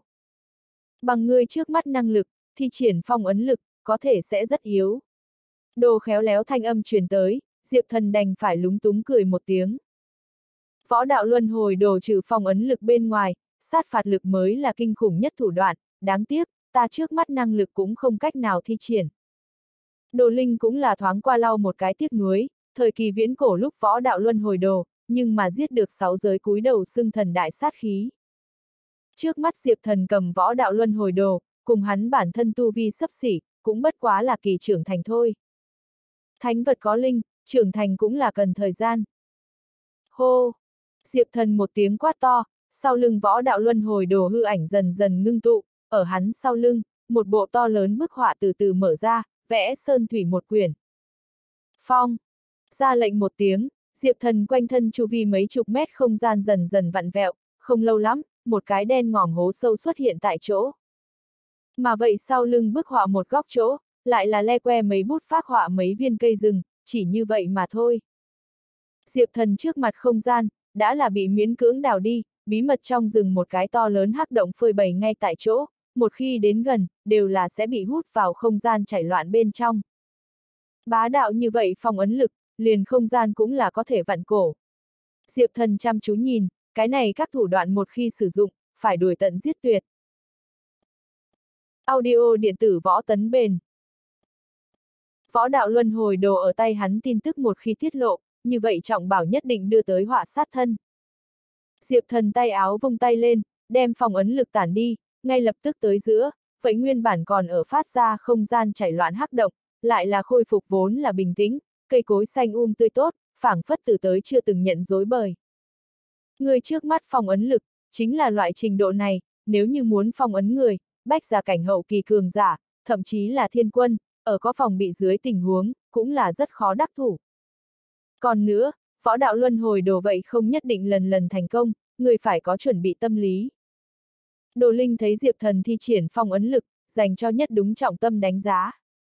Bất quá không cần quá lo lắng, theo người tu vi tăng lên, nếu là có thể ở võ đạo luân hồi đồ bên trên lưu danh, vậy tương lai thành tựu. Đồ khéo léo nói không có nói hết sức, chỉ là cho Diệp Thần một cái nghĩ thế nào, nhưng đường sau này đi như thế nào, toàn ở chính hắn. Diệp Thần im lặng, nhìn sau lưng kim mang cùng đỏ thắm đan vào đồ quyển, bỗng nhiên, chăm chú nhìn bên trong một chút loãng mực, đưa tới hắn chú ý. Đó là bị phong ấn ở thánh đồ bên trong máu kích. Diệp thần đầu óc bên trong bỗng nhiên hiện ra một cái to gan ý tưởng. Chỉ gặp hắn chắp hai tay, bắt đầu mặc niệm. Đây là, mau dừng lại. Đồ Linh thấy tình thế không đúng, vội vàng nhắc nhở, nhưng giờ phút này một lòng muốn nghiệm chứng mình nội tâm ý tưởng Diệp Thần căn bản không nghe vào đồ khéo léo khuyến cáo. Mở. Lại là một tiếng quát to. Lần này, không còn là phong ấn lực, mà là phóng thích. Chỉ gặp tranh kia cuốn trên lau một cái loãng mực bắt đầu đổi được hư không, Diệp Thần trước mặt, một chuôi tuyệt thế đại sát khí từ bức họa bên trong không gian phá ra, chỉ là mũi kích một chút hiển lộ, vô cùng sát ý đều là sông lên trời không, cửu châu vân động. Đây là, cách đó không xa áo bảo đen thánh nữ cùng yêu mị thánh nữ hai mắt nhìn nhau một cái, bọn họ đều là tới từ âm ma thánh điện, loại nào đó trình độ bên trên, coi như là ma tộc đời sau. Vậy thánh cổ di tích bên trong, cùng hết sức phong thống lĩnh đối chiến ma tôn, trong tay cái thế sát khí, giờ phút này bị Diệp Thần triệu hoán ra, dành cho hai nữ, là linh hồn chỗ sâu uy áp kinh khủng lực. Làm được các nàng huyết mạch động lại, linh lực nghịch chuyển. Ngọc Khanh Âm thấy vậy, biết đây là mình cao nhất cơ hội, liền lắc người một cái biến mất ở bí mật trong rừng, thời khắc này nàng trạng thái cực kỳ gay gâu, nếu như tái chiến, hẳn phải chết không thể nghi ngờ. Đáng chết, âm ma thánh điện hai nữ xa nhìn phương xa, lại là quanh thân mồ hôi lạnh chảy ròng, một khi thất bại, chính là các nàng bỏ mạng ở điện chủ trên tay. Truy đuổi. Nhìn một cái sơ sót khinh thường lúc đó, không biết tung tích Ngọc Khanh âm, các nàng lần nữa nâng lên nhịp bước, đuổi giết đi. Hình ảnh quay về. Diệp thần, mau dừng tay. Đồ Linh ở một bên lo lắng hô. Diệp thần tự mình nhưng là biệt tai không nghe thấy, quanh thân linh lực điên cuồng phun trào, trước mặt từ bên trong không gian phá ra thương kích lại là càng tăng lên phân nửa. Oanh!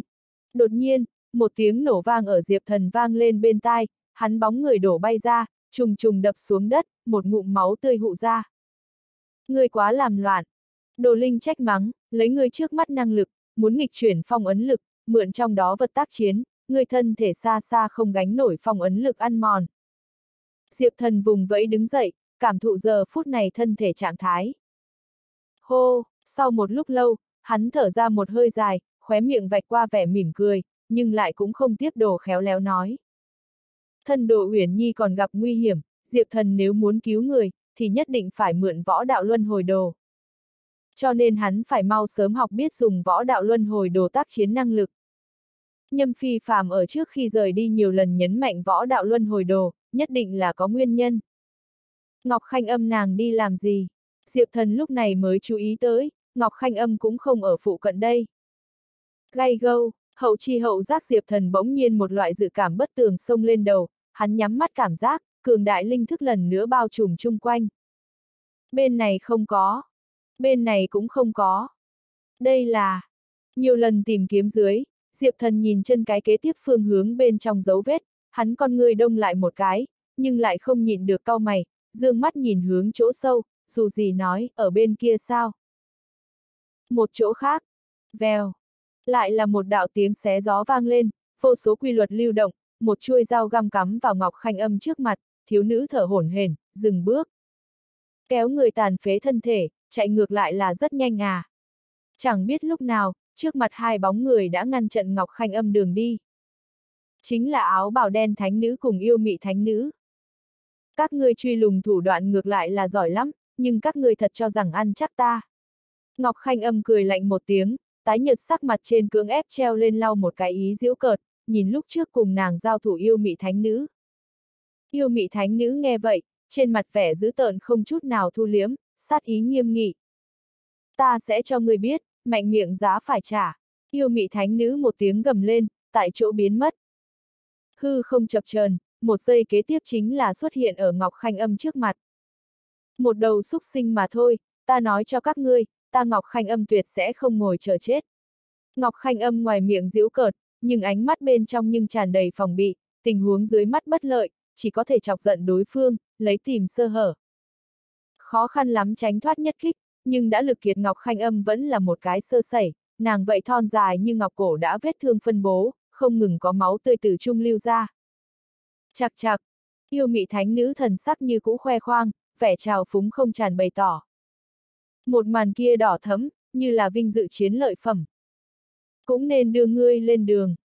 Yêu mị thánh nữ cũng không có dự định lúc này thả qua Ngọc Khanh Âm, nàng đối Ngọc Khanh Âm có thể nói là rõ ràng hết sức. Bằng Ngọc Khanh Âm ở trong mắt nàng trình độ giảo hoạt, chỉ phải một ngày không chết, liền không thể hết lấy xem nhẹ. Lại là một kích chí mạng, Ngọc Khanh Âm lựa chọn né tránh. Sau mấy hiệp, nàng trên mình đã là máu tươi thấm ướt quanh thân, liền đứng đều là xỉ xỉ sách sách. Như thế nào, có phải hay không cảm giác được cả người giá rét? Yêu mị thánh nữ giờ khắc này, mới hoàn toàn buông xuống đối Ngọc Khanh âm phòng bị.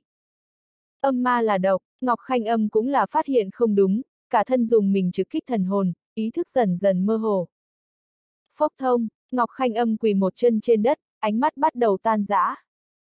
Yêu mị thánh nữ chậm rãi đi lên trước, trên cao nhìn xuống nói, người ta đấu nhiều năm như vậy, ngày hôm nay rốt cuộc có thể có cái cơ hội chấm dứt. Nói xong, nàng một cước đạp ở Ngọc Khanh âm nửa quỳ tư thái bả vai bên trên, có trên cao nhìn xuống dung mạo, dò xét trước mặt đã là nỏ hết đà, hô hấp đều là khó khăn Ngọc Khanh âm. Ngươi, yêu mị thánh nữ thành tựu tư thái người thắng hiện ra hết, vẻ mừng rỡ như điên giật tại bày tỏ, vừa muốn mở miệng, nhưng là ngay tức thì lông tơ chợt nổi lên. Đây là về sinh lý theo bản năng phản ứng, còn không cùng yêu mị thánh nữ hành động, nàng bên tai nhưng là vang lên Ngọc Khanh âm đoạt mệnh hai chữ. Ta còn không buông tha, ảnh sát, diệt. Một đạo hàn mang thoáng qua, giống như sao rơi vậy chớp mắt rồi biến mất, vô tận quy luật vào giờ khắc này tách thả ra. Trong sân thế cục, ngay lập tức vạn biến. Tan mất toàn thân phòng bị yêu mị thánh nữ, chỉ cảm giác hoa mắt một cái, đau đớn kịch liệt tấn công tới, nàng khó tin ánh mắt nhìn về phía mình bụng, một cái to lớn lỗ máu thấu rầm rề, quanh thân sức sống đang không ngừng trôi qua. Đáng chết! Một tiếng tiếng gào thét thê lương vang dội nguyên phiến rừng rậm, giờ phút này đang lao tới Diệp Thần hiển nhiên cũng là nghe được động tĩnh. Hắn con người đông lại một cái, hư linh thần mạch vận chuyển, chung quanh hư không xuất hiện đạo đạo chập chờn, chạy thẳng tới chiến trường tới.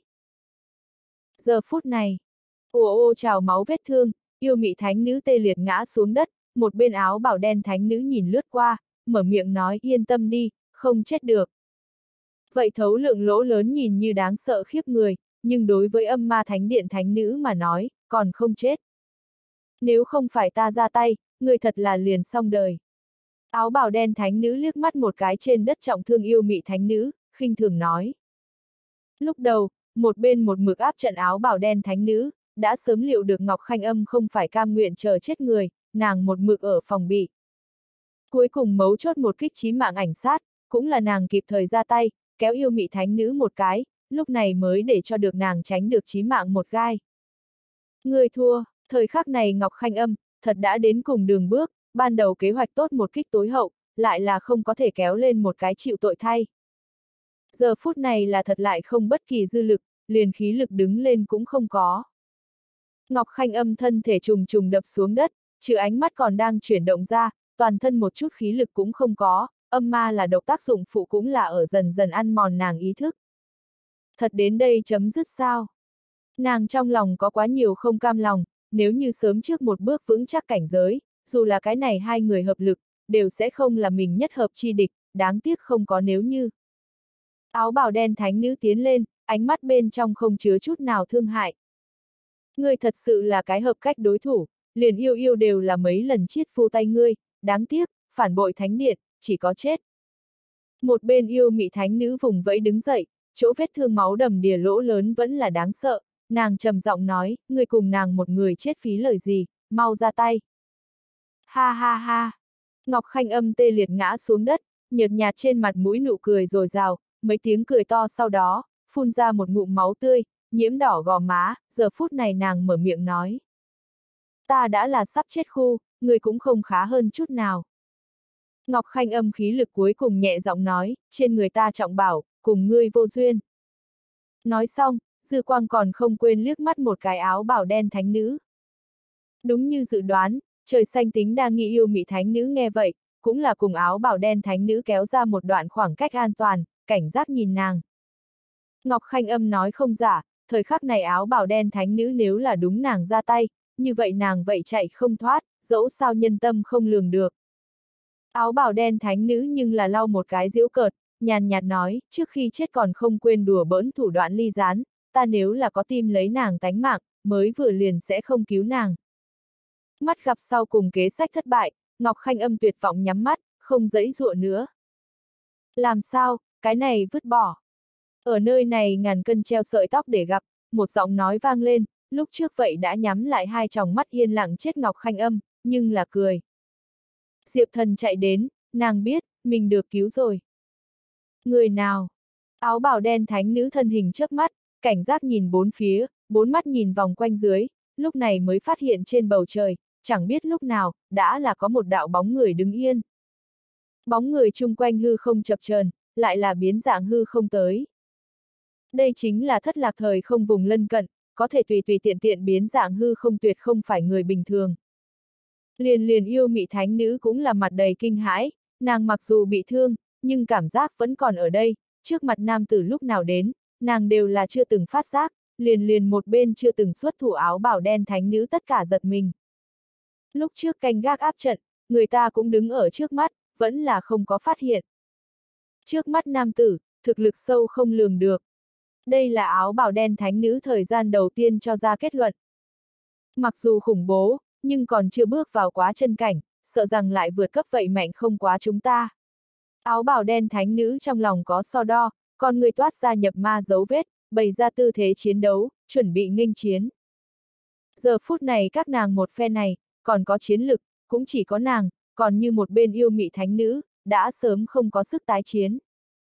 Giả thần giả quỷ, yêu mị thánh nữ nhìn trên hư không bóng người, lúc này liền muốn giày, cái đó quỷ chữ chưa lối ra, trên hư không bóng người đã biến mất, ngay lập tức tới giữa, một cái lỗ võ có lực bàn tay đã là ấn vào nàng trên cổ. Yêu mị thánh nữ ngay tức thì toàn thân lông tơ chợt nổi lên, bốn chữ lời nói tới giữa, nàng đã là đánh hơi được chết mùi vị, theo bản năng liền muốn tránh thoát diệp thần khóa trừ. Nhưng vẫn là chậm một giây đồng hồ. Ta dù chưa bước vào quá chân cảnh, nhưng cũng đã là cấm thiên bảng thứ hai tồn tại.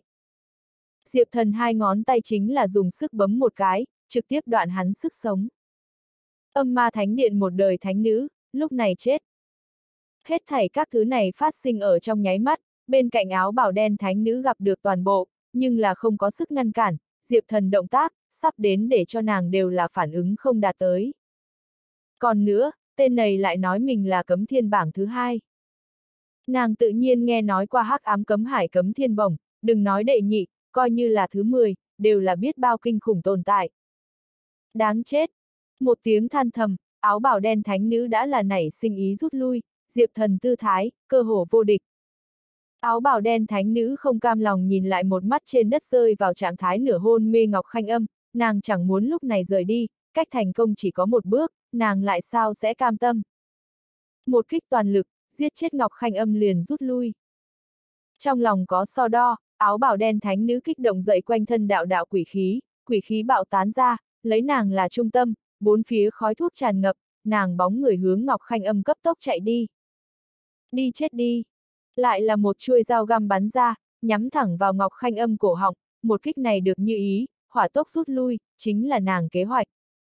Ở đó dao găm mũi đao khoảng cách Ngọc Khanh âm ra thịt chỉ có phân nửa khoảng cách, nhưng là lại cũng không cách nào tiến thêm, ở nàng trước mắt, là một đôi lãnh đạm con ngươi, trực câu câu nhìn chăm chú nàng. Áo bào đen cô gái cũng biết này nhất kích không chúng, quả quyết lại không lấy Ngọc Khanh âm tánh mạng cơ hội, mấy cái xoay mình, hư không chập chờn, liền muốn rút lui. Dẫu sao mạng mình mới trọng yếu nhất. Tới đã tới rồi, còn muốn đi. Nổi lên bốn phía quỷ khí bên trong, bất luận áo bào đen cô gái như thế nào chăn trở xê dịch, xoay mình né tránh, nhưng Thủy Trung cảm giác vậy một đôi lãnh đạm con người ở gắt gao nhìn chằm chằm nàng. Đáng chết, thằng nhóc này liền quá chân cảnh đều không bước vào, ta vì sao liền bỏ chạy đều là không làm được. Hắn cảm giác bị áp bách tỉ thí thế nào những cái kia bách giả cảnh hậu kỳ cường giả còn kinh khủng hơn. Kết quả này là cái gì yêu nghiệt?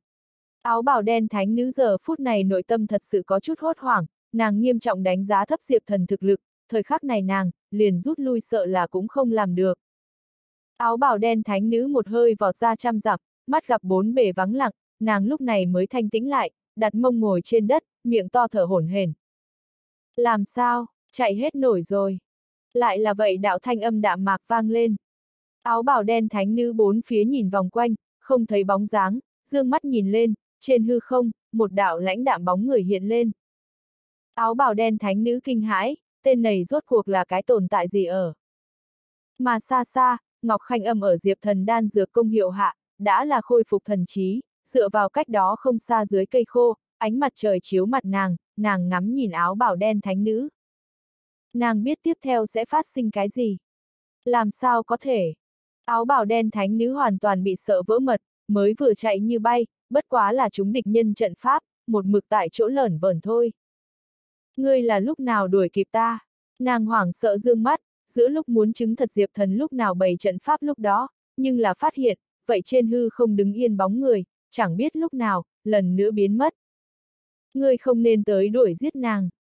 Một đạo thanh âm bình tĩnh từ áo bảo đen thánh nữ sau lưng truyền tới, giờ khắc này, nàng thật tuyệt vọng. Liên địch nhân chiều hướng đều là căn bản không cảm giác được, thời khắc này nàng không quay đầu lại, mà là đưa lưng về phía Diệp Thần, không dừng được run rẩy. Mấy năm sống, lần đầu tiên cảm nhận được tuyệt vọng mùi vị. Như vậy sâu đậm cảm giác vô lực, vậy đôi lãnh đạm con ngươi, chân thực quá mức dọa người. Thử! Áo bào đen thánh nữ vừa định quay đầu, trước ngực một thanh kiếm nhập vào cơ thể ra, sắp đến không có cảm giác đau. Nàng cúi đầu khó có thể tin nhìn thanh kiếm kia, cứ như vậy dễ dàng xuyên thấu nàng thể xác. Không có một chút tình cảm, không có một chút thương hại. Thời khắc này Diệp Thần, giống như là một tôn máy giết người. Xem ra ngươi chính là điện chủ muốn đuổi giết người. Đây là áo bảo đen thánh nữ đối Diệp Thần thứ nhất phán đoán, đáng tiếc, nàng cái này âm ma thánh điện thánh nữ, nhưng là chết ở Diệp Thần trên tay, chân thực thật đáng buồn. Trước ngực còn đang xông ra ám sắc máu, tim đều là bị miễn cưỡng làm vỡ nát đi, Diệp Thần lại nữa dương mắt nhìn nàng. Sau đó, hắn một cái ôm lấy bên người Ngọc Khanh Âm, hướng chỗ sâu đi tới. Ngươi không đến, ta cũng lấy vì mình phải chết. Trong ngực thiếu nữ tựa đầu chôn vào không nhìn thấy trình độ, nhẹ giọng nói. Diệp thần nhưng là cười nhạt, lần sau loại chuyện này, trực tiếp đánh thức ta, không phải mỗi một lần, ta cũng có thể kịp thời xuất hiện. Ừ, người cái này âm ma là độc có cần hay không ta ra tay. Diệp thần có cổ độc thần mạch, lại có bát quái thiên đan thuật, giải cái loại này độc không tính là quá khó khăn. Ta có thể rõ ràng. Vậy vì sao còn không giải độc? Cần cởi áo ra. Diệp thần ngẩn ra, diễn cảm có chút cổ quái, sau đó liền coi giữ một khối hang núi, để cho Ngọc Khanh âm tự đi giải độc. Ban đêm trong hang núi, trong chốc lát xuân quang cờ bay phất phới. Sáng sớm ngày thứ hai, thứ nhất lao ánh sáng mặt trời quang xé rách tầng mây chiếu vào mặt đất trên thời điểm, hai bóng người đã là đến gần thiên cung chi địa. Diệp thần hy vọng đem trước mắt sự việc mau sớm giải quyết. Nếu đi tới nơi này, trước hết đem võ đạo luân hồi trong bản vẽ vậy đạo nhân quả kết thúc.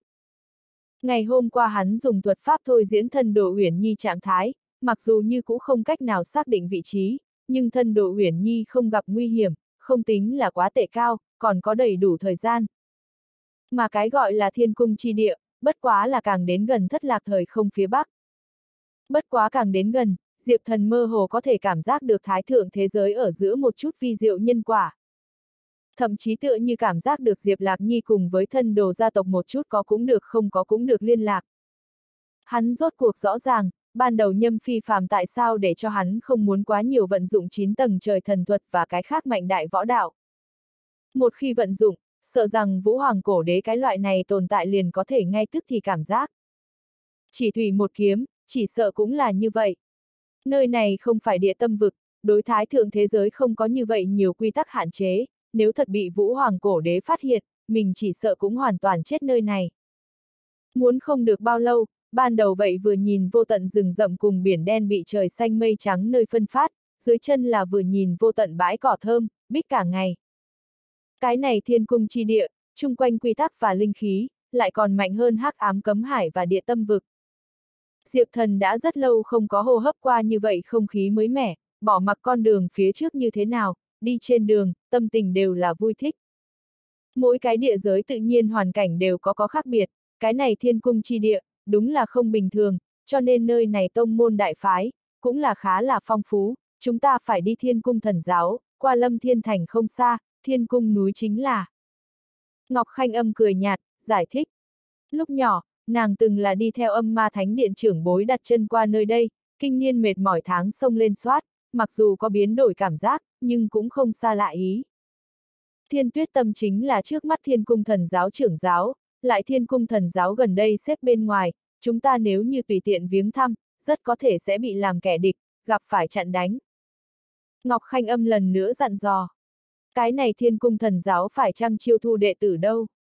Có lẽ chúng ta có thể cải trang chui vào. Diệp thần suy nghĩ một chút, luôn mãi nói. Thiên cung thần giáo chiêu thu đệ tử môn đồ vô cùng là nghiêm ngặt, không rõ thân phận bối cảnh nhất định sẽ gặp phải nghiêm tra. Hơn nữa, hiện tại đã qua thiên cung thần giáo thu nhận môn đồ đệ tử lúc, chúng ta nếu như đi trước, con đường này sợ là không thể thực hiện được.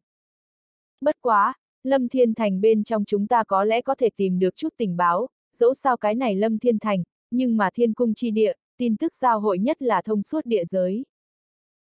Trong bất chi bất giác, hai người bóng người đã xuất hiện ở Lâm Thiên Thành cửa, bên người cả đám cũng là đối diệp thần cùng chỉ trỏ, thậm chí là nhỏ giọng nghị luận chút gì.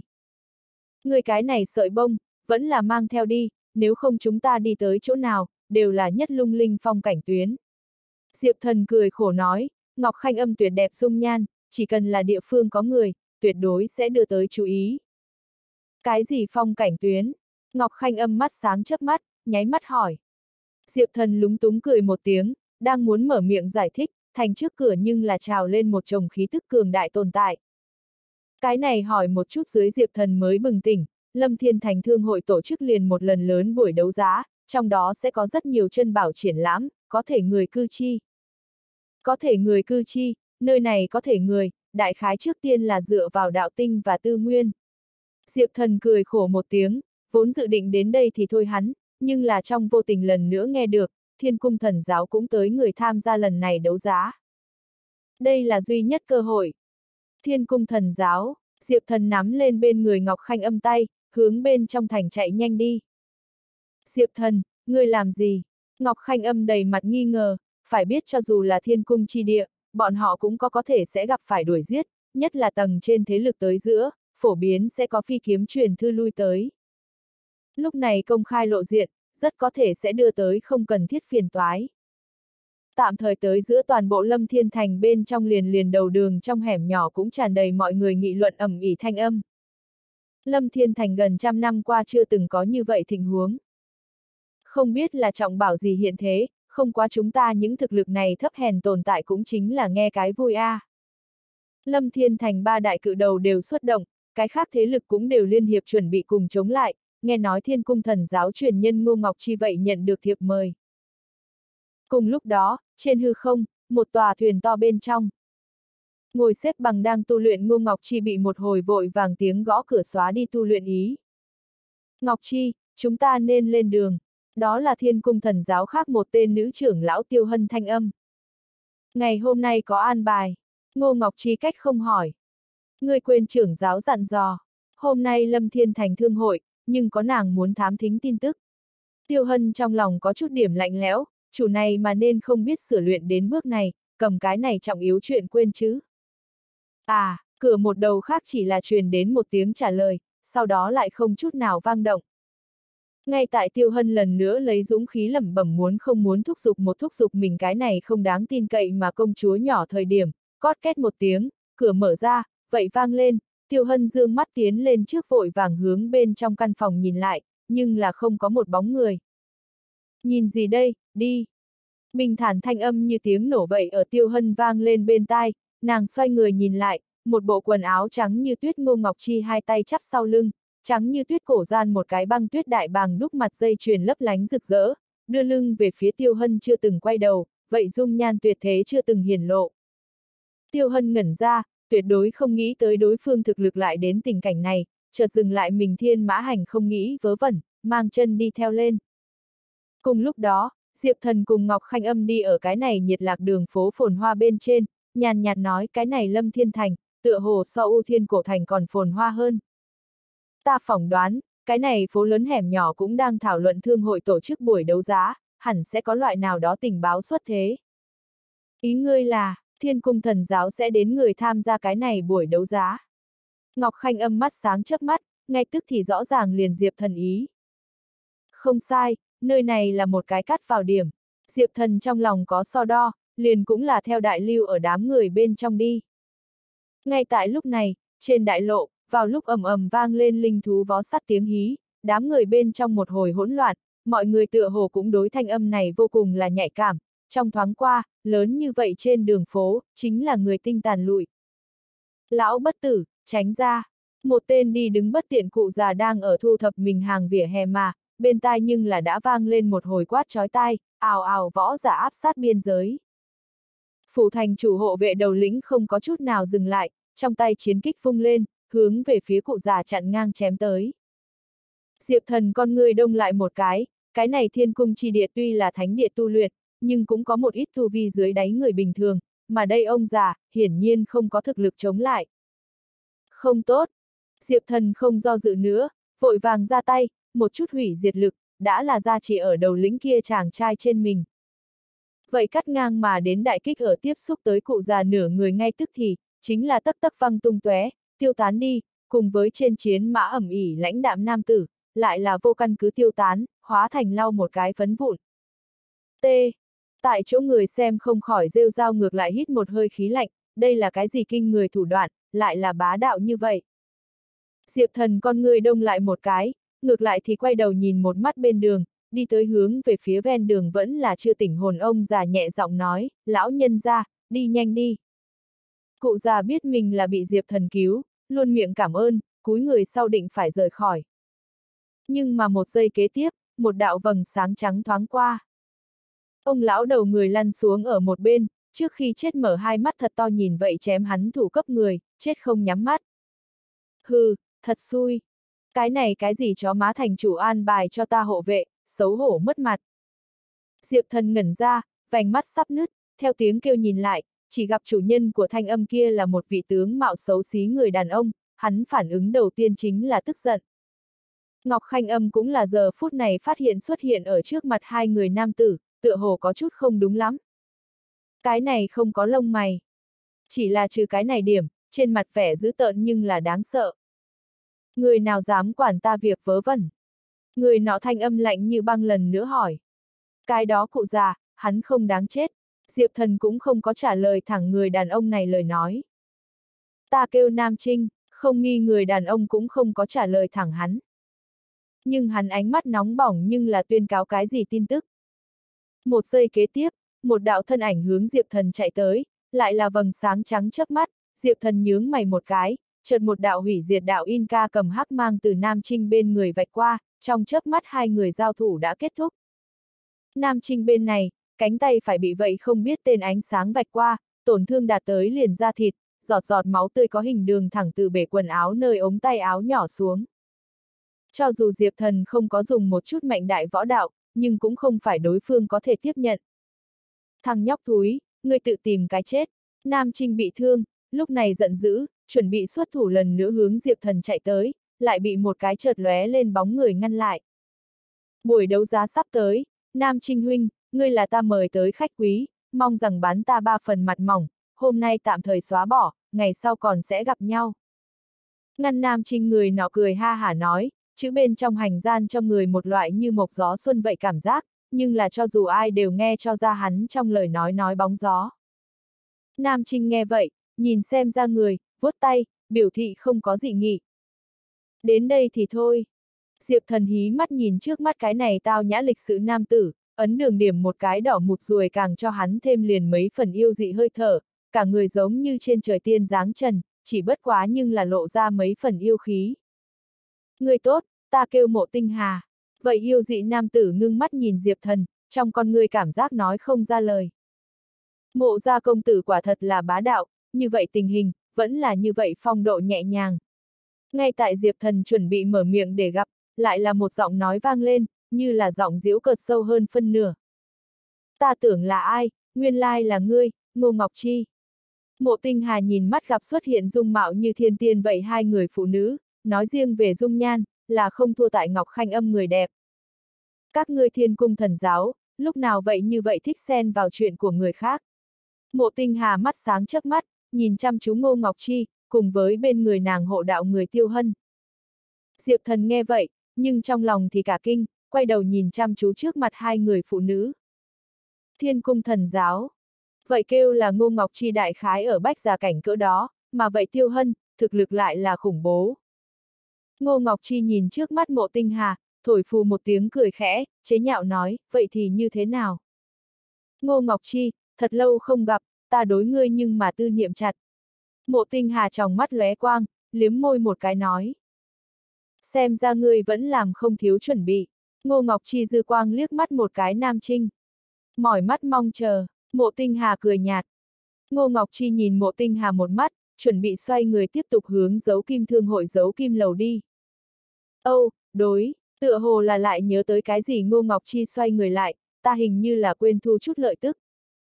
Trước một giây vẫn cười ha ha một mặt người vô hại Ngô Ngọc Chi, một giây kế tiếp lanh lợi khí thế ngay tức thì bùng nổ, ở Nam Trinh sững sốt một chút công phu, Ngô Ngọc Chi đã đến phụ cận, giơ tay phải lên một cái tát hướng về phía Nam Trinh mặt quạt tới, phản ứng lại Nam Trinh vừa muốn làm ra động tác chống cự, nhưng phát hiện mình bỗng nhiên lúc này toàn thân nhúc nhích không được, trong một cái chớp mắt này Nam Trinh cảm thấy chết mùi vị.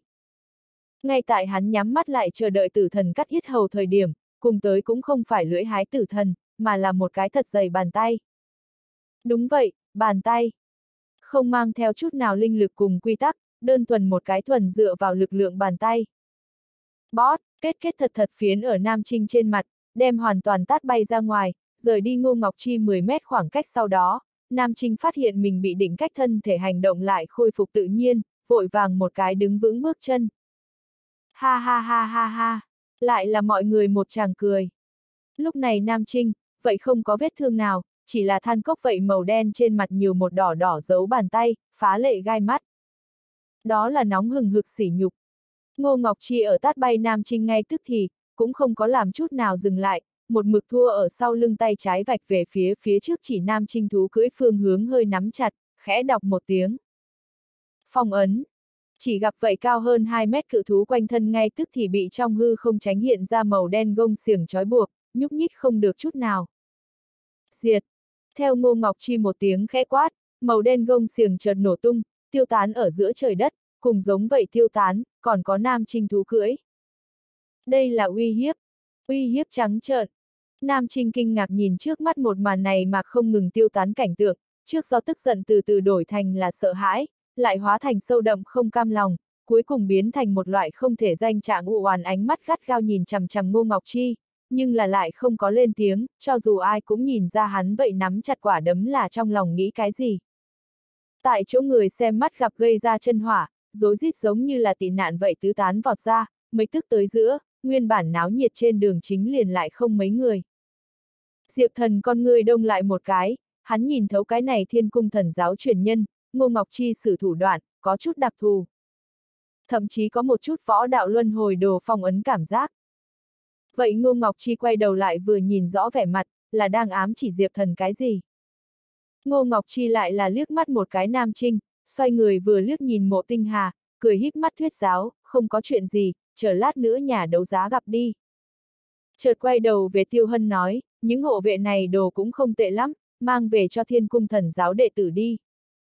Nói xong cũng không quay đầu lại rời đi. Lưu tại chỗ mộ tinh hà nhìn Ngô Ngọc Chi rời đi hình bóng, ngược lại thì để lộ ra nghiền ngẫm nụ cười, giống như là một trái tim bỏ vào bụng bên trong, tự mình tự lẩm bẩm, quả nhiên bước ra một bước kia, xem ra ngươi thiên cung thần giáo đối với thánh cổ di tích sự việc, khá là hơn tim. Nói xong, hắn nhìn về phía Diệp Thần, nhàn nhạt nói, ngươi cái thằng nhóc này, ngày hôm nay coi như là lượm một cái mạng, lần sau gặp mặt lại, coi như không vận tốt như vậy. Mộ tinh hà có nhiều hăng hái nhìn một mắt Diệp Thần, ánh mắt bên trong nhiều lau một cái ý vị sâu xa mỉm cười. Mộ tinh hà sau khi nói xong vỗ vỗ Nam Trinh bả vai, tỏ ý hắn cùng mình sóng vai đi tới trước, hai người cũng là một trước một sau đi về phía dấu kim lầu. Cùng lúc đó, Ngô Ngọc Chi bên này. Ta từ trên người tiểu tử kia cảm giác được võ đạo luân hồi đồ. Xem ra cái này chính là khu vực kia truyền xôn sao người. Sau khi kết thúc, đi trên đường thiên cung thần giáo trưởng lão Tiêu Hân, hướng về phía Ngô Ngọc Chi phân tích nói. Thành tựu thiên cung thần giáo trẻ tuổi nhất trưởng lão cùng với hạ một đời trưởng giáo hộ đạo người, nàng kiến thức đạt tới lịch duyệt nhưng mà kinh người.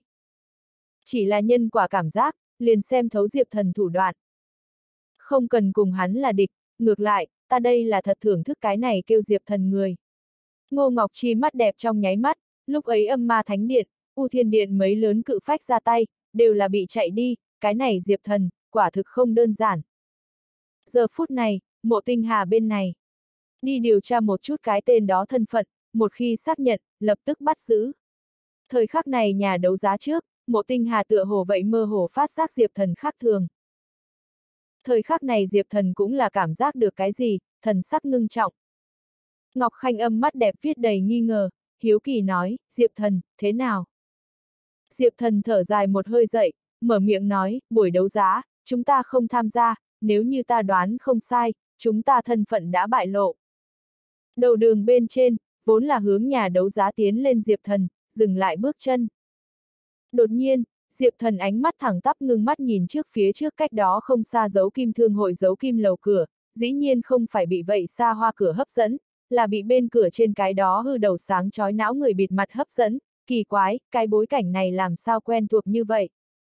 Thậm chí Diệp Thần còn từ trên người đối phương cảm giác được một chút nhân quả. Ngay tại lúc này, Linh Nhi thanh âm vang lên, nói, tên kia không phải thu gì giới cái đó tiểu hòa thượng. Tựa hồ kêu gì tây.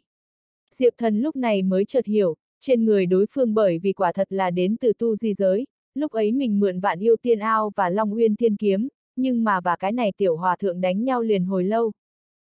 Mấu chốt cái này tiểu hòa thượng rõ ràng là tu di giới võ giả, vì sao sẽ xuất hiện ở nơi này? Diệp thần không nghĩ nhiều nữa, quay đầu hướng về phía bên người Ngọc Khanh âm dặn dò, nơi đây không an toàn, người đến bên ngoài thành chờ ta. Ta đi sẽ người bạn cũ, lập tức tới ngay. Ngọc Khanh âm còn muốn nói gì, nhưng nhìn Diệp Thần ngưng trọng hai tròng mắt, môi khẽ nhếch hợp, vẫn là gật đầu rời đi. Diệp Thần ngay lập tức tới giữa liền tới đến đội nón lá người bịt mặt sau lưng, chỉ gặp vậy người bịt mặt còn đang đối với dấu kim trong lầu mặt nhìn chung quanh ngắm nhìn chút gì, chút nào không nhận ra được sau lưng đã đứng Diệp Thần một cái như vậy người lớn sống. Trên thực tế, lấy Diệp Thần cảnh giới trước mắt, cố ý che giấu hơi thở, đúng là người bịt mặt muốn phát hiện đều khó. Bót! Diệp Thần một trưởng trùng trùng vỗ vào người bịt mặt bả vai bên trên. Ai u, cái nào không có mắt dám chụp nhỏ, cái đó ra chữ còn không lối ra, người bịt mặt liền bị Diệp Thần một cái tung rớt nón lá. Lộ ra đầu trụi lủi, sáng loáng gai mắt chỉ có trên ót sáu thơm sẹo, tuyên cáo hắn là hòa thượng thân phận. Cùng người khác bất đồng phải, cái này chú tiểu thơm sẹo phơi bày ra nhàn nhạt màu xanh ra trời trói lọi, nhìn như vô cùng thánh khiết. Bị một cái tung hết nón lá tiểu hòa thượng, còn không thấy rõ người tới, lập tức nghiêm trang đạo mạo liền đứng lên, chắp hai tay đối người tới thì thầm. A-di-đà Phật, tiểu tăng giá xương có. Lễ chữ còn chưa nói ra, liền lại bị Diệp Thần cắt đứt. Ngươi, Tiểu hòa thượng có chút nổi nóng. Quả nhiên là ngươi à, gì Tây? Diệp thần nhìn tiểu hòa thượng cười nhạt nói. Ồ, ngươi là cướp đi tu gì giới đổ cái tên kia, luân hồi chi chủ Diệp thần. Tiểu hòa thượng lúc này mới ngẩng đầu lên nhận ra Diệp thần, trước một mực tự nhận có tật giật mình bị phát hiện, không dám ngẩng đầu cùng người phát biểu, cho đến bị người kêu lên tên chữ mới ý thức tới điểm này. Người tại sao lại ở chỗ này? Hai người hai miệng đồng thanh nói. Ta là mượn thất lạc thời không tới, sư phụ để cho ta tới tham gia buổi đấu giá, vì một vật, hoặc là nói, một chàng cơ duyên. Tiểu hòa thượng thần bí khó lường nói. Ừ, Diệp thần trong mắt chớp mắt, nhìn cái này ban đầu ở tu di giới bên trong gặp nhau hòa thượng, lòng hắn bên trong dâng lên một hồi vô hình cảm giác quen thuộc. Ưm, cũng không phải, tiểu hòa thượng vẫn ở chỗ cũ đoán. Di Tây, thiếu vòng vo, nói mau. Diệp thần nói. Thôi, nói cho ngươi cũng không ngại, chuyện là như vậy, ta vượt qua thất lạc thời không thiên uyên.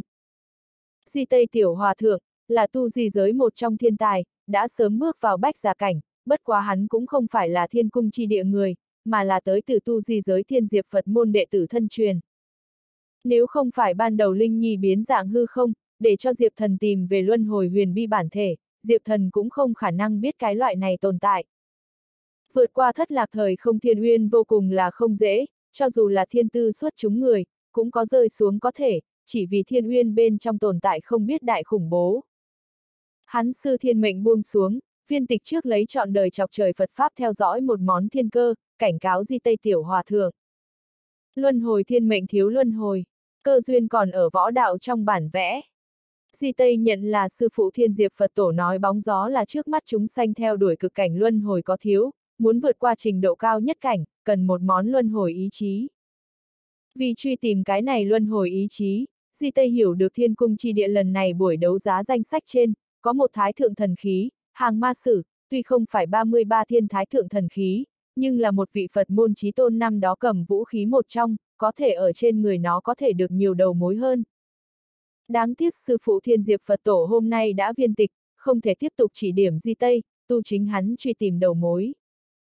Cho nên Di Tây một người một mình bước ngang qua thiên uyên, chuẩn bị tới đây thử vận khí một chút. Mới vừa tới dấu kim lầu, đang ngắm nhìn hình thế Di Tây bị Diệp Thần bắt cái tránh. Thì ra là như vậy, hắn sư phụ nói luân hồi biết hay không và ta có liên quan. Diệp Thần suy nghĩ sâu xa. Hắn cẩn thận hồi tưởng tiểu hòa thượng Di Tây mới vừa rồi lời nói, cơ duyên còn ở võ đạo trong bản vẽ. Võ đạo đồ, là phải hay không chỉ hắn tự thân võ đạo luân hồi đồ, lúc trước hết sức phong thánh đem nói bí mật, phải chăng cùng tiểu hòa thượng nói luân hồi có thiếu tương quan liên. Diệp thần nghĩ tới đây dưới, cảm giác bàn cờ này càng ngày càng phức tạp. Di Tây đem cái này cùng nói ra đủ để khiếp sợ thiên hạ tin tức cứ như vậy hời hợt tiết lộ cho Diệp thần, có thể thấy hai người lẫn nhau tới giữa, cũng không phòng bị. Ngươi nói cho ta trọng yếu như vậy tin tức, Di Tây, thành tựu bồi thường, ta mang ngươi vào buổi đấu giá hiện trường đi. Diệp thần cười nói, cho dù nơi này cường giả như mây, nhưng mượn hư linh thần mạch và hư bia, Diệp thần vẫn là có tự tin dễ như trở bàn tay dẫn người đi vào. Cát, ta là cần ngươi mang sao? Di Tây toát chứ chủy, khinh thường nói. Được rồi ngươi, ngươi nếu là có thiệp mời, đã sớm đi vào nghênh ngang ăn chùa uống chùa, còn ở đây lén lén lút lút. Bị Diệp Thần một lời vạch trần Di Tây ngược lại thì không có nửa điểm ngại quá, hắn nghiêm túc gật đầu một cái, biểu thị tiếp nhận Diệp Thần đề nghị. Chợt Di Tây lại mở miệng nói.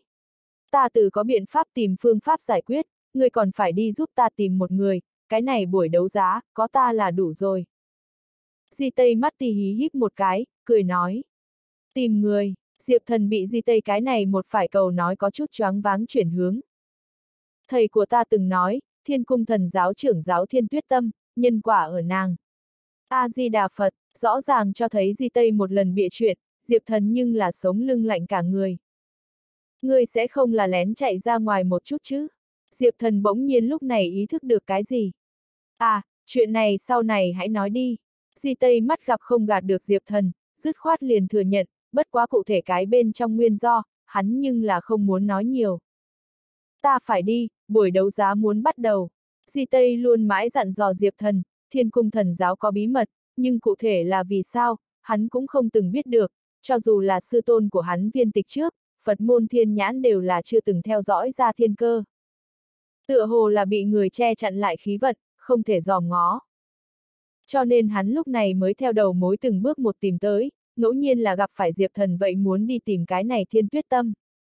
Cứ như vậy, sự việc tựa hồ đổi được không đơn giản như vậy. Võ đạo luân hồi đồ, thiên tuyết tâm. Diệp thần nhìn thân hình đã lặn tới hội trường tiểu hòa thượng, tự lẩm bẩm.